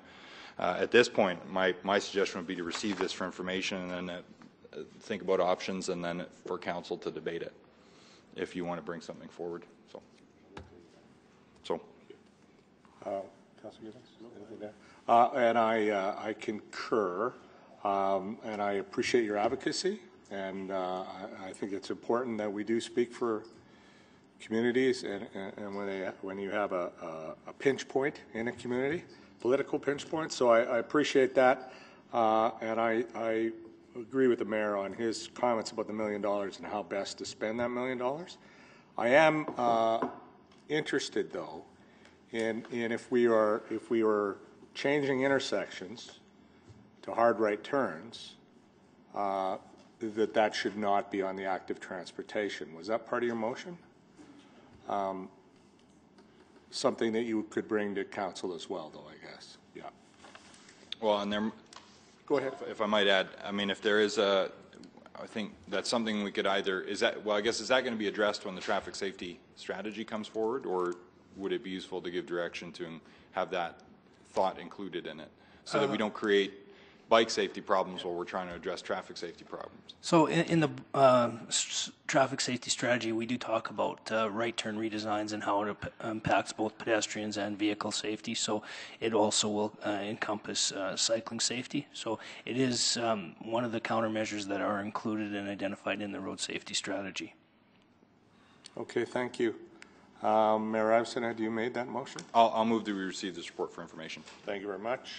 But, you know, we should probably all hold on to it as reference for. Yeah. Okay. Please. Yeah, Councilor. no, and I appreciate that. I'll, I'll definitely bring forward a motion and, and I'll try and bring forward some additional information. And the reason I've been bringing this specific piece up is that um, everything from 163rd to 182nd Street, which were the two higher volume traffic corridors of average car trips per day, uh, didn't lose any lanes of traffic. They have both lanes of traffic in each direction as well as the bike lane. This stretch has about 11,000 car trips per day, just below the stretch of 163rd to 170th. That's why I wanted to flag this. That's why, through conversations with um, all of the communities abutting 95th Avenue, this has been the key focus point, the area where they feel absolutely needs to be addressed. There's actually not really any concern from 156 to 149th Street um, because it's really it's a much different residential road design as is the case with everything west of 182nd Street to 189th. Your average car trips per day drop to 7,000 or lower. Um, so I actually, I'll bring forward the motion because I actually don't think this is a, is a piecemeal fix. This is something that actually will help address the long-term plan is that because when we do that next capital budget, uh, I think there's absolutely just cause to do a nice design on 95th Avenue, but uh, I want to make sure we actually have the public uh, on board understanding why we want to develop high-quality cycling infrastructure. And unfortunately, right now, in, in all of these communities, uh, they don't see it. Um, and again, uh, even as myself, as somebody who's actively using that lane every day cycling, um, it's not ideal for me. It's not really doing what we want it to, which is generate new ridership. I wouldn't have been on that lane had it not been for that group of individuals. So um, I'll bring forward that motion at the next council meeting because I, I do really think it's important that this work gets done to help uh, help the public uh, continue the buy and actually generate higher ridership too, accomplish the goals we want to, we want to do as a city. So that's it. Thank you. Thank you, Councillor Knack. Uh, We have the motion received for information in front of us. All in favor? That is carried. Thank you very much. Um, 7.2? 7.1, right, oh yeah, we didn't complete that. We're back on 7.1. We've heard from the speakers, administration is back before us. Questions of administration? Not really. I think, I just want to speak to it because we've, we've gone, we've done the runabout here, so. I, uh, I have a question, but, do you have a question, Councilman, uh, Given? Go ahead. So what came up uh, in the fact of these businesses, so if if we did a change of where the bike lane was on that particular stretch, uh, to help this particular business, the businesses came in, is that going to upset anything, or you have to do it the whole strip? Say you move it into the center of the road like you did on 40th Street up my end of town, and/or something, so it gives the Okay, I see, a... I see what you're saying, yeah. Um, You know, the upgraded, um, it was an inquiry, so we didn't, you know, we could only really report what we had. Um, So looking at that cross-section that we had proposed as a maybe possible upgrade. What you see in that is a, is a left turn bay and one lane of traffic in each direction and, and a bike lane. Um, I suppose you could maybe instead of having that left turn bay, use that as a parking uh, lane on one side of the street, um, similar to what an iteration of 189th Street maybe was, although obviously this is a straight street, not curvy. Um, but I think in order to look at that type of option, we'd need to do more analysis and and uh, and design work. So we've got leave as is, receives information and/or move it to 91st Street and/or what? Well, the next steps for us would be, yeah, the next steps for us would be to complete this operational safety review to identify uh, and to do the work to look at what are the safety, the observed safety issues, to look at the traffic analysis, to assess the parking, and to look at design alternatives. Um, so that's the work that we're intending to do on 97th Street, that operational safety review, similar to what we did last year with 106th Street, 40th Ave, and 95th Ave. So if the biggest amount of population is, as the presenter, Mr. Fitzgerald, I guess it was, uh, said, comes out of Mill Woods to go somewhere, would it not be that that would be better for 91st Street?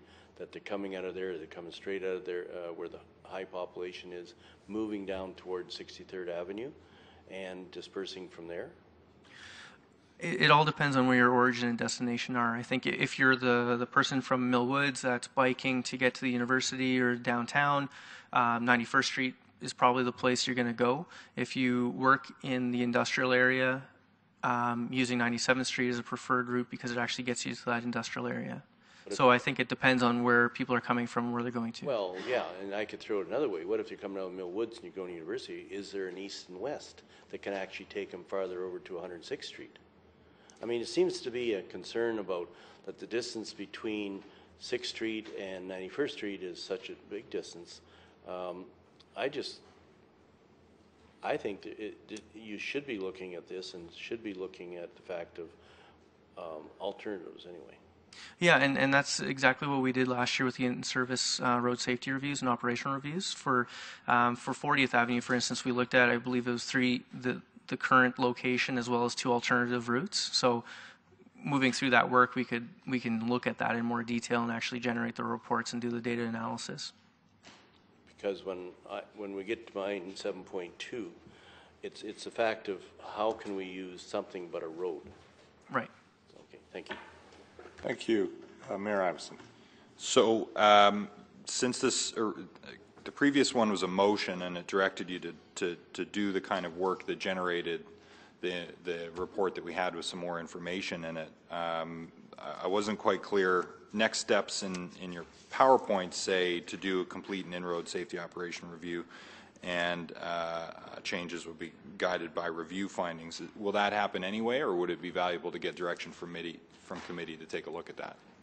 I, I think that's going to happen regardless. Um, I mean, if committee wants to make a motion to direct, to direct us, that that is fine. Uh, the intent, um, certainly depending. I mean, there's a lot of interest, I believe, with council and Councillor Nickel.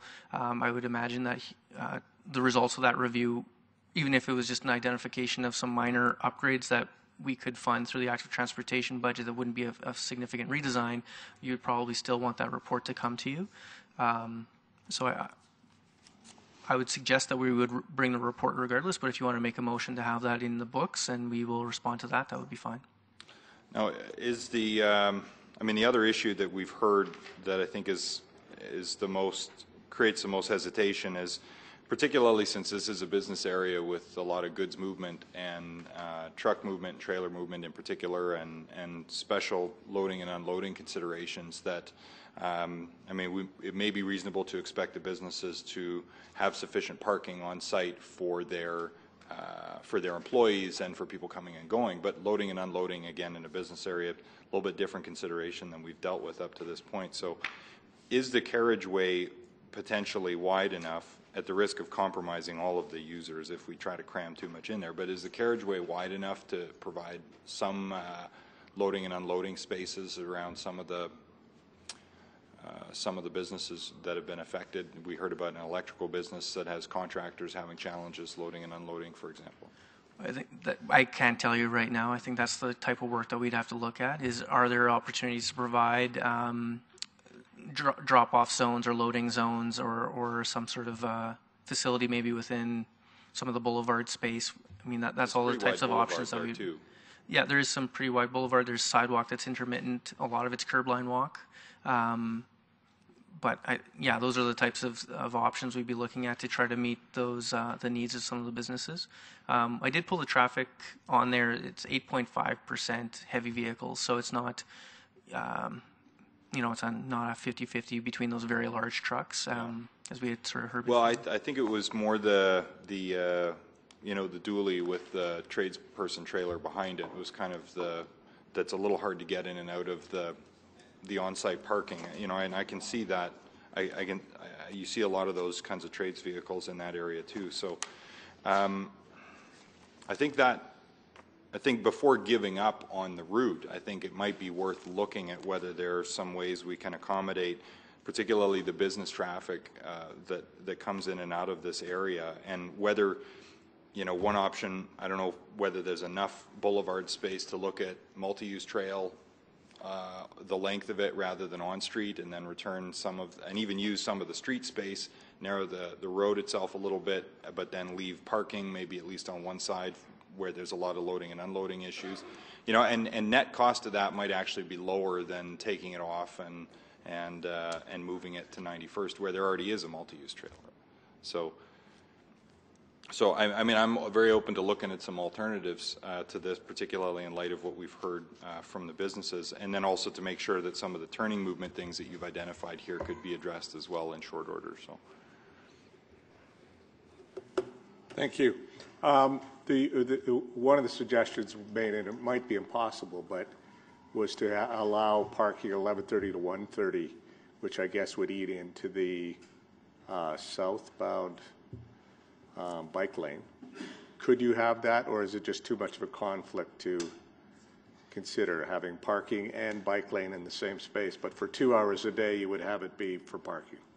I think we'd have to look at. There's a lot of considerations. Um, That's one thing you could look at. we could look at. It certainly would fly in the face of best practice and preferred practice and a lot of safety related elements, but we could look at it. Okay. Uh, Councillor Nickel. Uh, that was that was one of the points I was going to try to uh, to make. There are many different kinds of businesses with different kinds of operational hours, and it, it's not just about Fitzgerald's operating at, as as a bar, but it is people who start at six and can clo- they're closing their shop at six. And so that where that that's where that conflict comes into being able to pull in and pull out and park, and not uh, not being able to move the truck around. Um, it's, um, I guess I'll speak to it a little bit. Um, both Councillor Sohi and I have heard numerous complaints about this stretch of road. And we're both of the opinion that this should be on 91st. And speaking, I guess, uh, from a Mill Woods perspective, uh, we're going to we're going to argue that it needs to be moved. Um, and so, for all the various reasons that we went through and uh, the discussions we went through, um, I'm speaking to it now. I understand and appreciate the 1,600 meters uh, that the extra, uh, the, the cyclist is going to have to go. But measured against employment and the loss of probably hundreds and perhaps million, a million or so in sales, if not employees, in terms of the number of employee loss, this is just not the right place for a bike lane uh, to an industrial commercial area. Well, we have better places to put it. And if it is about building better, a better view of bike lanes across the city, and if it is about building support for bicycle infrastructure, I think what uh, Dorian, you said you want to go where you're welcome as opposed to where people are going to fight you, correct? Pretty much. And so um, I do appreciate your, your movement towards uh, the counting methodology. Um, you know, uh, between 2011 to 2014, we've added 14, 14 data points Okay, I'm not sure what those are. They could be that cyclist going three, four times a day, as opposed to going twice a day back and forth when you're when you're doing your counts. So that's why you know, in terms of saying that we've had a 25% increase over three years. Well, you just you just heard Mr. Fitzgerald say he's lost into the hundreds of thousands of dollars. And so, from that point of view, there's got to be that. When I discuss this, there has to be that cutoff. There has to be that metric that has to be put into, and uh, that financial metric when you're going around. Because we've had, we had a similar problem in Ritchie uh, on 76, if you recall, about uh, a bike lane going in front of some businesses there. And it, the community was in an absolute uproar because we took away parking space for handicapped people, we took parking space away for churches, we took parking space away for uh, even some home-based businesses. And again, uh, that goes to the consultation sort of it. And it really, uh, and if we've heard from this, uh, a few speakers today, it really undermined uh, the rollout. It really did. And I do believe Mr. Fitzgerald when he said he got a letter and three days later they were painting the lines. I think that I think that's what happened because I've talked to a few of the businesses up and down that street, and that's just not going to help anybody.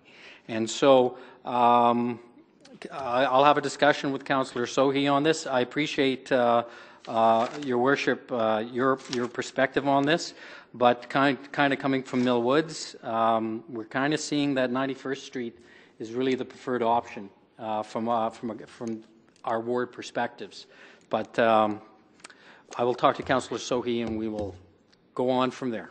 Thank you. Thank you, Councillor. Committee, your wishes?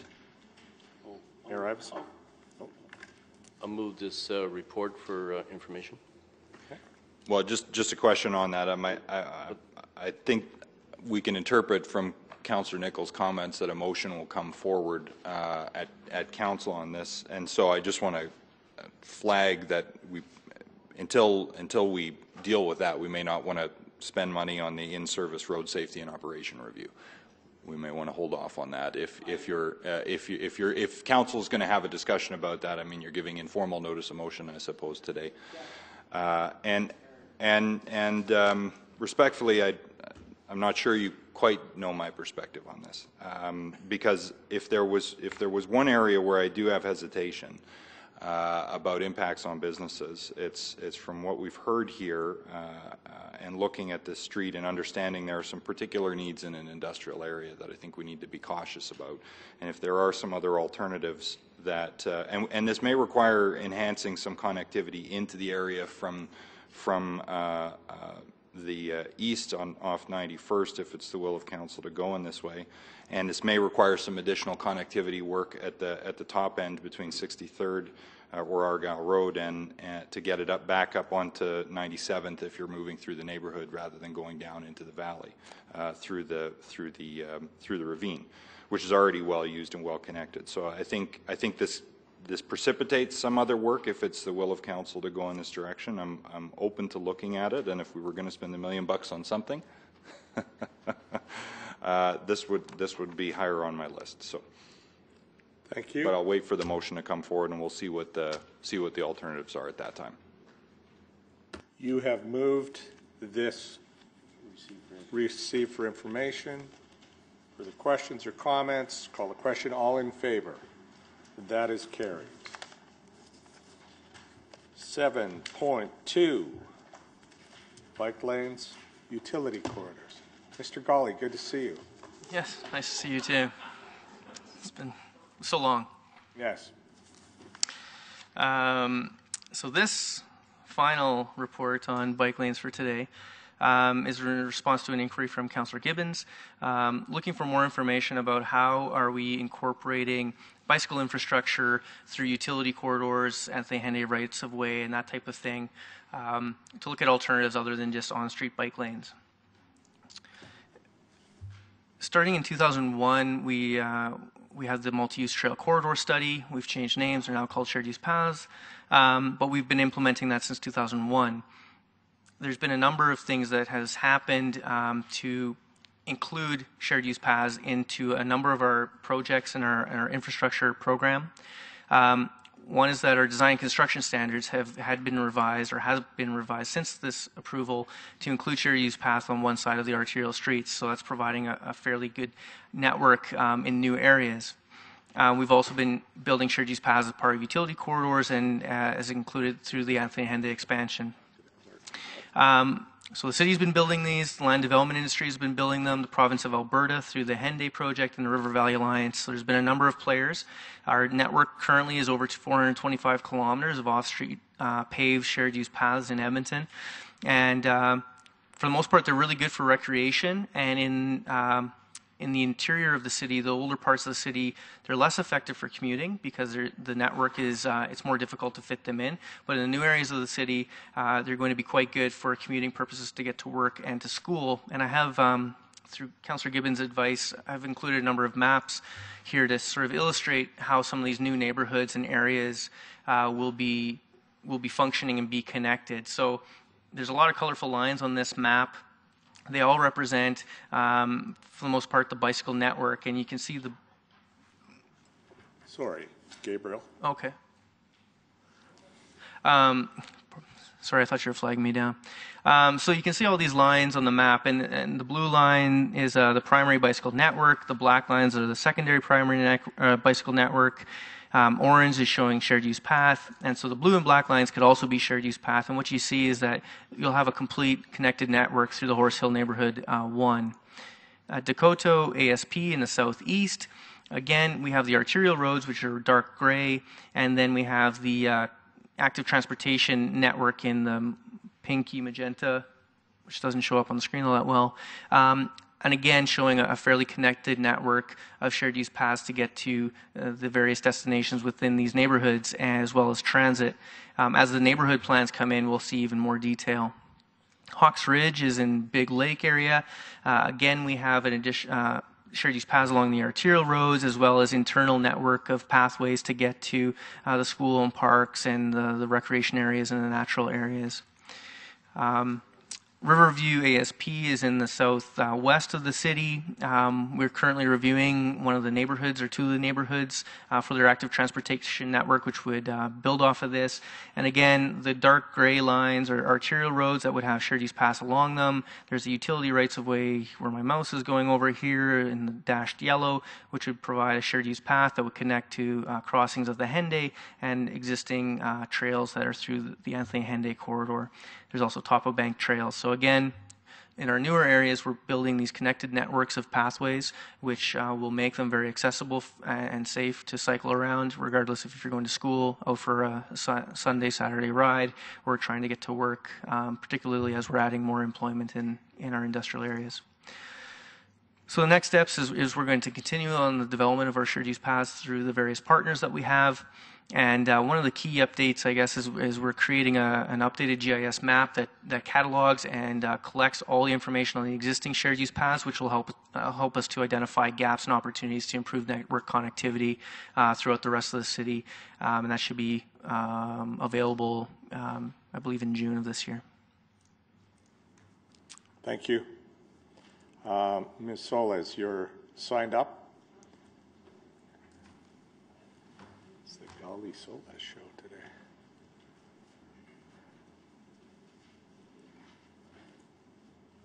Well, hello again. Uh. This is our a marathon day, I guess, on, on cycle uh, on cycling. Again, my um, comments relate to the areas that I'm uh, more familiar with, and I'm just going to carry on with what I um, what went beyond five minutes before. Um, I I agree that we've we've done a lot with the uh, the uh, um, the off street uh, where where we could, and I, I think that that um, Tyler pointed that out uh, quite well. Um, one example I wanted to I wanted to use two more examples that uh, came to my attention when I was with the FCL last year, and they aren't these uh, the areas today, but I think they're illustrative. When the um, all that concern um, uh, broke out, or whatever you would call it, happened um, around election time, I guess, in 2013, about the uh, cycling infrastructure on 40th Avenue and 106th Street south of the Whitemud. um, I went down and took a look because I, I thought, well, gee, you know, this sounds like it's some great big um, problem. And I took a look and I was absolutely um, astounded. It was marvelous infrastructure compared to what we had in our area on uh, north on 106 north of uh, 51st and on 76.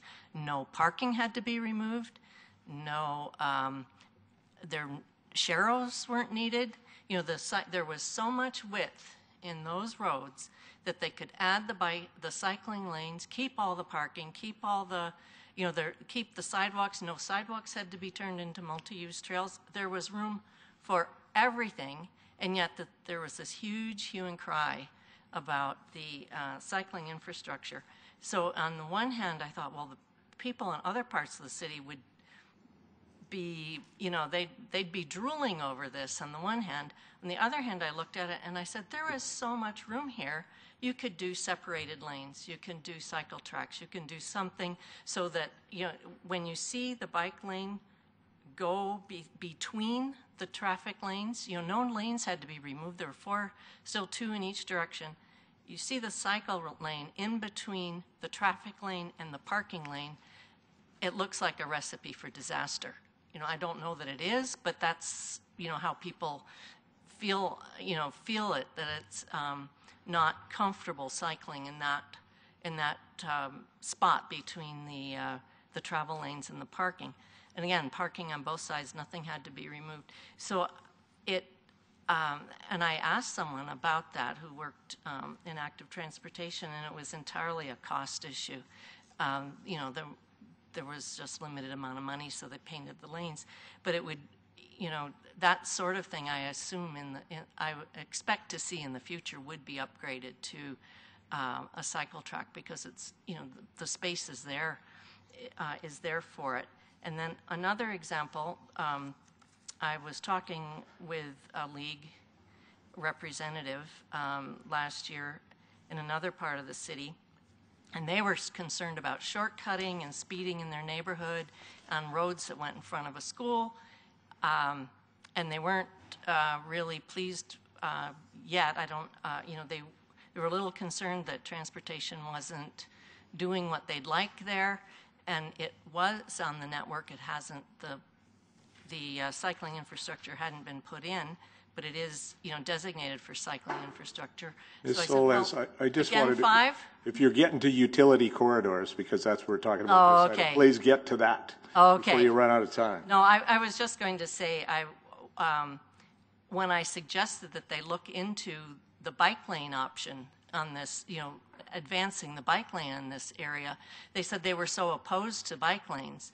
So, I, again, I think that that points to the need for the early and often consultation, and and in some instances you can't use you can't use utility corridors. I mean, you can use them in many instances, but to get to certain places in town, you, you can't. You need them um, in the streets uh, as well, is what I would, um, my contribution on that, on that point would be. Thank you. Appreciate it. Uh, Councillor Gibbons, you have a question. So on the last um, slide that they had up there, next steps, shared use paths will continue to be built by city development industry and other partners. So really, it, if you take a look at some of the plans that they had up there, they're using under AltaLink um, power lines, they're looking different things. That's what I was trying to drive at because back when I brought this um, forward, uh, back in 2013, it was hot issue just before an election, and it was hot issue on people being concerned on a lot of different wards of what can we do because not everybody is a, a commuter to work. They're recreation. They're moving, but there is ways you can do. Like just in, in the Riverbend area, you have a pipeline that goes uh, and power line that goes down through uh, across from Riverbend through the ravine and uh, by the Providence Center and all that. Can we use it? Can I don't, be? I don't see why not, And that's- but it doesn't solve the whole, whole No, no, problem. no, Because if you're trying to get to work or trying to get to school, your school isn't going to be along that power line. You know, you can use it to a certain no, extent. There's, and- there's a couple different ways, but I, all I did when um, Tyler came in front of me and showed me uh, these different plans that are going forward, whether it's the Horse Hill or Dakota or uh, Hawks Ridge or, and, and or um, Riverview, it's happening. And it Yes. might be the commutes, it might not be, but it just, um, it falls into line with what I was asking for. Mhm. Can we use it? Can we uh, proceed more in that? I've got quite a few power lines going through northeast Edmonton. Why not? Tie into it. That's, so that's what I was doing. Yes, I, and I don't disagree with that. It's just that it won't solve all the, No, we're never going to well, solve never, it. well, no, it, it's not that it won't solve all the problems, but it won't provide all the cycling infrastructure that's needed. No, and um, I don't think that I ever thought that it could. Thank you. Thanks, Councillor Gibbons. Anyone else? Thanks, Ms. Solez. Appreciate your time. Mr. Golly? Last time, I hope. Councillor Gibbons, you have your hand up again, so start with you. So, with um, the plans that are going out, if, for example, if you're in the, the far northeast as we're doing the neighborhood structure plan two and moving forward, they can use the AltaLink, they can use the other lines that are down there. But really, are we driving it toward the, um, the potential of the LRT being up there? Is that some of our connections? Because otherwise, it's, you might as well be living in Fort Saskatchewan and ride downtown if you're going to be doing that for a trip. So it's got to be linked in with something else, would you not? Yeah, we're, we're trying to link to employment zones, schools, park sites, as well as transit is a big one. So in the Northeast, with the existing LRT and the planned uh, extension, hopefully with federal dollars, we can do that sooner than later. But yes, that's a very important piece of it. And that would be same with Dakota. It would not necessarily be LRT, but it would be to a transit center that would take you somewhere else. Correct. Yeah. So there's that, that linkage between cycling, walking, and, and transit for sure. So I guess it's, it's a shared use. In, in the uh, example I used on, the- on the um, river bend across into Blue Quill to go farther east, can, is there ways that, that you've looked at that to plan that, those strips forward? I guess you take a, um, an overall map of the city where there's pipelines and or power lines and or whatever. Are you using any of those linkages onto what we'd call the, the more, mo- uh, the older type communities? Yeah, there certainly are, are some of those. Um, in uh, in Hazeldean, for instance, there's an old rail line up around, I believe it's around 68th Avenue, um, where there there was a trail put in. Um, another opportunity that might be presenting itself is with the redevelopment of the CP lands um, through uh, Old Strathcona. That that linkage. There is some talk about adding. Um, Councillor Henderson's not here, but he had, he was asking about the north-south connections. Po- Possibly that's another way to get a north-south connections through some of these old rail lines. Um, so yes, those are part of the uh, part of our metrics when we're looking for for bike infrastructure. Yeah, Let it run along the high-speed cha- uh, train system there, eh? yeah. We'll we'll elevate the train and have the bikes underneath. Th- Thank you. Thanks, Councillor. Mayor Iveson. Well, I was just looking at, uh, on the previous item, we have that, um, that, uh, the map, and there's the CP right-of-way, which they're abandoning from the north, and I, I don't know how far south they've gone with that, but, um, that, that, between that and 91st with some cross streets might give us a different way in and out of those employment areas over time, um, while still maintaining 97th as, uh, some kind of route, but, but the high-quality facilities might be easier to fit in on, uh, next to, the- in the wide right-of-way of 91st and, and in a, a rail corridor, for example, if that was the direction we go. Certainly, yeah. And our, our roadway maintenance folks and parks maintenance, you know, clearing shared use paths throughout the winter is much easier than trying to do uh, clearing the on street. Clearing cycle tracks or on-street. uh, on-street bike lanes in curb line. particular, cycle tracks, they're quite confident they can do a similar uh, level of service as a shared use path. But Oh, uh, okay, that's good. Ops is cooperating with you? That's Always. great, cool.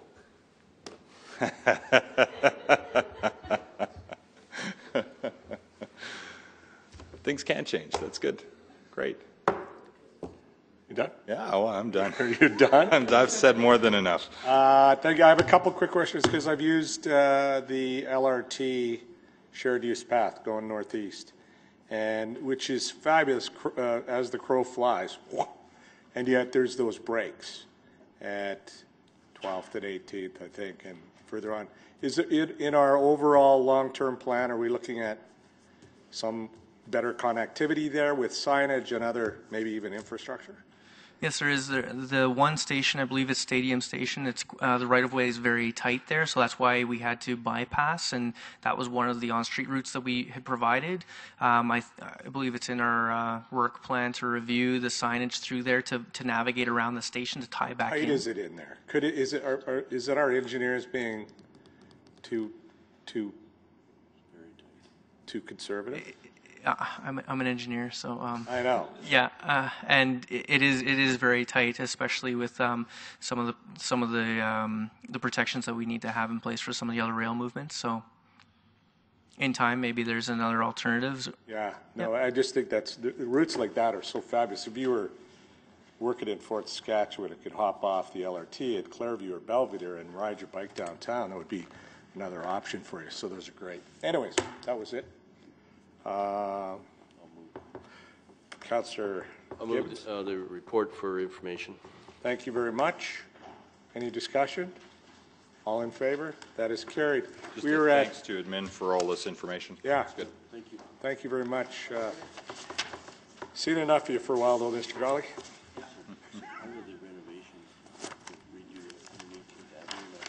Yeah. Yeah, yeah. We're at the break. Yeah, we're, we'll be back for item uh, 6.1 after the break at 3:45 sharp. Thanks for your help today.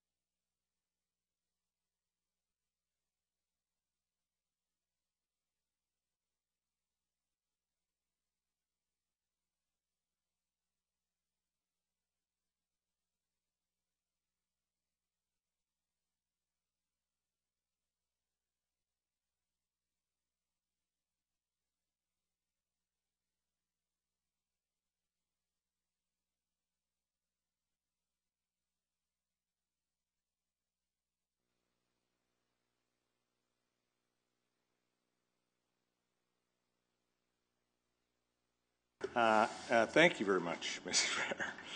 Um, And we're on item 6.1, 102 Avenue Bridge Replacement Project Update. And we're all ears. Mr. Chairman, we have a, a short presentation. We're going to highlight some of the, uh, the consultation and planning on the lead-up to, uh, to the 102 project. We'll cover a little bit of, of uh, the city's response during um, March 16th and April, April 7, when then we had the girder incident, and we'll talk about some potential options going forward for traffic mitigation, given this could be a, an extended schedule project. And I'd also like, we have uh, Craig Walbaum, and I'd also like to introduce Stephanie McCabe, who is our uh, new Director of uh, Policy Implementation and Evaluation in the Transportation Planning Branch. So she's here as well to talk about the broader network impacts of traffic and, uh, and obstructions. So I'll turn it over to Craig. Thanks, Dorian. Uh, so I'll, uh, I'll try to make this presentation uh, brief. So today we're just going to go over the 102 Avenue Bridge replacement uh, traffic impact and public engagement measures. So that's the overall main project as, as it began. And then we'll specifically get into and talk about uh, the measures that we took uh, for the Groat Road extended closure, both the immediate measures as well as some of the long and medium term measures that are being reviewed. So one of the big elements in, in any major plan project of this scale is public engagement. Um, there were two official public meetings. One was held September uh, of 2012, where really what we were identifying and showing at that point was just the design and the concept of what the uh, new bridge would be. Uh, later to that, once we went away and did our detailed design after that meeting, there was a construction phase meeting where we went into more details about some of the staging of that, more specifically what the bridge would look like, and that was held in 2014 prior to entering into the project. In addition to that, and all the way along through this process, we've had significant effort in circulation of communication materials uh, through all the various stages, and attachment one in the report identifies a list to the date of when we wrote this of all of those elements that were, that were included. In terms of the traffic, traffic impact measures, just highlighting some of the higher level ones, um, the report specifically asked around traffic signals. So this is just a graphic which is attachment two in the report, which identifies that there were over 25 traffic signals that were uh, changed or adjusted. And this wasn't just going to each one and tweaking it a little bit. We actually broke out this whole area of the city and when we did what's called a retime, where we looked at more significant changes to try and coordinate the flows in these whole areas for the the change in the traffic patterns that we anticipated. In addition to that, Edmonton Transit adjusted for the routes, primarily the ones that were impacted directly from the 102 Avenue, uh, as well as having a shuttle bus service around that bridge closer uh, using Stony Plain Road on either side of the, of the ravine. Uh, in addition to that, there was significant effort, and, and this is ongoing in terms of parking restrictions that were implemented around managing traffic in that whole area. The main project was primarily around 124 Street, Stony Plain Road area, and it extended, of course, when Grow will close into other uh, corridors. Now shifting focus to Groat Road itself. The immediate measures that we took um, were to uh, deploy an extensive amount of roadside message signs. There was in the order of well over 20 between our dynamic message signs that we can move around as well as static signs that were put out.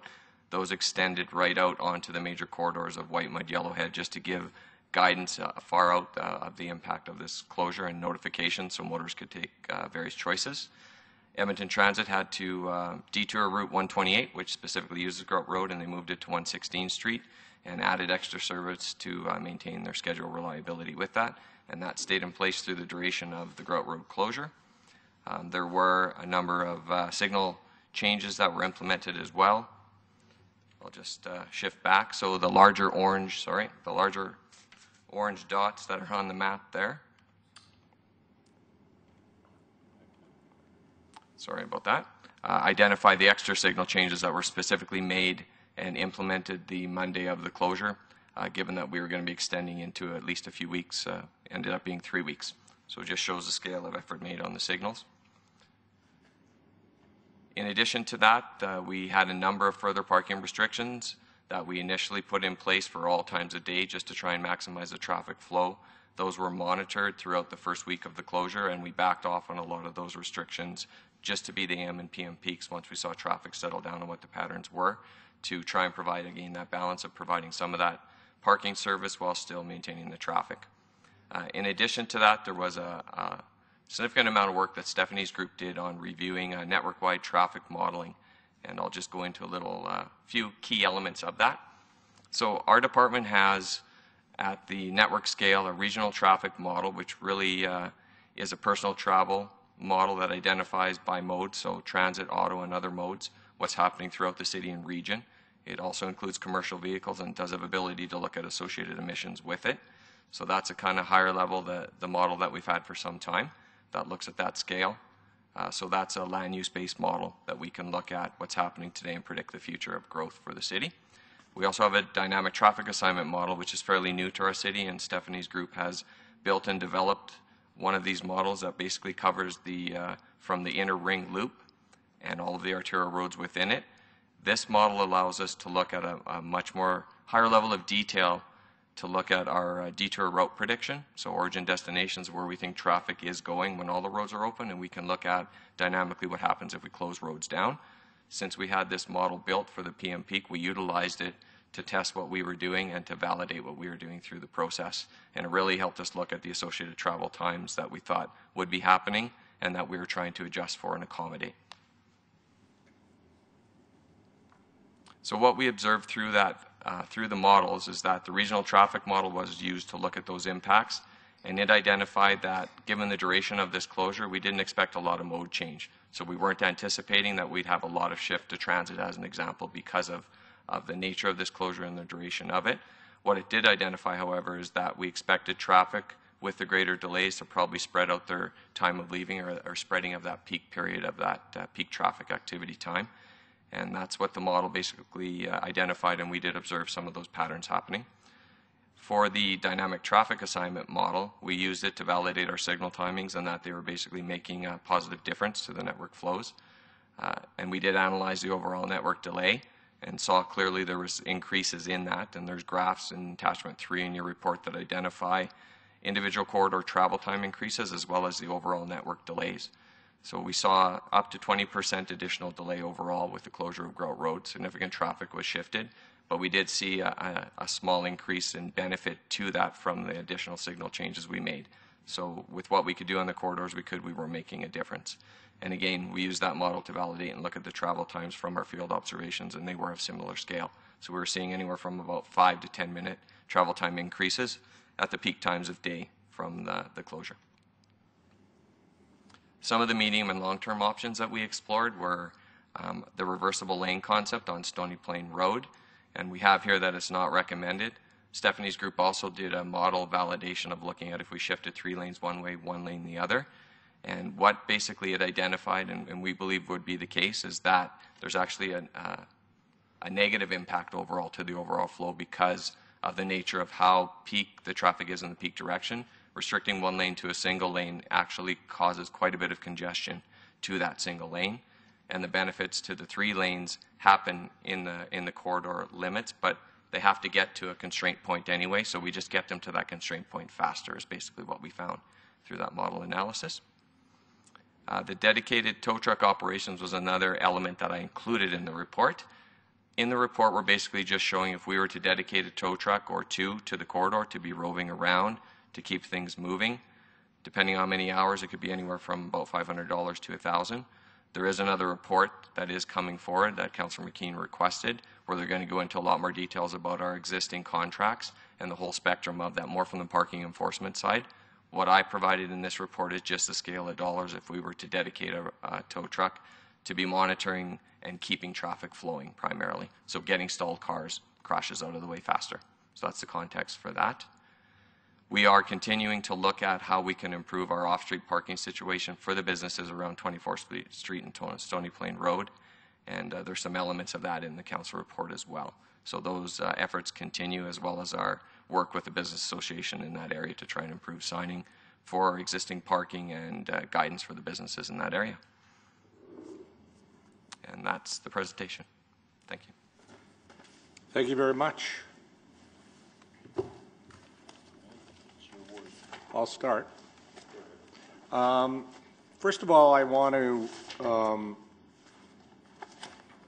thank you um, for one, in, in, one thing in particular. Um, we were applying for a parking to have a, a, a, to develop a parking lot lost that appeal, and I thought the meters along Stony, uh, just uh, west of 124th, I thought you would pull them or bagged them.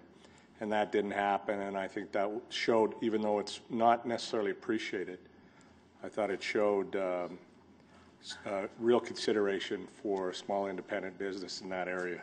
Probably not appreciated, but I appreciated it. Um, And I think we're continuing with that policy that uh, peak hours, it's, there's no parking, but the rest of the time, they can, there's still parking there, metered parking in front of those businesses west of 124th.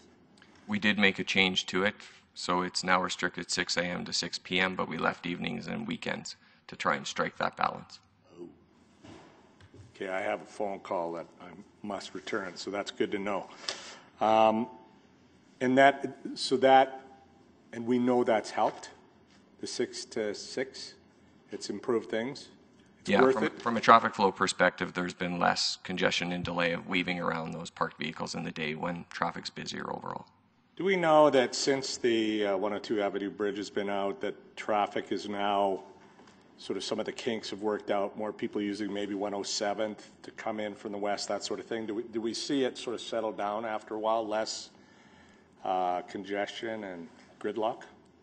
We did. Certainly when, when just 102 Avenue was closed, we saw that, that transfers uh, away. Like there was a lot of users still used Stony Plain Road. Some used 107, a few less used 111, but it, it got to that point of equilibrium where everyone was choosing the routes for their origin destinations, and it had reached that state. It was Groat Road, closure of Groat Road. When Groat Road closed, I think traffic, typically traffic's going to take even longer than that to get to that full state of equilibrium, but we did see traffic move around a little bit. Um, but we did see, you know, really there was extra delays on all of those routes, but even the modeling showed that the greatest extent of the delays would be to Fox Drive, where people were now using Whitemud Drive because Groat was closed Did completely. you say it was sort of a five to 10 minute maximum delay, though? That's correct. And is that modeled, or is that, do we sort of, That's both. so the worst case, you're going to work, Groat Road's now closed, you're, you're 10 minutes later. unless there's a stalled vehicle, which I did see one day when I was checking one of the routes. So it, when traffic's moving, flowing smoothly, we saw up to 10 minute delays, additional delays from before it was closed. Can anybody give me any, uh, do we know at all in some of these key routes where there's metered parking and there's no parking during peak hours, whether or not we're giving out tickets, but we're, whether there would be a need for tow trucks? I know we're getting a report at the end of June, I think it is, but do we have any early information on that, and whether or not there is an issue, like people are coming out 20 minutes later, seeing a ticket, but meanwhile they've been blocking traffic for 20 minutes? Yeah, I don't have the specifics on that. I know as part of the Groat Road closure, we specifically asked for added enforcement and asked them to be ready to deploy tow trucks, but I don't have stats on and if that was necessary or actually deployed at this point. But that should be part of that report coming forward again. You said you're still working on improved off-street parking on 124th. You're still doing that. That's still an active program you're, We are. Even when we looked at the lot you had mentioned, there's a six month window uh, where we're not allowed to consider it. But after that window, we can consider it again. We're also talking with other businesses in the area to see if there's any opportunities there. So we do continue to try and pursue providing that service if we can. Yes. right. Uh, that's all I have for now. Thanks. Mayor, I have So the, uh, with respect to that parking lot, is it, it's privately held? It's not owned by, or that potential parking lot? It's not a parking lot yet? That's held by a third party? It is. Okay. Um, The six-month delay uh, is to go back to SDAB, but is there anything council could do uh, by way of zoning to expedite that? The process of why it's where it's at is because we had to do a zoning change to allow it to be used for parking. And that's what failed at the SBA. Well, no, that was a, that was a development permit of, of, uh, application that failed their zone, because the zoning doesn't automatically allow it as a permitted Okay, use. yeah, So- fair enough, So, yeah. so I was wondering whether we can override that by looking at the zoning, but, uh, SD's not here, so, and neither are the lawyers, and they'll get nervous that I'm even asking about it, so. We can, we can uh, pursue that. Well, the lawyers are here. Uh, just a thought. We'll pursue it more. Yeah. Our understanding right now is we don't have that ability, but we'll look further and clarify. Okay, well, I mean, I think we'd want the consent of the landowner to participate, even if there was going to be a, uh, an application to put a direct control on there with the normal use, and it would revert to the normal afterwards. And Even that takes weeks and months, though, so six months might be up before that was over. The, um, the, so just to be clear, the, the five to 10 minute additional delay was with the incremental addition of Groat being closed on top of 102? That was- Correct. Okay, and so that cumulatively across all the people using the system is, shows up in this, in this bar graph on uh, page 24 of the overall report, which, which is the, um, the additional looks like about 16, 1,700 hours uh, delay in vehicle hours? That's correct. It's about 18% increase. So if that's, say it's 10 minutes per, then six cars being delayed by 10 minutes would be an hour. So if I understand this correctly, it's, it's 60,000 cars being delayed an extra 10 minutes roughly is how you would get to, uh, It's 150,000 cars within the inner ring road that were delayed. So every car inside the ring road was delayed or, ev- or that's how many cars are inside the ring road? The network-wide delay, $150,000 or 150,000 cars are within the inner ring road, and that's the total delay within the inner ring road. Okay, so, so some were delayed by a lot and some were delayed by very little? Okay. That's And your model would, would catch all of that? What, what did, uh, just out of curiosity, and if you mentioned this, I apologize, I missed it, but wha- uh, what did we develop that model for? We developed it so we could have a better understanding of route diversion. Um, we are using it for a number of things in-house, um, LRT planning, community traffic management plans, as well as detour analysis. This was kind of our very first uh, real application of this, this modeling tool. So, but this, is- this will help us understand what sort of signal light modifications we need to make over time as uh, West LRT opens up through this same area, for example. It'll help us to understand where we should focus for the best travel times. Okay, well, that's good. I'm glad we have these kinds of tools to bring to bear to, uh, into forward-looking planning, but then also when something like this arises. So that's good, that's good to know. And um, I had one other question. Well, I, I don't know if now is a suitable time to ask about it, but any, any further news on the bridge itself? Uh, We do, and I'm, well, there's Barry. Um, I think I'd, I'd be remiss if I didn't ask Barry to give you the update. He was the, uh, the- the lead person on the file. He he dealt just- directly I on just site. need to know if I need to tweet out Shakes Fist at girder number five or, or not. I was going to say, maybe we have to ask the media to leave because they're not interested in this anyways.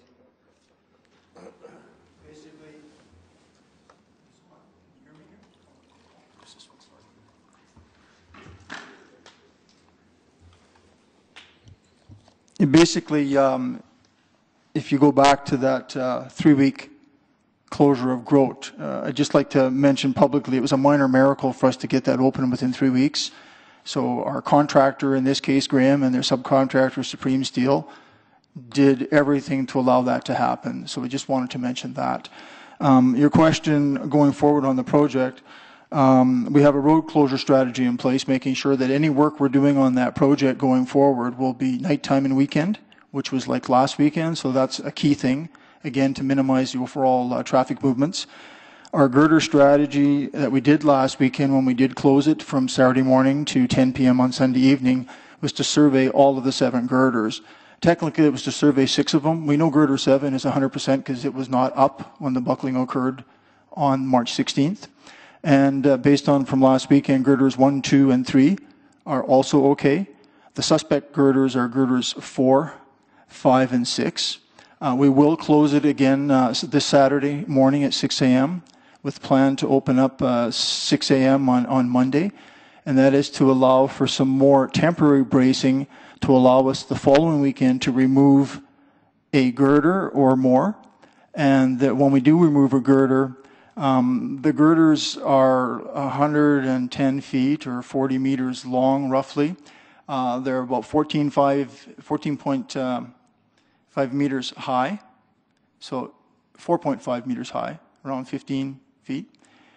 Basically, you have the steel in the middle and you have the flange on top. The flange on the top and the bottom are what gives you the strength.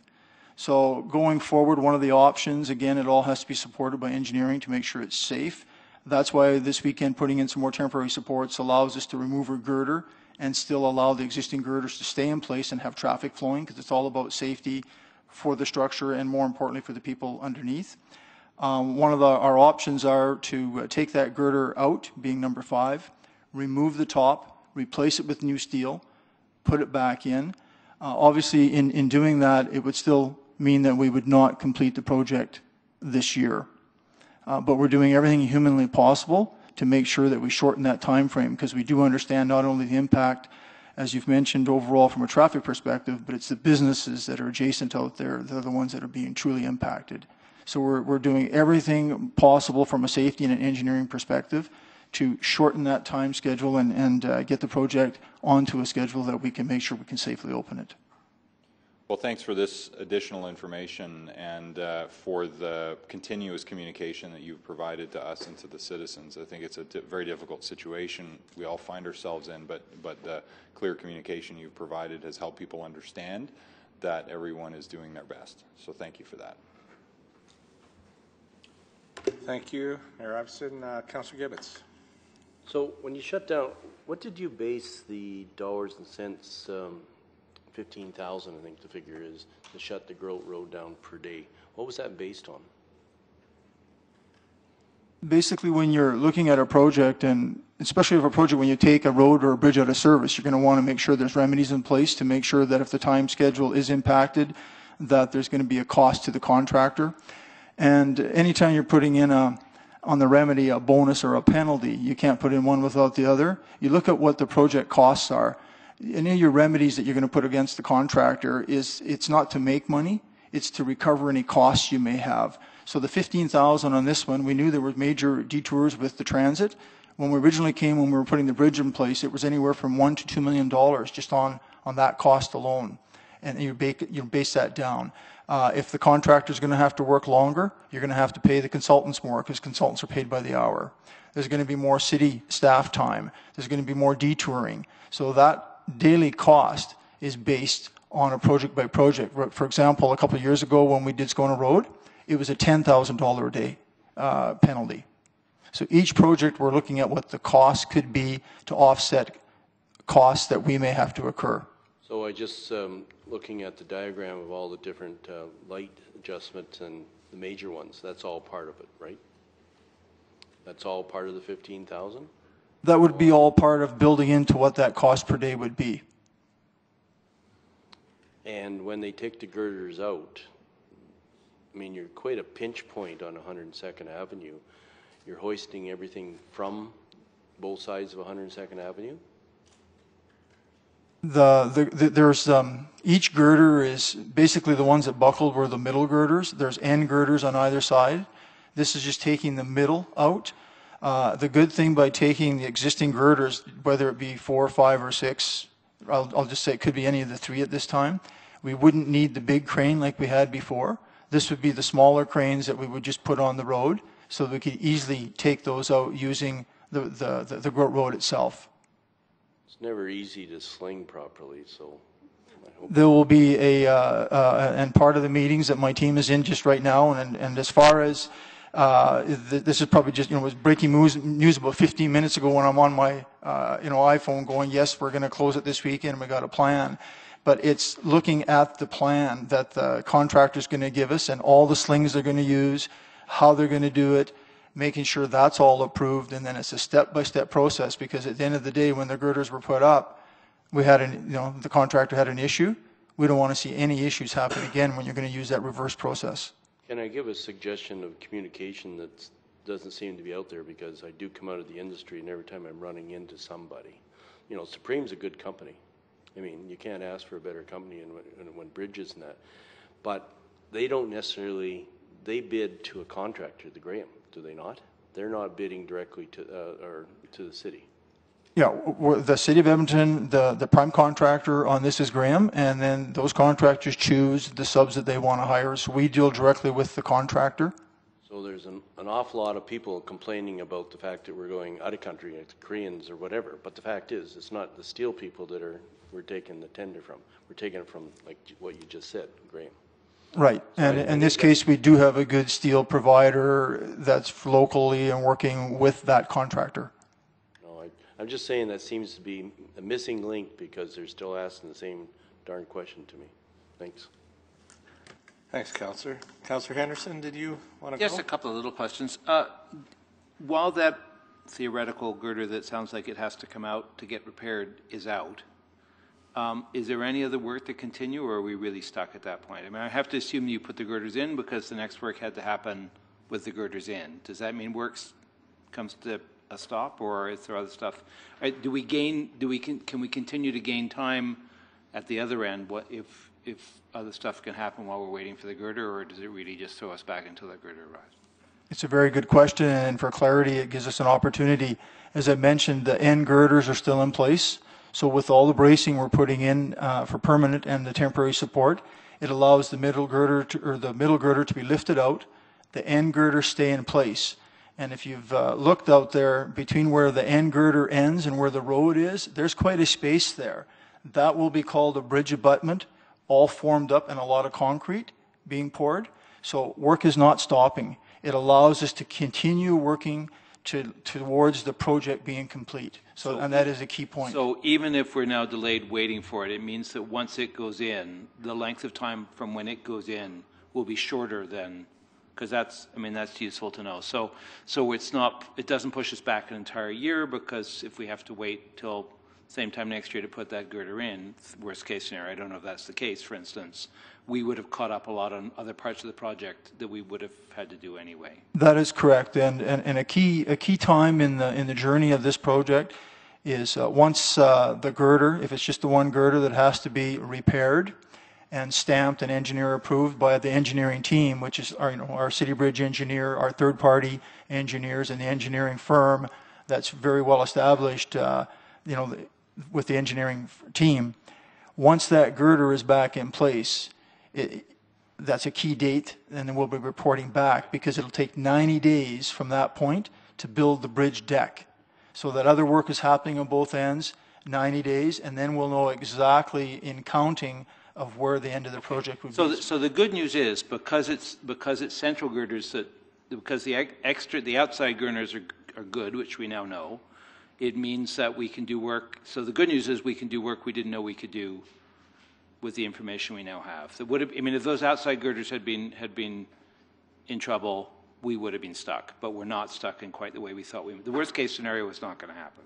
Yes, how you've explained it is, is perfectly correct. It allows us to continue with workers on site moving forward. So that's better than we thought the worst case scenario was. That's good to know. That's useful.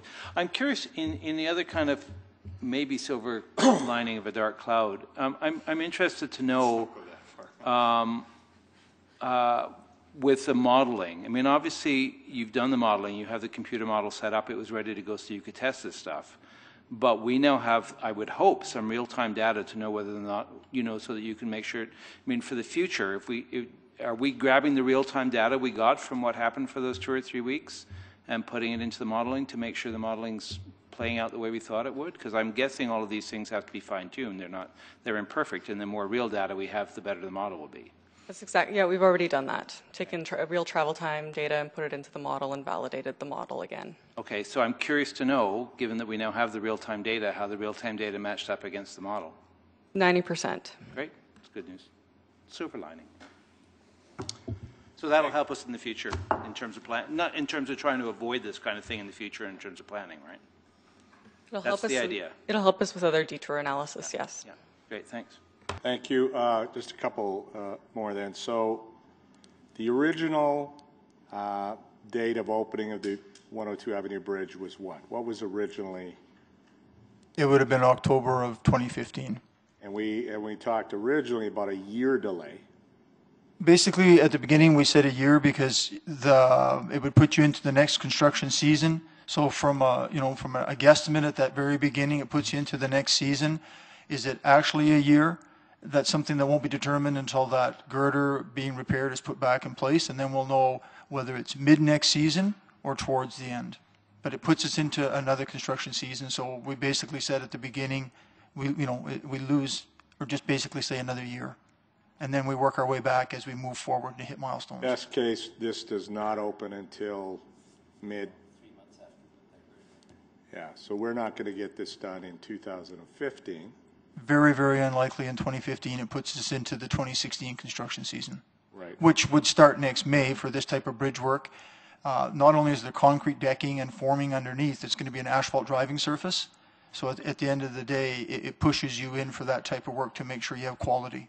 Right, and, um, and I just wanted to add, uh, one more thank you, because we are, we're looking at, uh, some signs to help out High Street. I don't know where we're at on that, but I, anything to report on that? Yeah, we actually, we're looking at two elements for them, uh, the High Street area extra signing and cleaning up some of the detour guide signing, as well as uh, considering additional parking guidance for what's available in the area. And that's being expedited? Yep, we have staff that have been out this week taking a peek at what's there today, and we're working with Jeff directly on following up and getting that done. Great. Thank you. We seem to be, uh, Well, actually, I just have one other question, I guess, is, which is when, when will we, uh, when are we likely to get more information or your next update on? Uh, I appreciate the information about the closure today and the clarity that your, your, the purpose of that this weekend is to uh, evaluate the suspect girders, as you put it. Um, uh, When do you suspect you might have information about the outcome of those tests? That's probably still two or three weeks away. From an open communication, there'll be a, a public service announcement going out at 3 p.m. tomorrow. And um, there will probably be a quick uh, note from Dorian's office to uh, council and, uh, you know, just letting them know kind of what we've said here And prior to the 3 p.m. tomorrow. You'll, you'll tell us how many you think you take, how many, well, you'll tell us how many you take after you, we'll all be able to see how many girders you take out, but Yeah, we- and we probably won't, we won't know that tomorrow. That's probably gonna, you know, no, there's gonna be. not till you're done. Yes, yes, yes, because that would be a key mil- a milestone and a key information piece, and when we hit those things, the key thing is to communicate and share that information, because it will end up being, uh, you know, a determination of how long we're going to be behind in the schedule in the long And then term. as, as far as the other, the other big question, which is still out there for all of us, is uh, understanding the cause. Is that one of the things that, that you may be able to ascertain through the removal and uh, inspections? That is part of the analysis uh, girder strategy that we have in place to come up with the root cause. Girder strategy. Well, I, I, as I said, I, I appreciate the continuing open communication. I think citizens want to know that the, first and foremost, that, that safety is, uh, is everyone's top priority, both during construction and that the bridge that we get when we're done is safe for everybody to use and will last 100 years. We get our, our uh, value for investment and, and that after that, now we're trying to minimize disruption and speed up the construction as quickly as possible to make up for any time. So I'm, I'm feeling that assurance from you, which is good. Thank you. 20, 30 years would have been enough for me. Uh, I'll, I'll, Well, I'll move just- receipt for just- information well, I just so the I motion. just have a, yeah, and just, a- just curious, if, understanding you don't know the answer to this, but this is a what-if scenario, if the, say, one girder is repairable, one, you have to take it off, but you have to repair it, you're not rebuilding it from scratch, you're repairing it, is it conceivably possible that that could still go in in this season and allow you to at least get started on the deck this season? Is that in the realm of possibility, or do we know, is that a pipe dream? If I could paraphrase you, it could be in the realm of possibility, I- but I- until the girder is, is back in, I would not say with any certainty. Yeah, I know, but it, but so, but if, if, if the existing girder, once it's down, is repairable, that repair probably takes less time, is that still, is that still months and months and months to do, or is, Um, like I mentioned, it could be like four or five, let's say approximately five weeks to repair the girder. When the girder goes back in, we still need a full 90 days to build the bridge deck I from know, the bottom. but if you can get going on that 90 days in this season, it means that you don't need quite so many of those 90 days in the next season, right? That is correct. Great. I understand that you're not going to hit this year. I'm not suggesting that. It's just whether or not we can get some of it done this year, so, so we're talking about spring of next year rather than fall. That's theoretically still possible. That is our goal. Yeah. That's a good dream. Um, We have a motion before us to receive this for information. All in favor? That is carry, carried. Any notices of motion? I'm calling this meeting. Good job. Good time. First time out, Councillor. Well done. Thank you. Thank you, one and all, for making it so easy. Except for you, Ben.